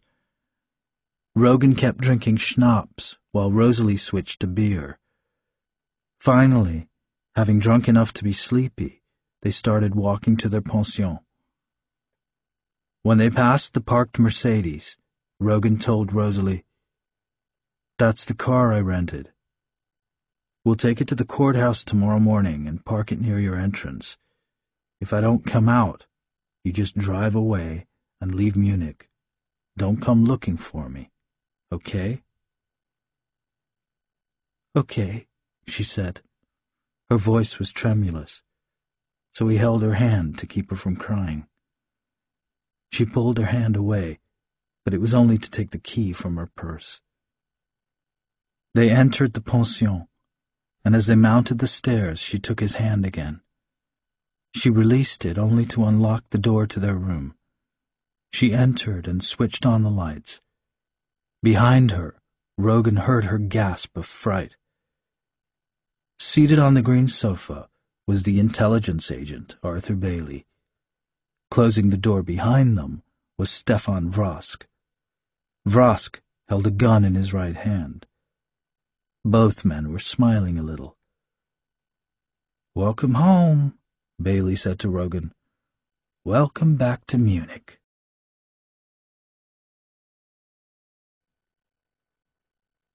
Chapter 18 Rogan smiled reassuringly at Rosalie. Go and sit down. Nothing's going to happen. I've been expecting them. He turned to Bailey. Tell your Fink to stash his weapon and you do the same. You're not going to use them, and you're not going to mm-hmm. stop me from doing what I have to do. Bailey put away his gun and motioned to Vrosk. He said to Rogan very slowly, very sincerely, We came to help you out. I was just worried that maybe you'd gone kill crazy. I thought you might just start blasting away if you found us here, so I figured I'd get the drop and then explain. Explain away, Rogan said. Interpol is on to you, Bailey said. They've hooked you up with all the murders, and they're processing copies of all your passport photos. They traced you to Munich. I got the teletype in my Munich branch office just an hour ago. They think you're here to kill somebody, and they're trying to find out who. That's the only thing you've got going for you, that nobody knows who you're after. Rogan sat on the bed opposite the dusty green sofa. Come off it, Bailey, he said. You know who I'm after. Bailey shook his head. His lean, handsome face took on a worried look. You've become paranoiac, he said. I've helped you all along. I haven't told them anything. Rogan leaned back on the pillow. His voice was very calm. I'll give you this much credit. At the beginning, you didn't know who the seven men in the Munich Palace of Justice were. But by the time I came back, you had a dossier on every one of them. When I saw you a few months ago, the time you came to tell me to lay off the Freisling brothers, you knew all seven. But you weren't going to let me know. After all, an intelligence network operating against the communists is more important than an atrocity victim getting his revenge. Isn't that how you intelligence guys figure? Bailey didn't answer. He was watching Rogan intently. Rogan went on. After I killed the Freisling brothers, you knew nothing would stop me, and you wanted Genco Bari and Venta knocked off. But I was never supposed to get away from Budapest alive. He turned to Vrosk. Isn't that right? Vrosk flushed. All arrangements were made for your escape. I cannot help it if you're a headstrong person who insists on going his own way. Rogan said contemptuously, You lousy bastard. I went by the consulate just to check you out. There was no car waiting, and the whole neighborhood was crawling with cops. You tipped them off. I was never supposed to get to Munich. I was supposed to die behind the Iron Curtain, and that would have solved all your intelligence problems. You're insulting me, Bailey said. You're accusing me of having you betrayed to the communist secret police. His voice held a tone of such sincere outrage that Rosalie glanced doubtfully at Rogan. You know, if I were still a kid in the war, you would have fooled me just now. But after the time I spent in the Munich Palace of Justice, I see through guys like you. I had you all the way, Bailey. You never fooled me for a second. In fact, when I came to Munich, I knew you'd be waiting, and I thought of tracking you down and killing you first. Then I figured it wouldn't be necessary, and I didn't want to kill someone just because he got in my way. But you're no better than those seven men. If you'd been there, you'd have done what they did. Maybe you have. How about it, Bailey? How many guys have you tortured? How many guys have you murdered? Rogan paused to light a cigarette. He looked directly into Bailey's eyes when he started to speak again. The seventh man, the chief interrogator, the man who tortured my wife and recorded her screams, is Judge Klaus von Ostein, the highest-ranking federal judge in Bavaria the politician with the brightest future, maybe the next Chancellor of West Germany. Backed by our State Department, and in the pocket of the American intelligence apparatus. So you can't afford to have him killed by me. And you certainly can't have him arrested for war crimes. Rogan stubbed out his cigarette. To keep me from killing von Ostein, to keep the story of his being a Gestapo man a secret, I had to be destroyed. You ordered Vrosk to betray me to the Hungarian secret police. Isn't that right, Bailey? Simple, airtight, clean-handed, just the way you sincere intelligence types like it. Vrosk said in his arrogant-sounding voice, What's to stop us from silencing you now? Bailey gave his subordinate a weary look of impatience. Rogan laughed. Bailey, tell your Fink why he can't, Rogan said, amused. When Bailey remained silent, Rogan went on, speaking directly to Vrosk.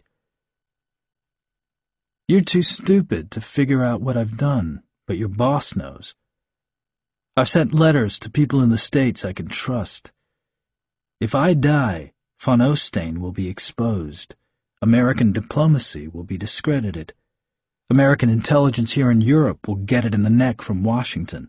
So you can't kill me. If I'm captured, same thing.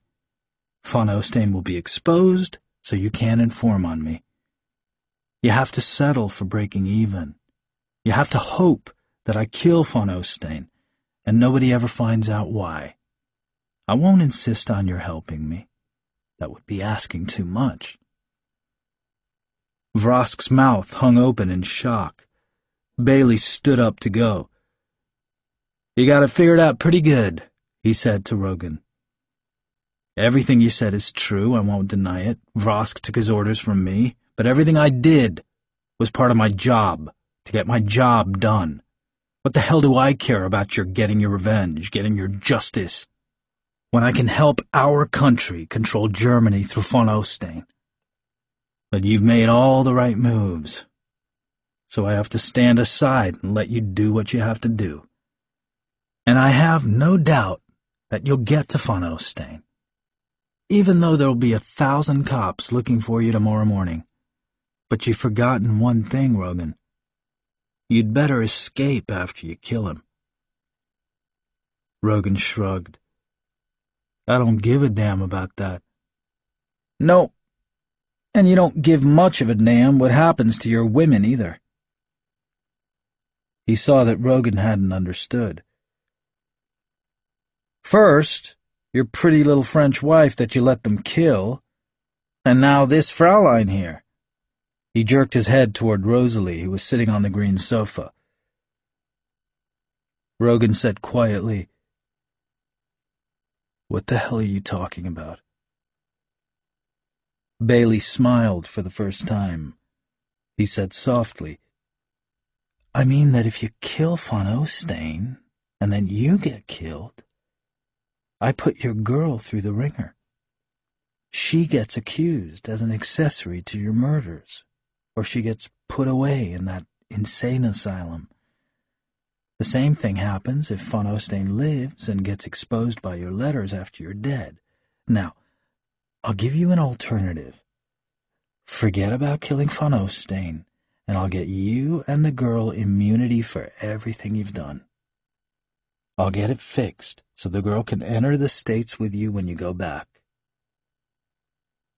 Think it over. He started to leave. Rogan called after him.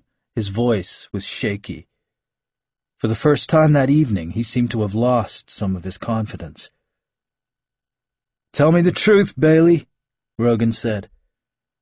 If you'd been one of the seven men in the Munich Palace of Justice, would you have done the things to me that they did? Bailey considered the question seriously for a moment. Then he said quietly, If I really believed it would help my country win the war, yes, I would have. He followed Vrosk out of the door. Rogan got up and went to the bureau. Rosalie saw him fit the rifled metal of the silencer on the spine of the Walther pistol, and said in an anguished voice, No, please don't. I'm not afraid of what they'll do to me. She moved toward the door as if to stop him from going out. Then she changed her mind and sat on the green sofa. Rogan watched her for a moment. I know what you're thinking, he said. But didn't I let Vrosk and Bailey get away with trying to kill me in Budapest? Everybody in that profession is some kind of special animal, not a human being. They're all volunteers. Nobody forces them into those jobs. They know what their duties will be to torture, betray, and murder their fellow human beings. I don't feel any pity for them. She didn't answer. She bowed her head into her hands. Rogan said gently, In Budapest, I risked my life to be sure no one else was hurt except Pajerski. I was ready to give up everything, even my chance of punishing von Ostein, so that none of the innocent bystanders would be injured by me, because those bystanders were innocent. These two men are not, and I won't have you suffer because of me. Before she could answer, before she could raise her head, he went out of the room. She could hear his footsteps going swiftly down the stairs. Rogan drove off in the rented Mercedes and turned onto a main avenue, his foot pressed down on the gas. At this hour, there was little traffic. He was hoping that Bailey and Vrosk didn't have their own car, that they'd come to the pension in a taxi and would now be on foot and trying to catch another taxi. He'd gone no more than one block on the avenue when he saw them walking along together. He drove on one more block then parked the car and started walking back along the avenue to meet them. They were still a hundred feet away when they turned into the entrance of the Frederica Beer Hall. Damn, he thought. He'd never be able to get at them in there. He waited outside for an hour, hoping that they would have a few quick beers and then come out. But they didn't reappear, and he decided finally to go inside. The beer hall wasn't full, and he saw Bailey and Vrosk right away. They had a long wooden table to themselves, and they sat there gobbling down white sausages. Rogan took a seat near the door, where he would be shielded from them by a full table of beer drinkers who were still going strong. As he watched Bailey and Vrosk drink, he was surprised at their appearance and behavior, and then amused at his surprise. Till now he'd always seen them when they wore their masks of duty, careful not to reveal any weakness. Here he saw them relaxed, their disguises put aside. The arrogant Vrosk evidently loved fat women. Rogan saw Vrosk pinch all the plump waitresses and let the skinny ones go by untouched. When a really hefty girl passed him, carrying a tray loaded with empty beer steins, Vrosk couldn't contain himself. He tried to embrace her, and the glasses went flying all over the wooden table. The waitress gave him a good-natured push that sent him staggering into Bailey's lap. The lean Arthur Bailey was a finicky glutton.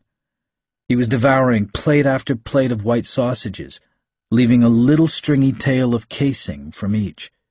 He washed each mouthful of sausage down with a gulp of beer. He was totally absorbed in what he was doing. Suddenly he lunged toward one of the bathrooms. Vrosk followed him, weaving drunkenly. Rogan waited a moment, then he too followed. He went through the doorway and was in luck. Bailey and Vrosk were the only occupants. But he couldn't shoot. He couldn't take his Walther pistol from his jacket pocket. Bailey was bent helplessly over one of the huge white vomit bowls, puking up everything since breakfast. Vrosk was gently holding Bailey's head so that it wouldn't dip into the bowl's contents. Caught with their defenses down, they were curiously touching. Rogan backed out before they could see him and left the beer hall. He drove the Mercedes to the pension, parked it, and went up to the room. The door wasn't locked. Inside, Rosalie was sitting on the green sofa waiting for him. Rogan took off the silencer and threw it back into the bureau drawer. He went and sat beside Rosalie on the sofa. I couldn't do it, he said. I don't know why, but I couldn't kill them.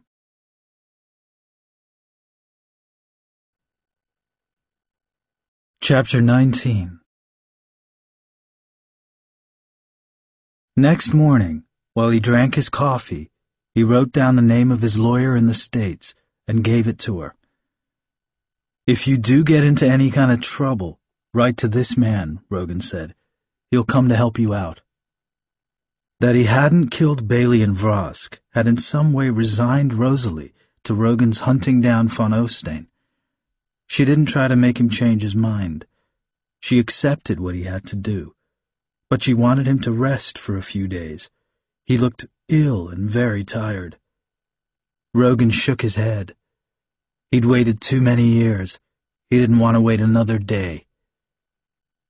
He had a slight headache. He could feel pressure on the part of his skull covered by the silver plate.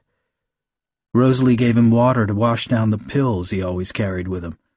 She watched him check the Walther pistol and put it in his jacket pocket. Aren't you using the silencer? she asked. It makes the gun too inaccurate, he said.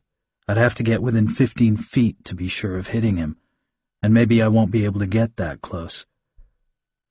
She understood what he really meant, that he had no hope of escaping, that it would be useless to silence the murder weapon. Before they went out the door, she made him hold her in his arms, but there was no way he could comfort her. He had her drive the car, not trusting his uncertain lateral vision at an important time like this.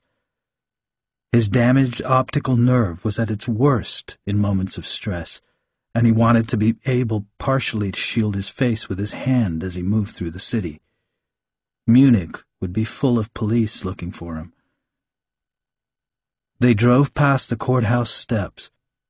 Through the square Rogan remembered so well, with its florid columned buildings. Rosalie parked a Mercedes a short distance from the side entrance. Rogan got out of the car and entered the majestic archway into the courtyard of the Palace of Justice. He walked over the cobblestones that had once been stained with his blood and whose crannies had swallowed the tiny blasted fragments of his skull.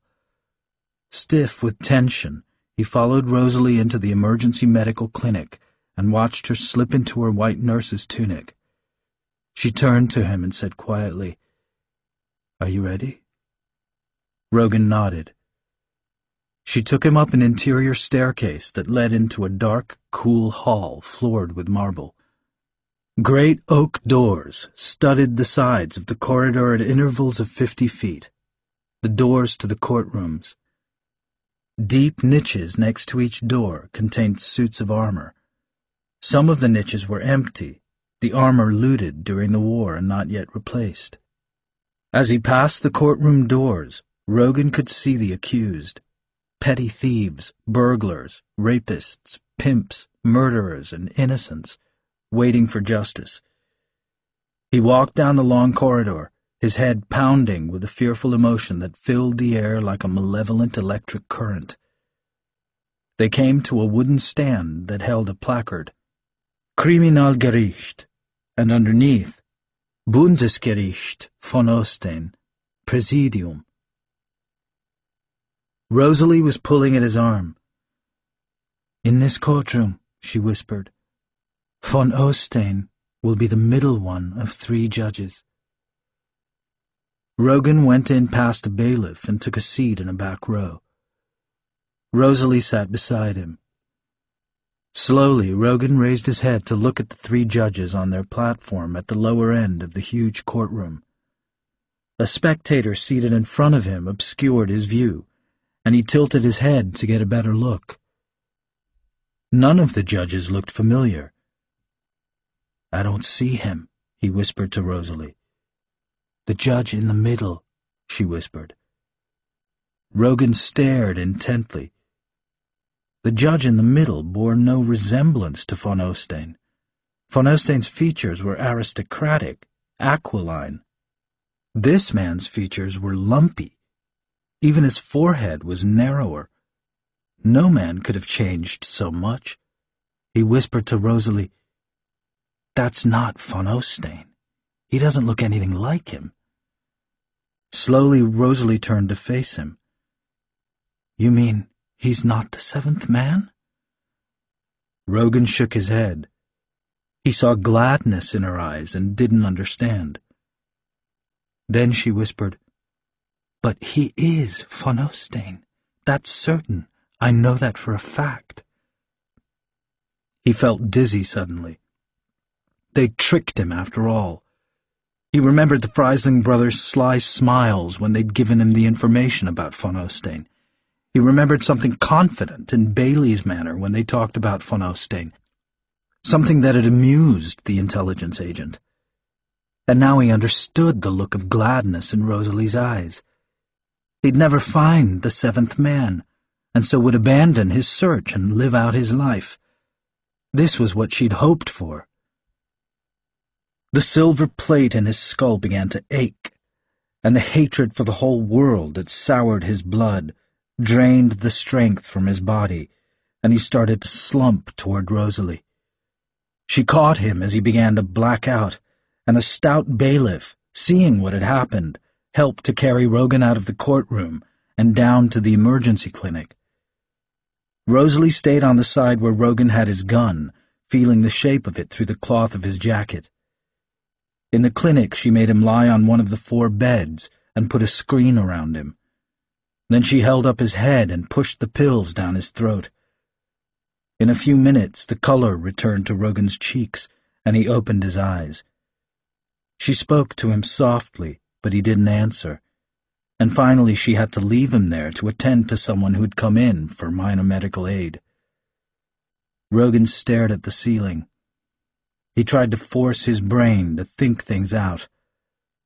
There was no way the Freisling brothers could have been lying when they put down the same names of their wartime colleagues. And Bailey had admitted that it was von Ostein who was the man Rogan sought. Was it possible, then, that Rosalie had lied to him? No. For Rosalie it was impossible. There was just one thing to do. Find Bailey and make him tell the truth but only after he'd rested. He felt too weak now. Rogan closed his eyes. He slept for a little while. When he woke up, he thought he was in one of his familiar nightmares. From the other side of the screen came the voice of the chief interrogator who had so long ago tortured him and betrayed his humanity. The voice was powerfully magnetic, ringing with sympathy. It was inquiring after the man who had fainted in the courtroom. Rogan could hear Rosalie, her tone respectful, reassuring the visitor that the man had been overcome by the heat and would shortly be well again. She thanked the honorable judge for his kindness in asking after the health of her patient. When the door closed, Rosalie came round the screen and found Rogan sitting up in bed. There was a grim smile on his face. Who was that? he asked, wanting to make sure. Judge von Ostein, Rosalie said. He came to ask how you were. I told you what a kind man he was. I always felt he couldn't be the one you were looking for. Rogan said softly, That's what the brothers were smiling about, and Bailey too. They knew I'd never recognize von Ostein, just as they hadn't recognized me. But his power was all in his voice, and I'd never forget that. He saw her look of dismay. Is Judge von Ostein sitting this afternoon after lunch? he asked. Rosalie sat down on the bed with her back to him. Yes. Rogan patted her shoulder, his fingers drawing strength from her young body. He could feel the exultant joy running through him. In a few hours, it would all be over. He would never dream his terrible dreams again. But he would need all his strength. He told Rosalie what shots to give him from her drug supply in the clinic locker. As she prepared the needle, he thought about the change in von Ostein's appearance. Remembering von Ostein's proud features, Rogan knew the man wouldn't have had voluntary facial surgery merely to escape danger. In the years since they'd last seen each other, von Ostein had gone through his own hell of suffering. But it didn't matter. Nothing mattered any more, Rogan thought. Before the day was over, both their worlds would end.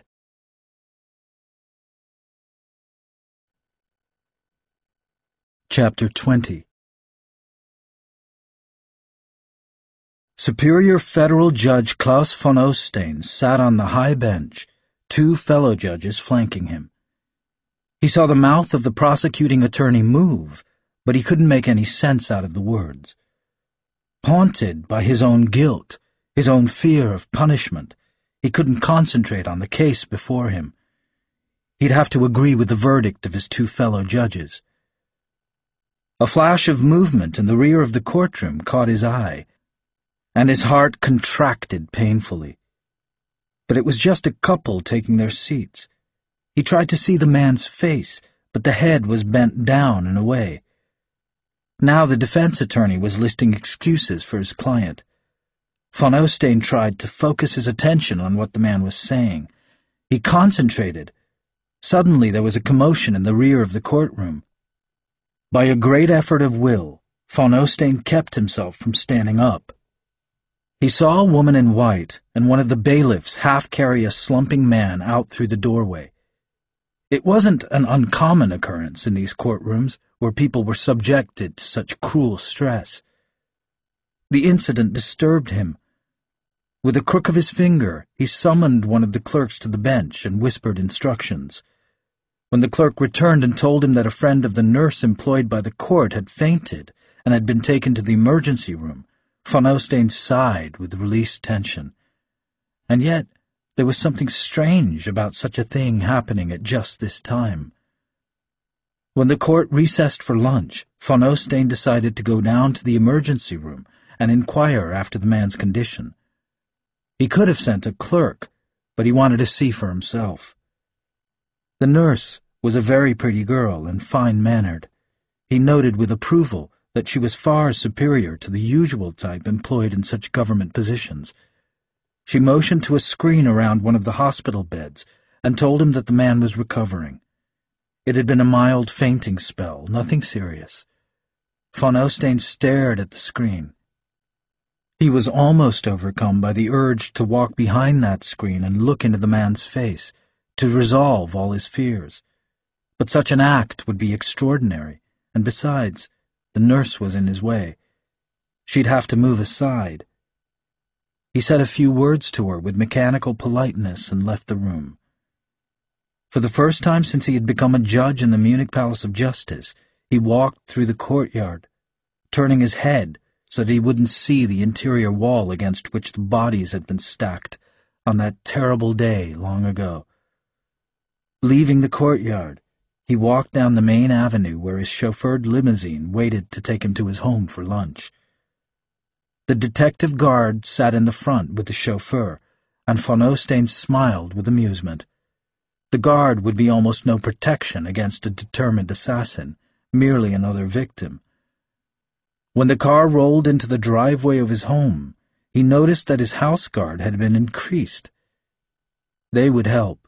It would force the assassin to make his attempt somewhere else, and Marcia would be safe. His wife was waiting for him in the dining room. The table was set with white napery that had a faint tinge of blue in the curtained light. The silver sparkled, and the bowls of bright flowers were arranged with the skill of an artist. He said jokingly to his wife, Marcia, I wish the food were as good as the setting. She made a face of mock displeasure. Always the judge, she said. Looking at his wife, von Osten thought, Would she believe in my guilt if it all came out? and he knew that if he denied everything, she would believe him. She was twenty years his junior, but she truly loved him. Of that he had no doubts. Von Osten ran his hand over his face. The surgery had been excellent, the best available in Germany. But close up, the many scars and seams in his flesh were clearly visible. He wondered if that was why she kept the rooms curtained against too bright a light and the lamps dim. After lunch, she made him lie down on the sitting-room sofa for an hour's rest. She took a seat opposite him, a book in her lap. Klaus von Osten closed his eyes. He could never confess to his wife. She believed in him. And after all, he'd received his punishment. A few weeks after Rosenmontag, 1945. A shell had fragmented his face. He'd always accepted his terrible wound without bitterness, for in his mind it atoned for the crime he'd committed against the young American agent in the Munich Palace of Justice. How could he explain to anyone that as a staff officer, a nobleman, a German, he'd come to recognize the degradation of his country, its dishonor? And like a man who's married to a drunkard and who decides to become a drunkard himself to show his love for her, so he too had become a torturer and a murderer to remain a German. But had it really been that simple? In those years since the war, he'd lived a truly good life, and it had been natural to him. As a judge, he'd been humane, never cruel. He'd left his past behind him. The records of the Munich Palace of Justice had been carefully destroyed, and up until a few weeks ago, he'd felt little remorse for his wartime cruelties. Then he'd learned of Pfann and Moltke being killed, and the Freisling brothers, too. A week ago, the American intelligence officer Arthur Bailey had come to his home and told him about Michael Rogan. Rogan had murdered the men who'd been von Ostein's underlings in the Munich Palace of Justice when he'd been a judge without the sanction of law. Von Ostein remembered Michael Rogan. They hadn't killed him after all. Arthur Bailey had reassured him. Rogan would never accomplish his final murder. American intelligence would see to that. They'd also keep von Ostein's war atrocities a secret. Von Ostein knew what this meant. If he ever came to political power in West Germany, he'd be subject to blackmail by American intelligence. Lying on the sofa, he reached out to touch his wife, not opening his eyes. It was only when he learned that Rogan was alive that von Ostein began to dream about him.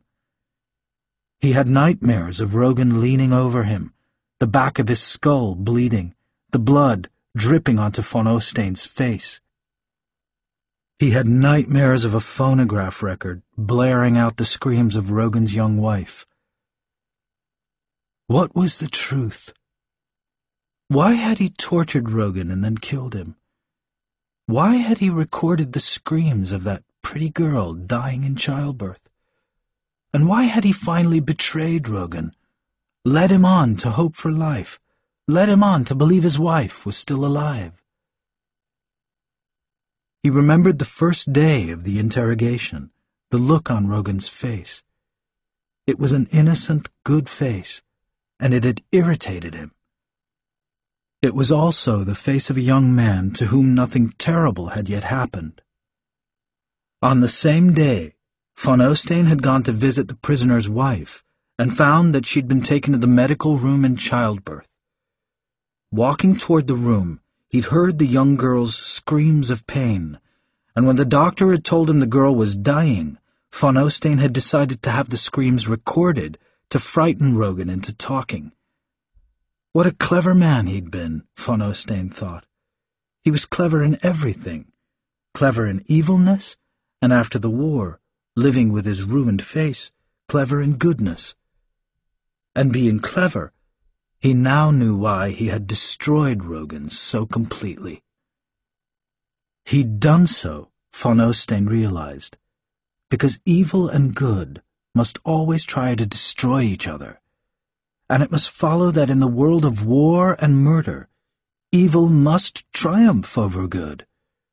And so he destroyed Rogan, slyly led him on to trust and hope, and at that final moment when Rogan had begged for mercy with his eyes, von Ostein had laughed, his laughter drowned by the roar of the bullet exploding into Rogan's skull. He'd laughed at that moment because the sight of Rogan with his hat tilted forward over his brow, had been genuinely comical, and death itself in those terrible days of 1945 was merely a burlesque. It's time. His wife was touching his closed eyes. Von Ostein rose from the sofa, and his wife helped him into his jacket. Then she walked with him to the limousine Be merciful, she said. It caught him unawares. He looked at her, his eyes dazed with incomprehension. She saw this and said, On that poor wretch you'll have to sentence this afternoon. Suddenly von Ostein had the overwhelming urge to confess his crimes to his wife. But the car was wheeling slowly away from the house on its way back to the Munich Palace of Justice. Already under sentence of death, but hoping for a reprieve, von Ostein couldn't bring himself to confess.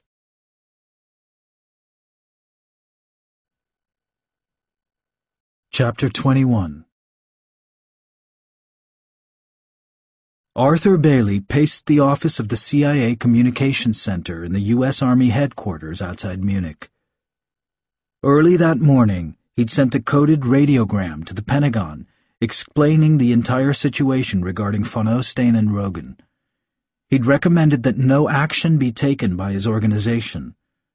Now, he was waiting impatiently for the answer. It was nearly midday before a reply was received. The clerk took it into the top-secret decoding room, and half an hour later the message was placed in Bailey's hands. It stunned him. It instructed him to have von Ostein guarded and to inform the German police of Rogan's intentions. This course of action would be so disastrous, Bailey thought, that he decided to use the radiophone to the Pentagon. The code signature on the reply was that of a former German teammate of Bailey's, Fred Nelson. They couldn't speak too freely over the radiophone, but maybe Bailey could get his message across to Nelson. And he sure as hell had to hurry. Rogan might be right behind Judge von Ostein this minute. It took him ten minutes to get a connection. After identifying himself, he said cautiously, Do you people know what the hell you're doing with those instructions you sent me? You could blow the whole political setup sky high. Nelson's voice was cool and noncommittal. Uh, that decision came from the top in intelligence. It's been cleared by the state people, so just go ahead and follow orders. Bailey said disgustedly. They're all crazy. His voice sounded so worried that Nelson took pity on him. That one aspect you're worried about, Nelson said guardedly, that's being taken care of. Nelson was referring to the letters Rogan had sent to his friends in the States. Yes, I understand, Bailey said. What was done about that? We've kept a file on him since your first report. We know everybody he might correspond with, and we've placed a postal intercept on the post of every person he knows. Bailey was genuinely surprised. Can you get away with that in the States? I didn't think of that at all. National security. We can do anything, Nelson sounded sardonic. Will this guy let himself be taken alive? No. He'd better not be, Nelson said, and broke the connection. Bailey cursed himself for having called instead of just following instructions. He knew what Nelson's last remark meant. He had to make sure that Rogan wasn't captured alive, or not allowed to remain alive after he was captured. They didn't want him talking about von Ostein. Bailey got into the waiting staff car and told the driver to take him to the Palace of Justice in Munich. He didn't think Rogan had had enough time to make his move, but he wanted to make sure. Then he would pick up Vrask, and they would both go to the pension and finish Rogan off.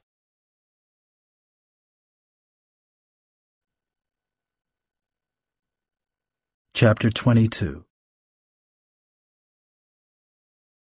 In the emergency clinic of the Munich Palace of Justice, Rogan prepared for his final meeting with Klaus von Ostein. He combed his hair and straightened his clothing. He wanted to look as presentable as possible so as not to stand out in the crowd. He patted his jacket pocket on the right side to make sure the Walther pistol was still there, though he could feel its weight. Rosalie took a bottle of colorless liquid from her mobile tray and poured some on a thick square of gauze. She put the gauze in Rogan's left-hand pocket. If you start to feel faint, hold it to your mouth and breathe in, she said. He bent down to kiss her, and she said, Wait until he finishes with his court. Wait till the end of the day. I'll have a better chance if I catch him coming back from lunch. Be in the car. He touched her cheek lightly. There's a good chance I'll get away. Sad-eyed, they smiled at each other with pretended confidence. Then Rosalie took off her white tunic and tossed it on a chair. I'll go now, she said, and without another word, without a backward look, she left the clinic and walked through the courtyard to the street beyond. Rogan watched her before he, too, left the clinic and climbed the interior stairs to the main floor corridor of the Munich Palace of Justice. The corridor was filled with convicted people waiting to learn their punishments, and with them were families and friends, as well as the defenders and dispensers of justice.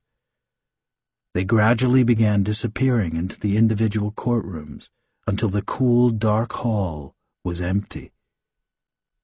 There was no sign of von Osten. Rogan walked down the hall to the courtroom where von Osten had sat that morning. He was late. The court was already in session and had been for some minutes. It was ready to sentence the criminal before it. Von Osten as president of the court, sat between his two fellow judges. They all wore black robes, but only von Osten wore the high conical hat of ermine and mink that designated the chief judicial officer, and his figure seemed to exert a dread fascination on everyone in the courtroom. He was about to sentence the convicted criminal before him. The decision was announced in that magnificent, persuasive voice that Rogan remembered so well. It was a life sentence for the poor wretch before him. Rogan felt an enormous relief that his search was ended. He walked a hundred feet past the doors of the courtroom and stepped into one of the empty niches in the wall of the corridor, a niche that for a thousand years had held the armor of a German warrior. He stood there for nearly an hour before the people in the courtroom came out of the oaken doors into the corridor. He saw a black-robed figure exit from the courtroom through a small side door. Von Osten was coming toward him through the shadowy corridor. He looked like an ancient priest prepared for sacrifice, black robes flapping, the conical hat of ermine and mink like a bishop's mitre, holy and untouchable. Rogan waited, blocking the corridor. He drew the Walther pistol and held it before him. They were face to face now. Von Osten peered through the shadowy light and whispered, Rogan? And Rogan felt an overwhelming joy that this last time he was recognized, that his victim knew the crime for which he must die, he said, You condemned me to death once. He heard the hypnotic voice say, Rogan, Michael Rogan. And von Osten was smiling at him and saying, I'm glad you finally come. He reached up and touched his furred hat. You're far more terrible in my dreams, he said. Rogan fired. The pistol shot clanged through the marble corridors like some great bell. Von Osten staggered back. He held up both hands, as if to bless Rogan. Rogan fired again. The black-robed figure began to sag, the conical hat making the fall majestic, sacrilegious. People ran into the corridor from the adjoining courtrooms, and Rogan fired one last bullet into the body, lying on the marbled floor. Then, with the pistol in his hand, he ran out of the side exit into the sunlit square. He was free. He saw the waiting Mercedes just a hundred paces away and started for it. Rosalie was standing beside the car, looking tiny, as if she were at the end of a long tunnel. Rogan started running. He was really going to make it, he thought. It was all over, and he was going to make it. But a middle-aged, mustached policeman directing traffic had seen the gun in Rogan's hand and rushed from his post to intercept him. The policeman was unarmed. He stood in Rogan's path and said, You are under arrest. You cannot brandish a weapon in public. Rogan brushed him aside and walked toward the Mercedes. Rosalie had disappeared now. She must be inside the car starting the motor. Rogan desperately wanted to reach her. The policeman followed him, grasping his arm, saying, Come now, be sensible. I am a German police officer, and I place you under arrest. He had a thick Bavarian accent that made his voice sound friendly. Rogan hit him in the face. The policeman staggered back, then ran after him clumsily, trying to herd Rogan into the Palace of Justice with his heavy body, yet afraid to use physical force because of the pistol in Rogan's hand. I am a police officer, he said again, astonished, unable to believe that anyone would refuse to obey his lawful commands. Rogan turned and shot him through the chest. The policeman fell against him, looked up into his eyes, and said, with surprise, with innocent horror.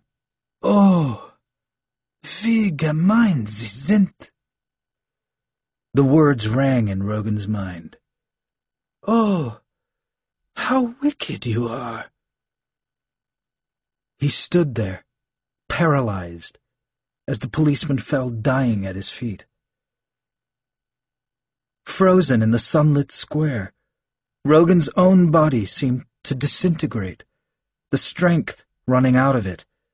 But then Rosalie was beside him, taking his hand and making him run. She pushed him into the Mercedes and then roared out of the square. She drove wildly through the streets of Munich to reach the safety of their room.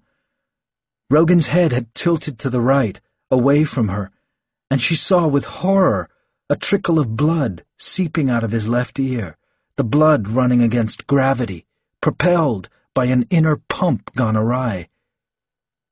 They were at the pension. Rosalie stopped the car and helped Rogan get out. He could barely stand.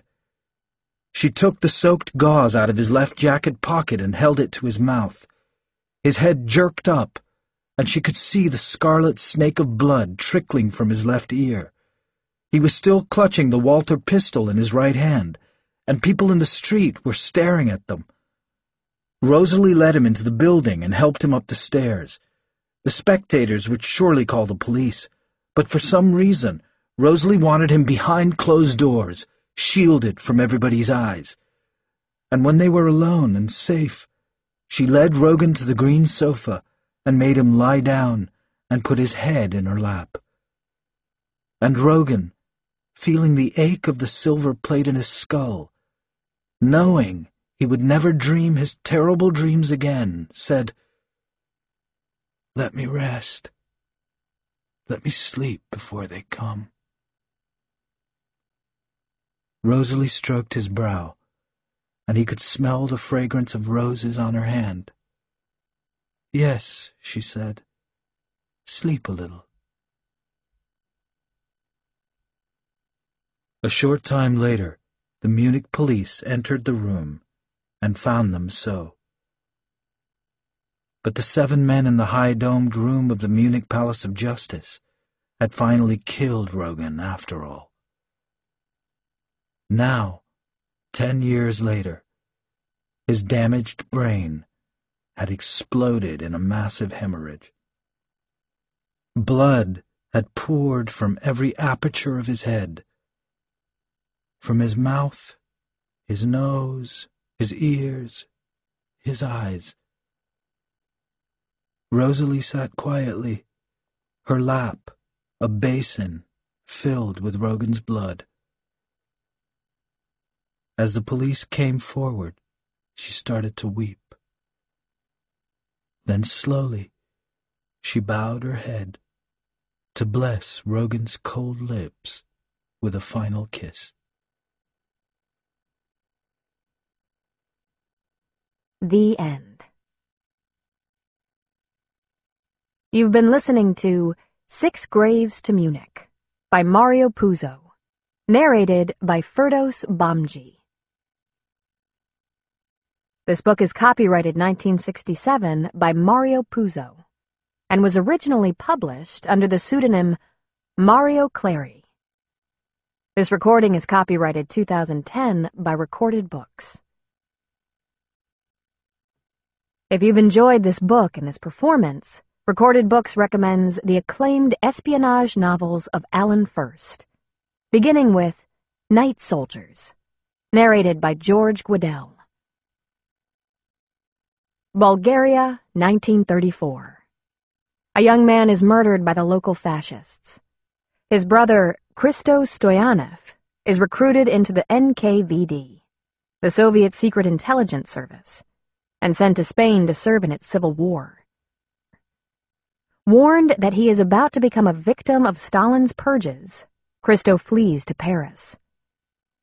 Night Soldiers masterfully recreates the European world of 1934 to 45.